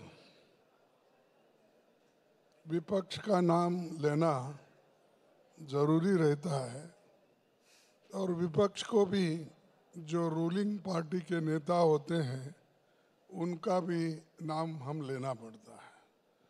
तो ये जबान पे तो है उनके, लेकिन मैं उनके दिल में नहीं हूँ, जबान पे हूँ। और हमेशा रूलिंग पार्टी ये चाहती है कि विरोधी पक्षों के साथ एक दुश्मनी का या उनके साथ ठीक ढंग से बर्ताव नहीं करते। मैं देखा हूँ मेरे जीवन के ये तिरपन साल चल रहा है, मैं एमएलए एमपी राज्यसभा मेंबर बन के। और शायद ही हिंदुस्तान में ऐसा कोई व्यक्ति होगा जो चुन के सतत आया और जो अपोजिशन लीडर कर्नाटक में, फिर उसके बाद में मिनिस्टर्स वहाँ, फिर कांग्रेस प्रेसिडेंट फिर यहाँ आने के बाद लोकसभा में विरोध पक्ष के नायक बन के फिर राज्यसभा में आके फिर वहाँ अपोजिशन पार्टी के नायक बन के और सेंट्रल में मिनिस्टर बन के बहुत कम लोग हैं। कोई नहीं है, नहीं बोलता हूँ, लेकिन बहुत कम लोग आपको मिलेंगे। तो वैसा ही मेरे को एक अपॉर्चुनिटी मिला और मैं ऐसे एक घर से आता हूँ, या आप घराना बोलते, घर बोलते कुछ आता हूँ। तो मेरा 1947 में पूरा घर जल गया था, बर्बाद हो गया था। मैं अपने माँ को खोया, बहन को खोया, और चाचा को खोया, भाई को खोया। मैं अकेला किसी झाड़ के नीचे खेल रहा था, ऐसा मेरे पिताजी बताए। वो खेत में काम कर रहे थे तब लोगों ने जाके उनको बताया, भाई, तुम तो खेत में काम कर रहे तुम्हारा घर जल रहा है वहाँ। तब वो भागते भागते पहले बच्चों को उनको ढूँढने लगे, कोई बच्चा जल के खाक हो गए थे, माँ भी खाक हो गई थी। मैं एक किसी झाड़ के नीचे धर्मशाला के सामने खेल रहा था तो उन्होंने उठा के मेरे को बचाने के लिए वहाँ से चलते चलते रेलवे पकड़े, फिर पुणे गए। जब पुणे में हमारे रिलेटिव चाचा जो महार रेजिमेंट में काम करते थे, उनको देखने के लिए जब हम चले गए तो वो 47 में उनको वॉलेंट्री रिटायरमेंट मिली तो वो गुलबर्गे के तरफ़ आए। हम इधर चले गए, वो उधर आ गए। फिर हम परेशान हो गए। फिर हमारे पिताजी पूना टू गुलबर्गा ट्रेन से निकले, वहाँ पर ढूंढे कोई नहीं मिले। आखिरी में एक टेक्सटाइल मिल थी, जिसमें हमारे पिताजी को आठ दिन में ही काम मिला। वहीं टेक्सटाइल मिल में एक कार्डिंग डिपार्टमेंट होता है, उसमें काम मिलने के बाद सिर्फ़ हमारे पिताजी ने मेरे को पाला, पोसा। शिक्षण दिया और लोगों ने मेरे को प्रोत्साहित किया, तब स्टूडेंट लीडर भी बना लेबर लीडर बना। 69 में मैं कांग्रेस प्रेसिडेंट बना, ब्लॉक कांग्रेस कमेटी।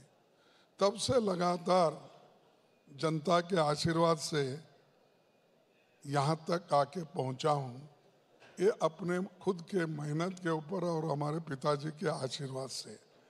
शायद ये भी बहुत कम लोग होते होंगे, किसी ना किसी को आर्थिक मदद होती है या शैक्षणिक मदद होती है।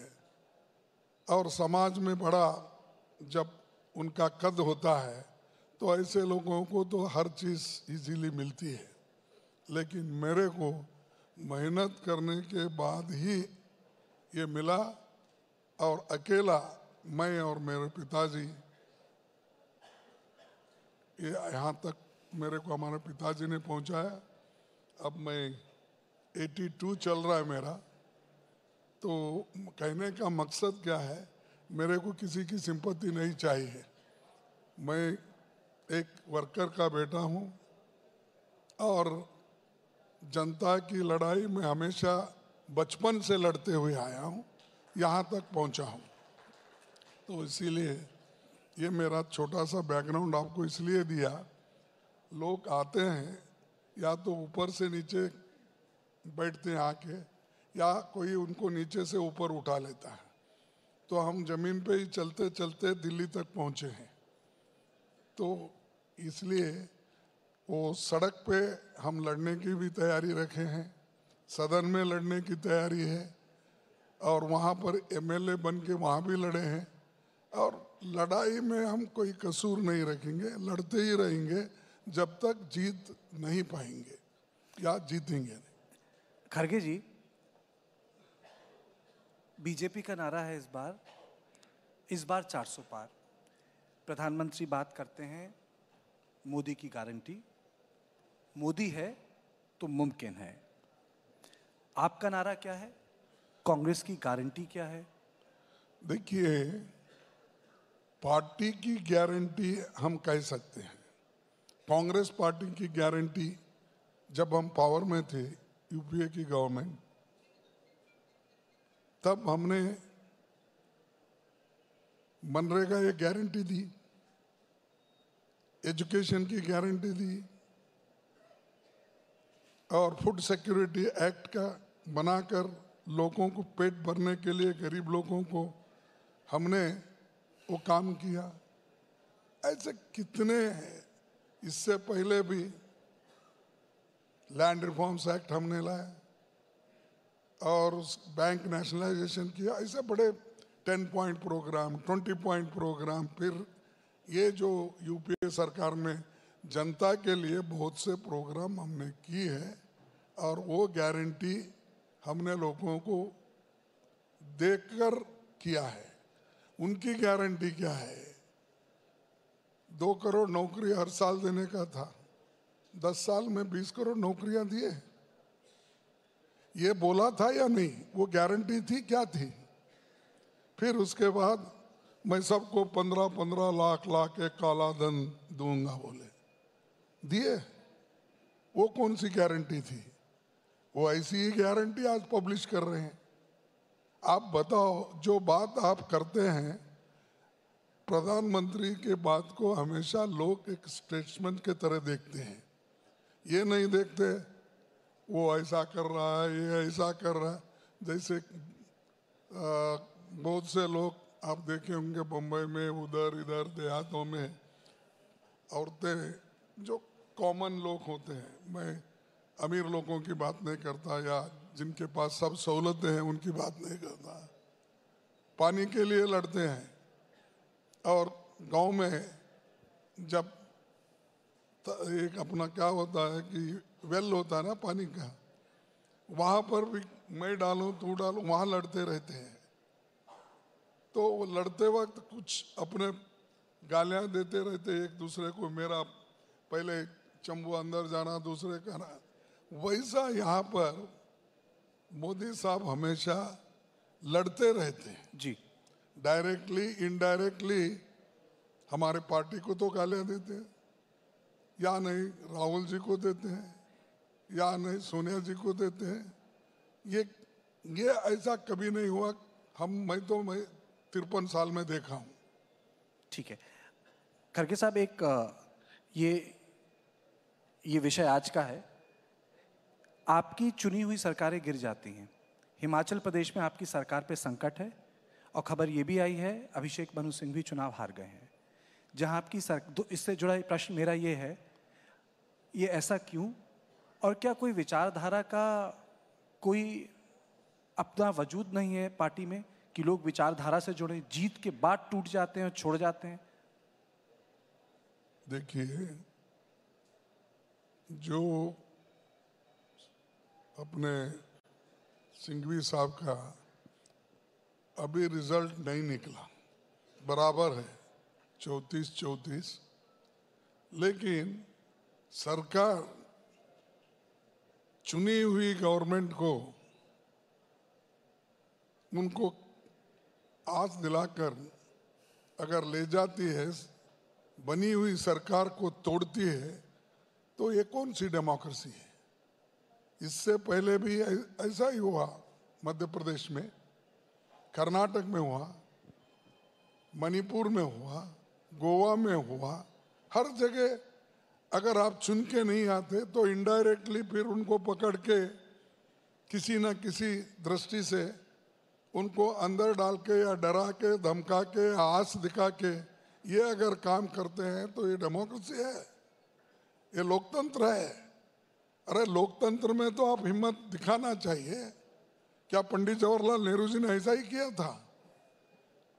क्या लाल बहादुर शास्त्री जी ने ऐसा ही किया था? क्या तोड़फोड़ करके हम कोई भी राजीव गांधी ने ऐसा किया था? तो ये लोग क्यों ये कर रहे हैं मुझे मालूम नहीं हो रहा। ये तो मैं बताऊँगा कि अगर ऐसा ही करते गए जी। तो एक दिन इस देश में इन्हों डेमोक्रेसी को खत्म करेंगे, लोकतंत्र को बर्बाद करेंगे और संविधान को ये रोक, रख देंगे अलग। तो ये अपनी बात है। तो अगर आपको बहुमत मिला है, ठीक है, हुकूमत कीजिए। आपके आइडियोलॉजी इम्प्लीमेंट कीजिए, आपको जो लगता है। लेकिन डरा धमका के अगर कोई डेमोक्रेसी में करता है, ये चल नहीं सकता। पर खरगे साहब आपकी पार्टी से पिछले एक दशक में 2014 के बाद कई बड़े नेता गए। हाल फ़िलहाल पूर्व मुख्यमंत्री भी चले गए अशोक चौहान तो मैं उसी चीज़ को दोहरा रहा हूँ कि एक विचारधारा की ग्लू होती है। कांग्रेस की एक विचारधारा है, सौ साल पुरानी पार्टी है। लोग संघर्ष करते हैं। साठ और सत्तर के दशक में आपने वहाँ की राजनीति देखी है। लोगों ने संघर्ष किया कांग्रेस के खिलाफ। देखिए, चंद लोग पावर के भूखे होते हैं वही लोग जब 30-40 साल हमारे साथ थे, हमारे आइडियोलॉजी में कौन सी बदलाव आ गया? इसलिए वो चले गए। 30-40 साल, क्योंकि उस वक्त कांग्रेस पावरफुल था, उसके पास अधिकार था, इसीलिए सब बाहर के भी जुड़ते जाते थे। यहाँ तक कि हम पिछले की हिस्ट्री अगर बताएँगे आइडियोलॉजी के ऊपर ही अशोक मेहता ज्वाइन किए थे। आप लोग अगर पीछे गए तो। बहुत से लोग, चंद्रशेखर भी। वो पहले तो पीएसपी में थे। वो भी जुड़ गए। वो मेरे डिस्ट्रिक्ट को आए थे गुलबर्गे में। 144 सेक्शन जब लगा गया तो हम लोग, हम तो अभी छोटे थे। उन्होंने जब आए, मोहन धारिया, कृष्णाकांत, चंद्रशेखर, ये सब तकरीर कर रहे तो वो 144 में उनको ये कर दिया गिरफ़्तार किया हम लोगों को भी किया। बोलने का मकसद जो आइडियोलॉजिकली लड़ना चाहता है अब मैं हूँ अब एक ही पार्टी में हूँ। एक पार्टी एक ही चिन्ह दो चिन्ह हो गए मेरे। पहले हमारी गाय बछड़ा थी उसके बाद हाथ आ गया। तब से मैं एक ही पार्टी में हूँ। क्या मैं कहीं निराश हो गया हूँ?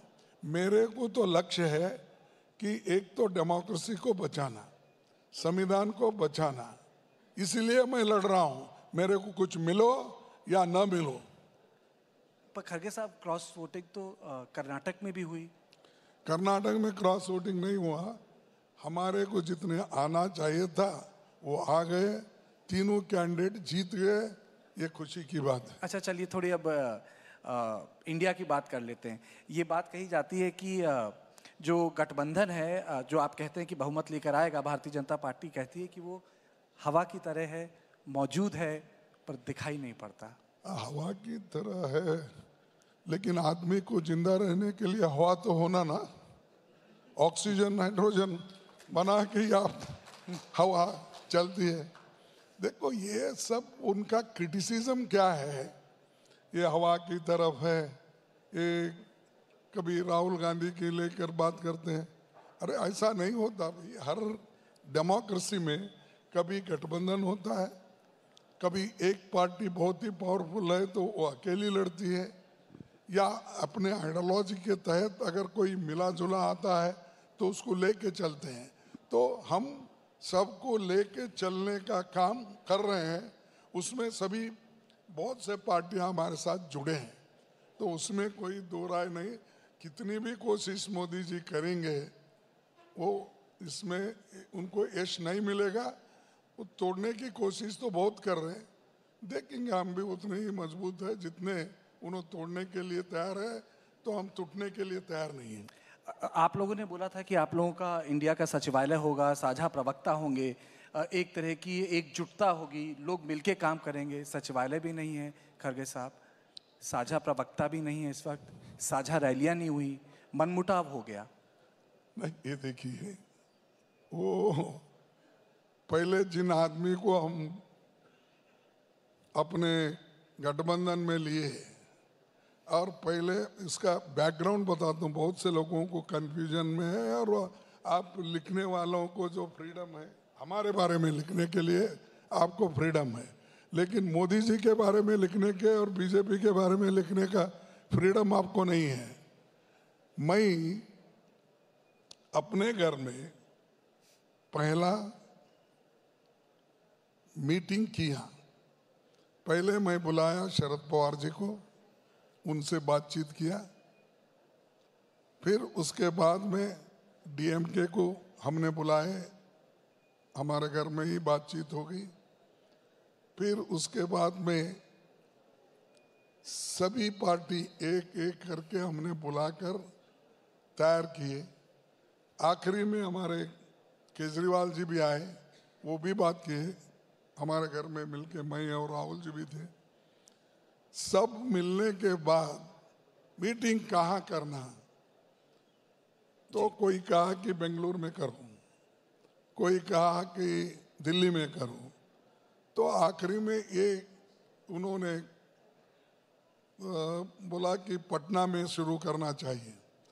तब दूसरे मीटिंग में उन्होंने खुद कहा, नितेश जी ने, भाई हम पटना में करेंगे, हमारी सरकार है, सब कुछ मज़बूत है, वहाँ करेंगे। उन्होंने कहा।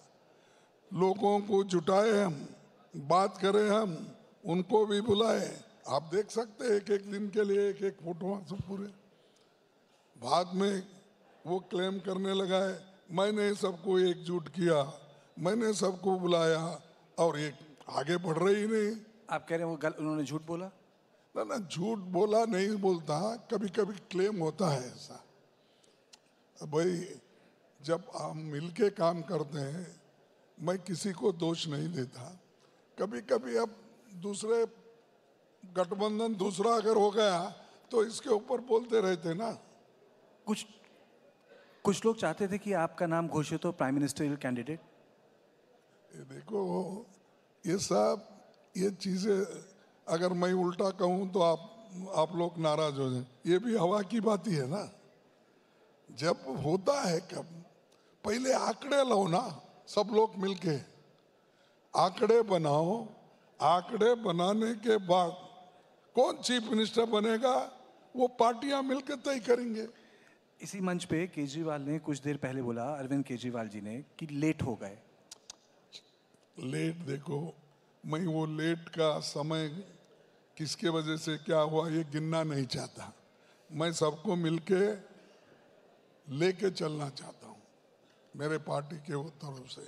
अगर कोई कमज़ोरी भी हमारी है तो हम मान लेंगे भाई ये हमारी कमज़ोरी है ठीक है आगे चलिए। ठीक है। नरसिम्हा राव ने बानवे में एक चीज़ बोली थी पूर्व प्रधानमंत्री। उन्होंने कहा था कि वो भारतीय जनता पार्टी से लड़ सकते हैं राम से नहीं। अच्छा हर एक की आस्था होती है क्योंकि नरसिंह राव जी मेरे को बड़े क्लोज थे। हमारे हैदराबाद कर्नाटक मूवमेंट में वो उस एरिया के ही थे। तो मैं तो हमेशा उनको मिलते था मिलते रहता था। अब जब कभी हैदराबाद आते थे, मिलता था। वो गुलबर्गा भी आते थे तो मिलता था। और उनके जो गुरु थे, रामस्वा, अपने हमारे, उनके जो बहुत बड़े वो चाहते हैं अब उनके जो वो ज़िंदगी बीजापुर में ही रहते थे पहले। तो उन्होंने पॉलिटिकली उनको प्रोत्साह किया था। तो नरसिंह राव जी को इसलिए नरसिंह राव जी करीबी गुलबर्गा से बीदर से रायचूर से और दूसरे ये इलाके नैजाम इलाके से वो संबंध रखते थे। तो इसलिए वो पहले से मुझे उनका मालूम है और वो एक जब लैंड रिफॉर्म्स एक्ट को इम्प्लीमेंट करना चाहते थे आपने बोला मालूम है क्या मालूम है? नहीं, यानी उनके जो विचारधारा थी, वो उसके बारे में बोल रहा हूँ। अब राम का आस्था अलग अलग है। आप राम को मानते हो, मैं शंकर को मानता हूँ उन्होंने गुरु ग्रंथ को मानते हैं, कोई इस्लाम धर्म को मानता है। हर एक आदमी की आस्था अलग अलग है। एक ही धर्म में रह के भी अलग अलग घर के भगवान अलग होते हैं। कभी आपका भगवान हो सकता है अब मेरे घर में पहले हमारे पूर्वजों का। मलार बोल के मैलार लिंग ये था यानी वो एक जी। सब लिंग जितने भी थे उतने उसमें मल्लिकार्जुन जो है हैदराबाद में तो वहाँ पर हमारे पिछले लोग सब जाते थे। तो ये आस्था की बात है। आप क्या करते आप क्या करते ये पॉलिटिक्स में नहीं है। पॉलिटिक्स अलग है धर्म अलग है फेथ अलग है आपका आइडियोलॉजी पॉलिटिक्स में अलग है। इसीलिए आप मिक्स करके लोगों को डिवाइड मत करो। और ये कर रहे हैं आज की सरकार। खड़गे साहब भारत एक आस्था वाला देश है। आपको नहीं लगता कि प्राण प्रतिष्ठान के बाद उत्तर भारत थोड़ा आप एक तरीके से कह सकते हैं राममय हो गया है। हाँ? राममय हो गया है मूड बदला है एक प्रो इनकम्बेंसी तैयार की है बीजेपी के लिए। अब और एक बार पूछिए देखता हूँ। मेरा कहने का मतलब है कि आपको लगता है क्या प्राण प्रतिष्ठान के बाद जो अयोध्या अयोध्या में प्राण प्रतिष्ठान हुआ रामलला? तो आपको लगता है कि मोदी जी का कद बड़ा है उत्तर भारत राममय हो गया है ये एक ये एक बड़ा सेंटिमेंट है नॉर्थ इंडिया में। देखिए, नॉर्थ इंडिया में शंकर के लिए नहीं है, कृष्ण के लिए नहीं है। अरे, हर पे आस्था होती भाई। आप पॉलिटिक्स में मत लो ना। आपको हम ये बोल रहे हैं कि पॉलिटिक्स अलग रखो, धर्म अलग रखो। तुम्हारी फेथ क्या? एक घर में तीन लोग अलग अलग गुरु को मानते हैं। तो इसीलिए ये पॉलिटिक्स करना बंद करो। या अनएम्प्लॉयमेंट का प्रॉब्लम है सॉल्व करो। और इन्फ्लेशन का प्रॉब्लम है सॉल्व करो। आपको जो गद्दी पे बिठाया गया, जनता के समस्याओं को सुलझाने के लिए बिठाया गया। ऐसे प्रॉब्लम तैयार करने के लिए नहीं है। ये काम तो साधु संत जो है, वो करते हैं। और उसके, उनका आशीर्वाद लेने के लिए सब लोग जाते हैं। तुम क्यों साधु बनना चाहते हैं भाई? हाँ? आप लोग क्यों बनना चाहते हैं? छोड़ दो। जिनका काम वो करते हैं। आप पॉलिटिक्स के बारे में बात कर रहे थे। अभी कांग्रेस के चीफ मिनिस्टर दक्षिण भारत के कई मुख्यमंत्री उन लोगों का कहना था कि अ, जो दक्षिण भारत से पैसा आता है अ, उतना उनको पैसा नहीं मिलता है। पर ये आपको लगता है कि कांग्रेस पार्टी एक जो नॉर्थ जो पूरी पैन इंडिया पार्टी है इस तरीके की राजनीति से उसे नुकसान हो सकता है? देखिए ये गलत बात है, साउथ और नॉर्थ, ये बोलना ठीक नहीं है। भाई, सभी हम भारतीय हैं, इंडियंस है, हिंदुस्तानी हैं, और जब हिंदुस्तान के लोग एक होकर आज़ादी लिए हैं और आज़ादी को हिफाजत करना अपना फ़र्ज़ होता है, तुम साउथ, नॉर्थ, ईस्ट, वेस्ट बोलते गए तो कोई मुल्क नहीं बचता। मुल्क को बचाना है, तुम सब लोग मिलके एक होकर आखिरी तुम्हारे शरीर में एक बूंद भी है तो उसको डिफेंड करने के लिए तुम लोग एक होना चाहिए। पार्टी का सवाल नहीं है यहाँ पर। हम, हमारा देश इसका सवाल है। अब मोदी बोले तो क्या है? या दूसरा कोई हम मानते हैं? अरे, तुम्हारी पॉलिटिक्स है, तुम्हारी आइडियोलॉजी है, तुम्हारी पार्टी है कुछ भी करो लेकिन मुल्क के बारे में उसको तोड़ के उसको डिवाइड करके तुम लोगों में जो ये भेदभाव तैयार कर रहे हैं ये अच्छी बात नहीं और कल you have to pay for it अच्छा चलिए एक बताइए एक, एक चीज़ पूछी जाए ये कांग्रेस पार्टी से जुड़ी है। आ, लोग कहते हैं कि कांग्रेस में थोड़ा सा मेरी गो राउंड है। जब आपसे कोई विषय के बारे में पूछा जाता है तो आप कहते हैं एक बार वेणुगोपाल को कंसल्ट कर लीजिए। जब उनके पास जाया जाता है तो वेणु जी कहते हैं, एक बार मैं राहुल जी से पूछ के बताता हूँ। और जब राहुल जी के पास जाया जाता है तो कहा जाता है कि I am not the president मैं अध्यक्ष नहीं हूँ, खरगे साहब अध्यक्ष हैं, आप उनके पास जाइए। देखो, ये मैं कभी किसको, उनको पूछो, इनको पूछो नहीं कहता। जिसको जो काम सौंपा गया है, अब ऑर्गेनाइजिंग सेक्रेटरी है। अगर कोई आया, साहब हमारे पास डीसीसी नहीं बना ब्लॉक नहीं बना तो मैं किसके पास भेजू? नड्डा के पास भेजू? हाँ? मैं तो अपने ऑर्गेनाइजिंग सेक्रेटरी को ही बोलूँगा ना।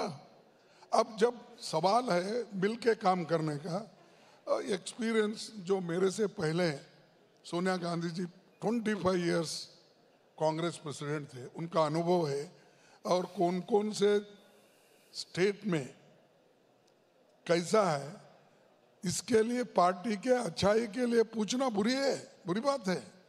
उनका सलाह लेना बुरी बात है। तीसरा, राहुल गांधी जी उन्होंने भी हमारे पूर्व अध्यक्ष थे। उनको भी कई चीज़ों को मालूम है। कई चीज़ हम बताते हैं, नहीं साहब, ये ठीक नहीं है। वो मानते हैं। ऐसा नड्डा साहब कभी पूछे क्या मोदी जी नड्डा साहब को? ये मैं चैलेंज के साथ कहता हूँ। अरे उनको तो मैं अभी अभी आ रहा था यहाँ पर, मुझे फ़ोन आया, वो, लेकिन मैं बताना नहीं चाहता हूँ, अरे हमारे पास तो कम से कम बातचीत करके एक होकर निर्णय लेते हो। तुम्हारे पास ऊपर से जो आता वही सही। और हमको बोलते हैं कि ये हुकुमशाही चलती थी, इंदिरा गांधी ऐसी करी सोनिया गांधी पीछे से सरकार चलाती थी, अब बोलते हैं। भाई पहले फ्रीडम तो तुम्हारे पास के लोगों को पहले दो। अदवानी साहब को किनारे पे बैठे जोशी साहब अलग बैठे। अब हाई सो मिनिस्टर भी ज़्यादा बात करेंगे तो हमारी कहीं पत्ती कट जाएगी पतंग कट जाएगा तो वो लोग भी चुप बैठे हैं। कुछ लोग तो ये कहेंगे वहाँ रिटायरमेंट पॉलिसी है यहाँ रिटायर नहीं होता कोई नेता।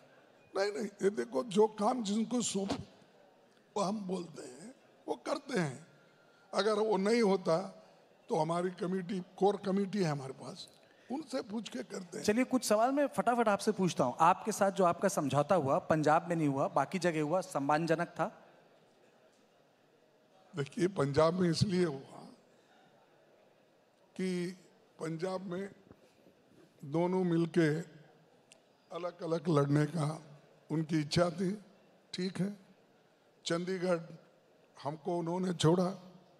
हम कहीं और जगह छोड़े, दिल्ली में हम तीन लिए, वो चार लिए। ये, यही समझौता होता ना। अब बहुत से जगह हम लड़ते हैं, जैसा केरला है। केरला में हम लेफ्टिस्ट सभी लड़ते हैं, लेकिन दिल्ली में मोदी सरकार को निकालने के लिए, फिर से एक बार सत्ता में आने के लिए, उनको रोकने के लिए हम पूरी लोग कोशिश कर रहे हैं। इसका मतलब ये नहीं है कि हम यहाँ पर अलग अलग हैं। आपको चिंता नहीं होती खरगे साहब की कांग्रेस की स्थिति दधीची जैसी हो जाए? आ, कहने का मतलब कि उसको अपने पार्टी के संगठन को कॉम्प्रोमाइज़ करना पड़े सिर्फ़ मोदी को बाहर रखने के लिए। एक वक्त था कांग्रेस अपने आप खुद पंजाब में लड़ती थी उसको ज़रूरत नहीं थी आम आदमी पार्टी की गुजरात में। दिल्ली में आप और भारतीय जनता पार्टी के बीच में होता था संघर्ष। तीन बार शीला जी मुख्यमंत्री रहीं लगातार रहीं। उसके बाद कोई ऐसा स्टेट नहीं था। आपको नहीं लगता कि धीरे धीरे धीरे करके शायद दो ही, तीन राज्य बचे ऐसे मध्य प्रदेश, छत्तीसगढ़ और राजस्थान, जहाँ कांग्रेस की सीधी लड़ाई होती है। बाकी सब जगह आपको गठबंधन में लड़ना पड़ रहा है। देखिए, जहाँ ज़रूरी है, वहाँ पर गठबंधन होता है। ये मोदी के लिए, हराने के लिए कोई एक ही प्रश्न नहीं है इसमें। देश को बचाना है। संविधान के लिए मैं बार बार बोल रहा हूँ बचाने के लिए। और डेमोक्रेसी को ठीक ढंग से रखने के लिए हम एक कोशिश कर रहे हैं। और रही बात आइडियोलॉजी की। मो, मोदी जी आइडियोलॉजी पे चलते हैं। चलते हैं तो मैं परसों कल गया था तेलंगाना गया था आंध्रा भी गया था।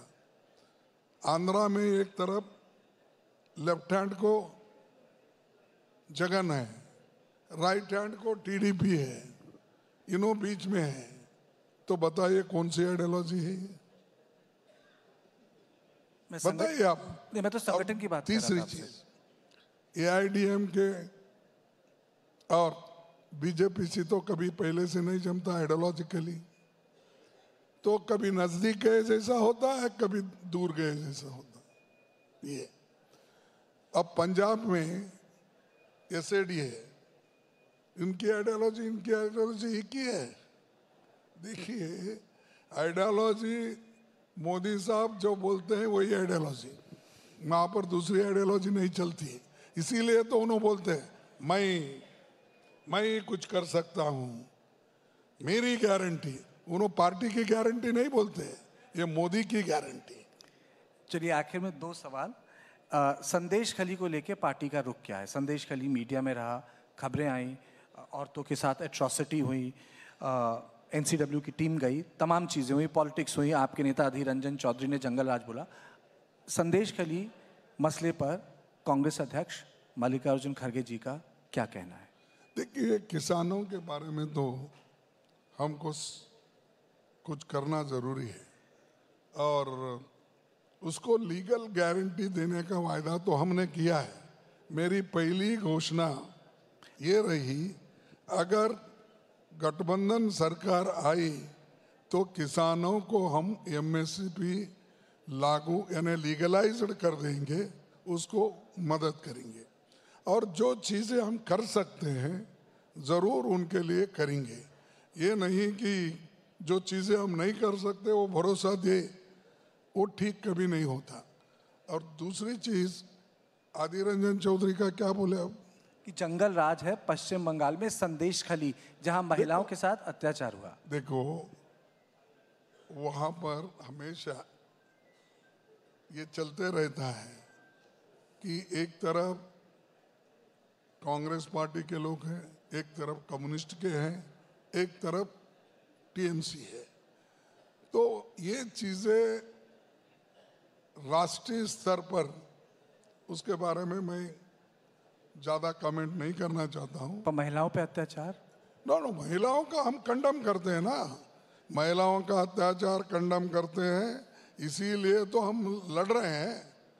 अरे इस देश में साहब वोटिंग पावर महिलाओं को किसने लाया? अडल्ट आज़ादी के बाद अगर किसी ने महिलाओं को वोटिंग पावर दिया है वो कांग्रेस ने दिया है।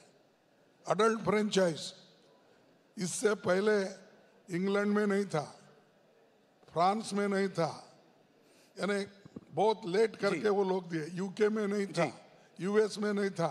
जी। अरे जो पार्टी जी।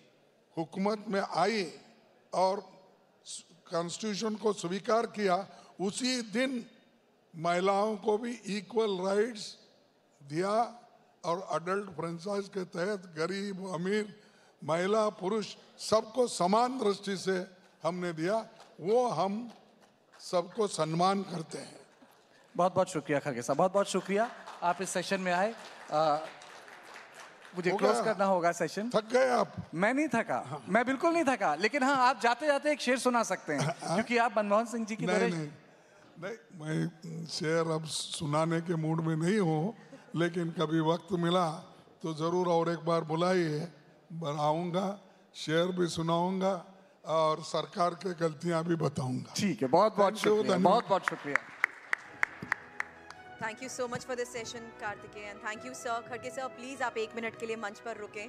और टीवी नाइन नेटवर्क के सीईओ और एमडी वरुण दास सर को इस वक्त मैं मंच पर बुलाना चाहूँगी। जोरदार तालियों से एक बार फिर से अभिनंदन।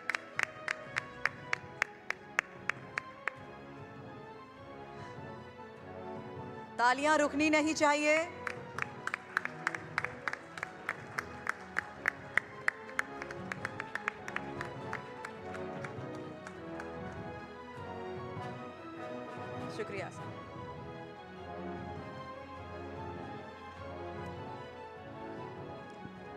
बहुत ही सार्थक सेशन इसे कहा जाएगा। सुरभि, मल्लिकार्जुन खड़गे हमारे बीच मंच पर आप वो नीचे उतर रहे हैं, लेकिन जोरदार तालियाँ एक बार फिर से हो जाए, क्योंकि अब हम इस सत्ता सम्मेलन के आखिरी पड़ाव पर हैं और अब जोश और उत्साह में कमी नहीं होनी चाहिए कम से कम। जोरदार तालियाँ हो जाए एक बार। और मैं हर बार की तरह ये कहना चाहूँगी, तालियाँ हमारी उन स्पेशल ऑडियंस के लिए भी बननी चाहिए, जो आज के इस खास मंच पर हमारे साथ जुड़ी हुई हैं।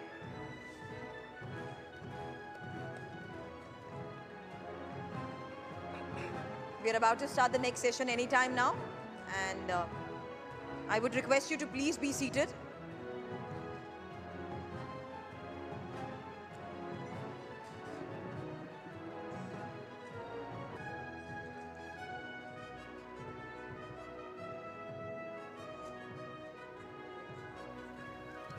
चाय पियेंगे इंजीनियर साहब कुछ याद भी है पचास साल हो गए शादी को ये क्या है? पचास साल झेली हो तुम मुझे। और पचास साल झेलूँगी क्या? सच्चे रिश्ते वही है जो लंबे चले। इसीलिए वी गार्ड बनाते हैं वायर स्विचेस और एमसीबीज जो चले सालों साल। पता है ये लंबी सी मेट्रो लाइन क्यों बनी?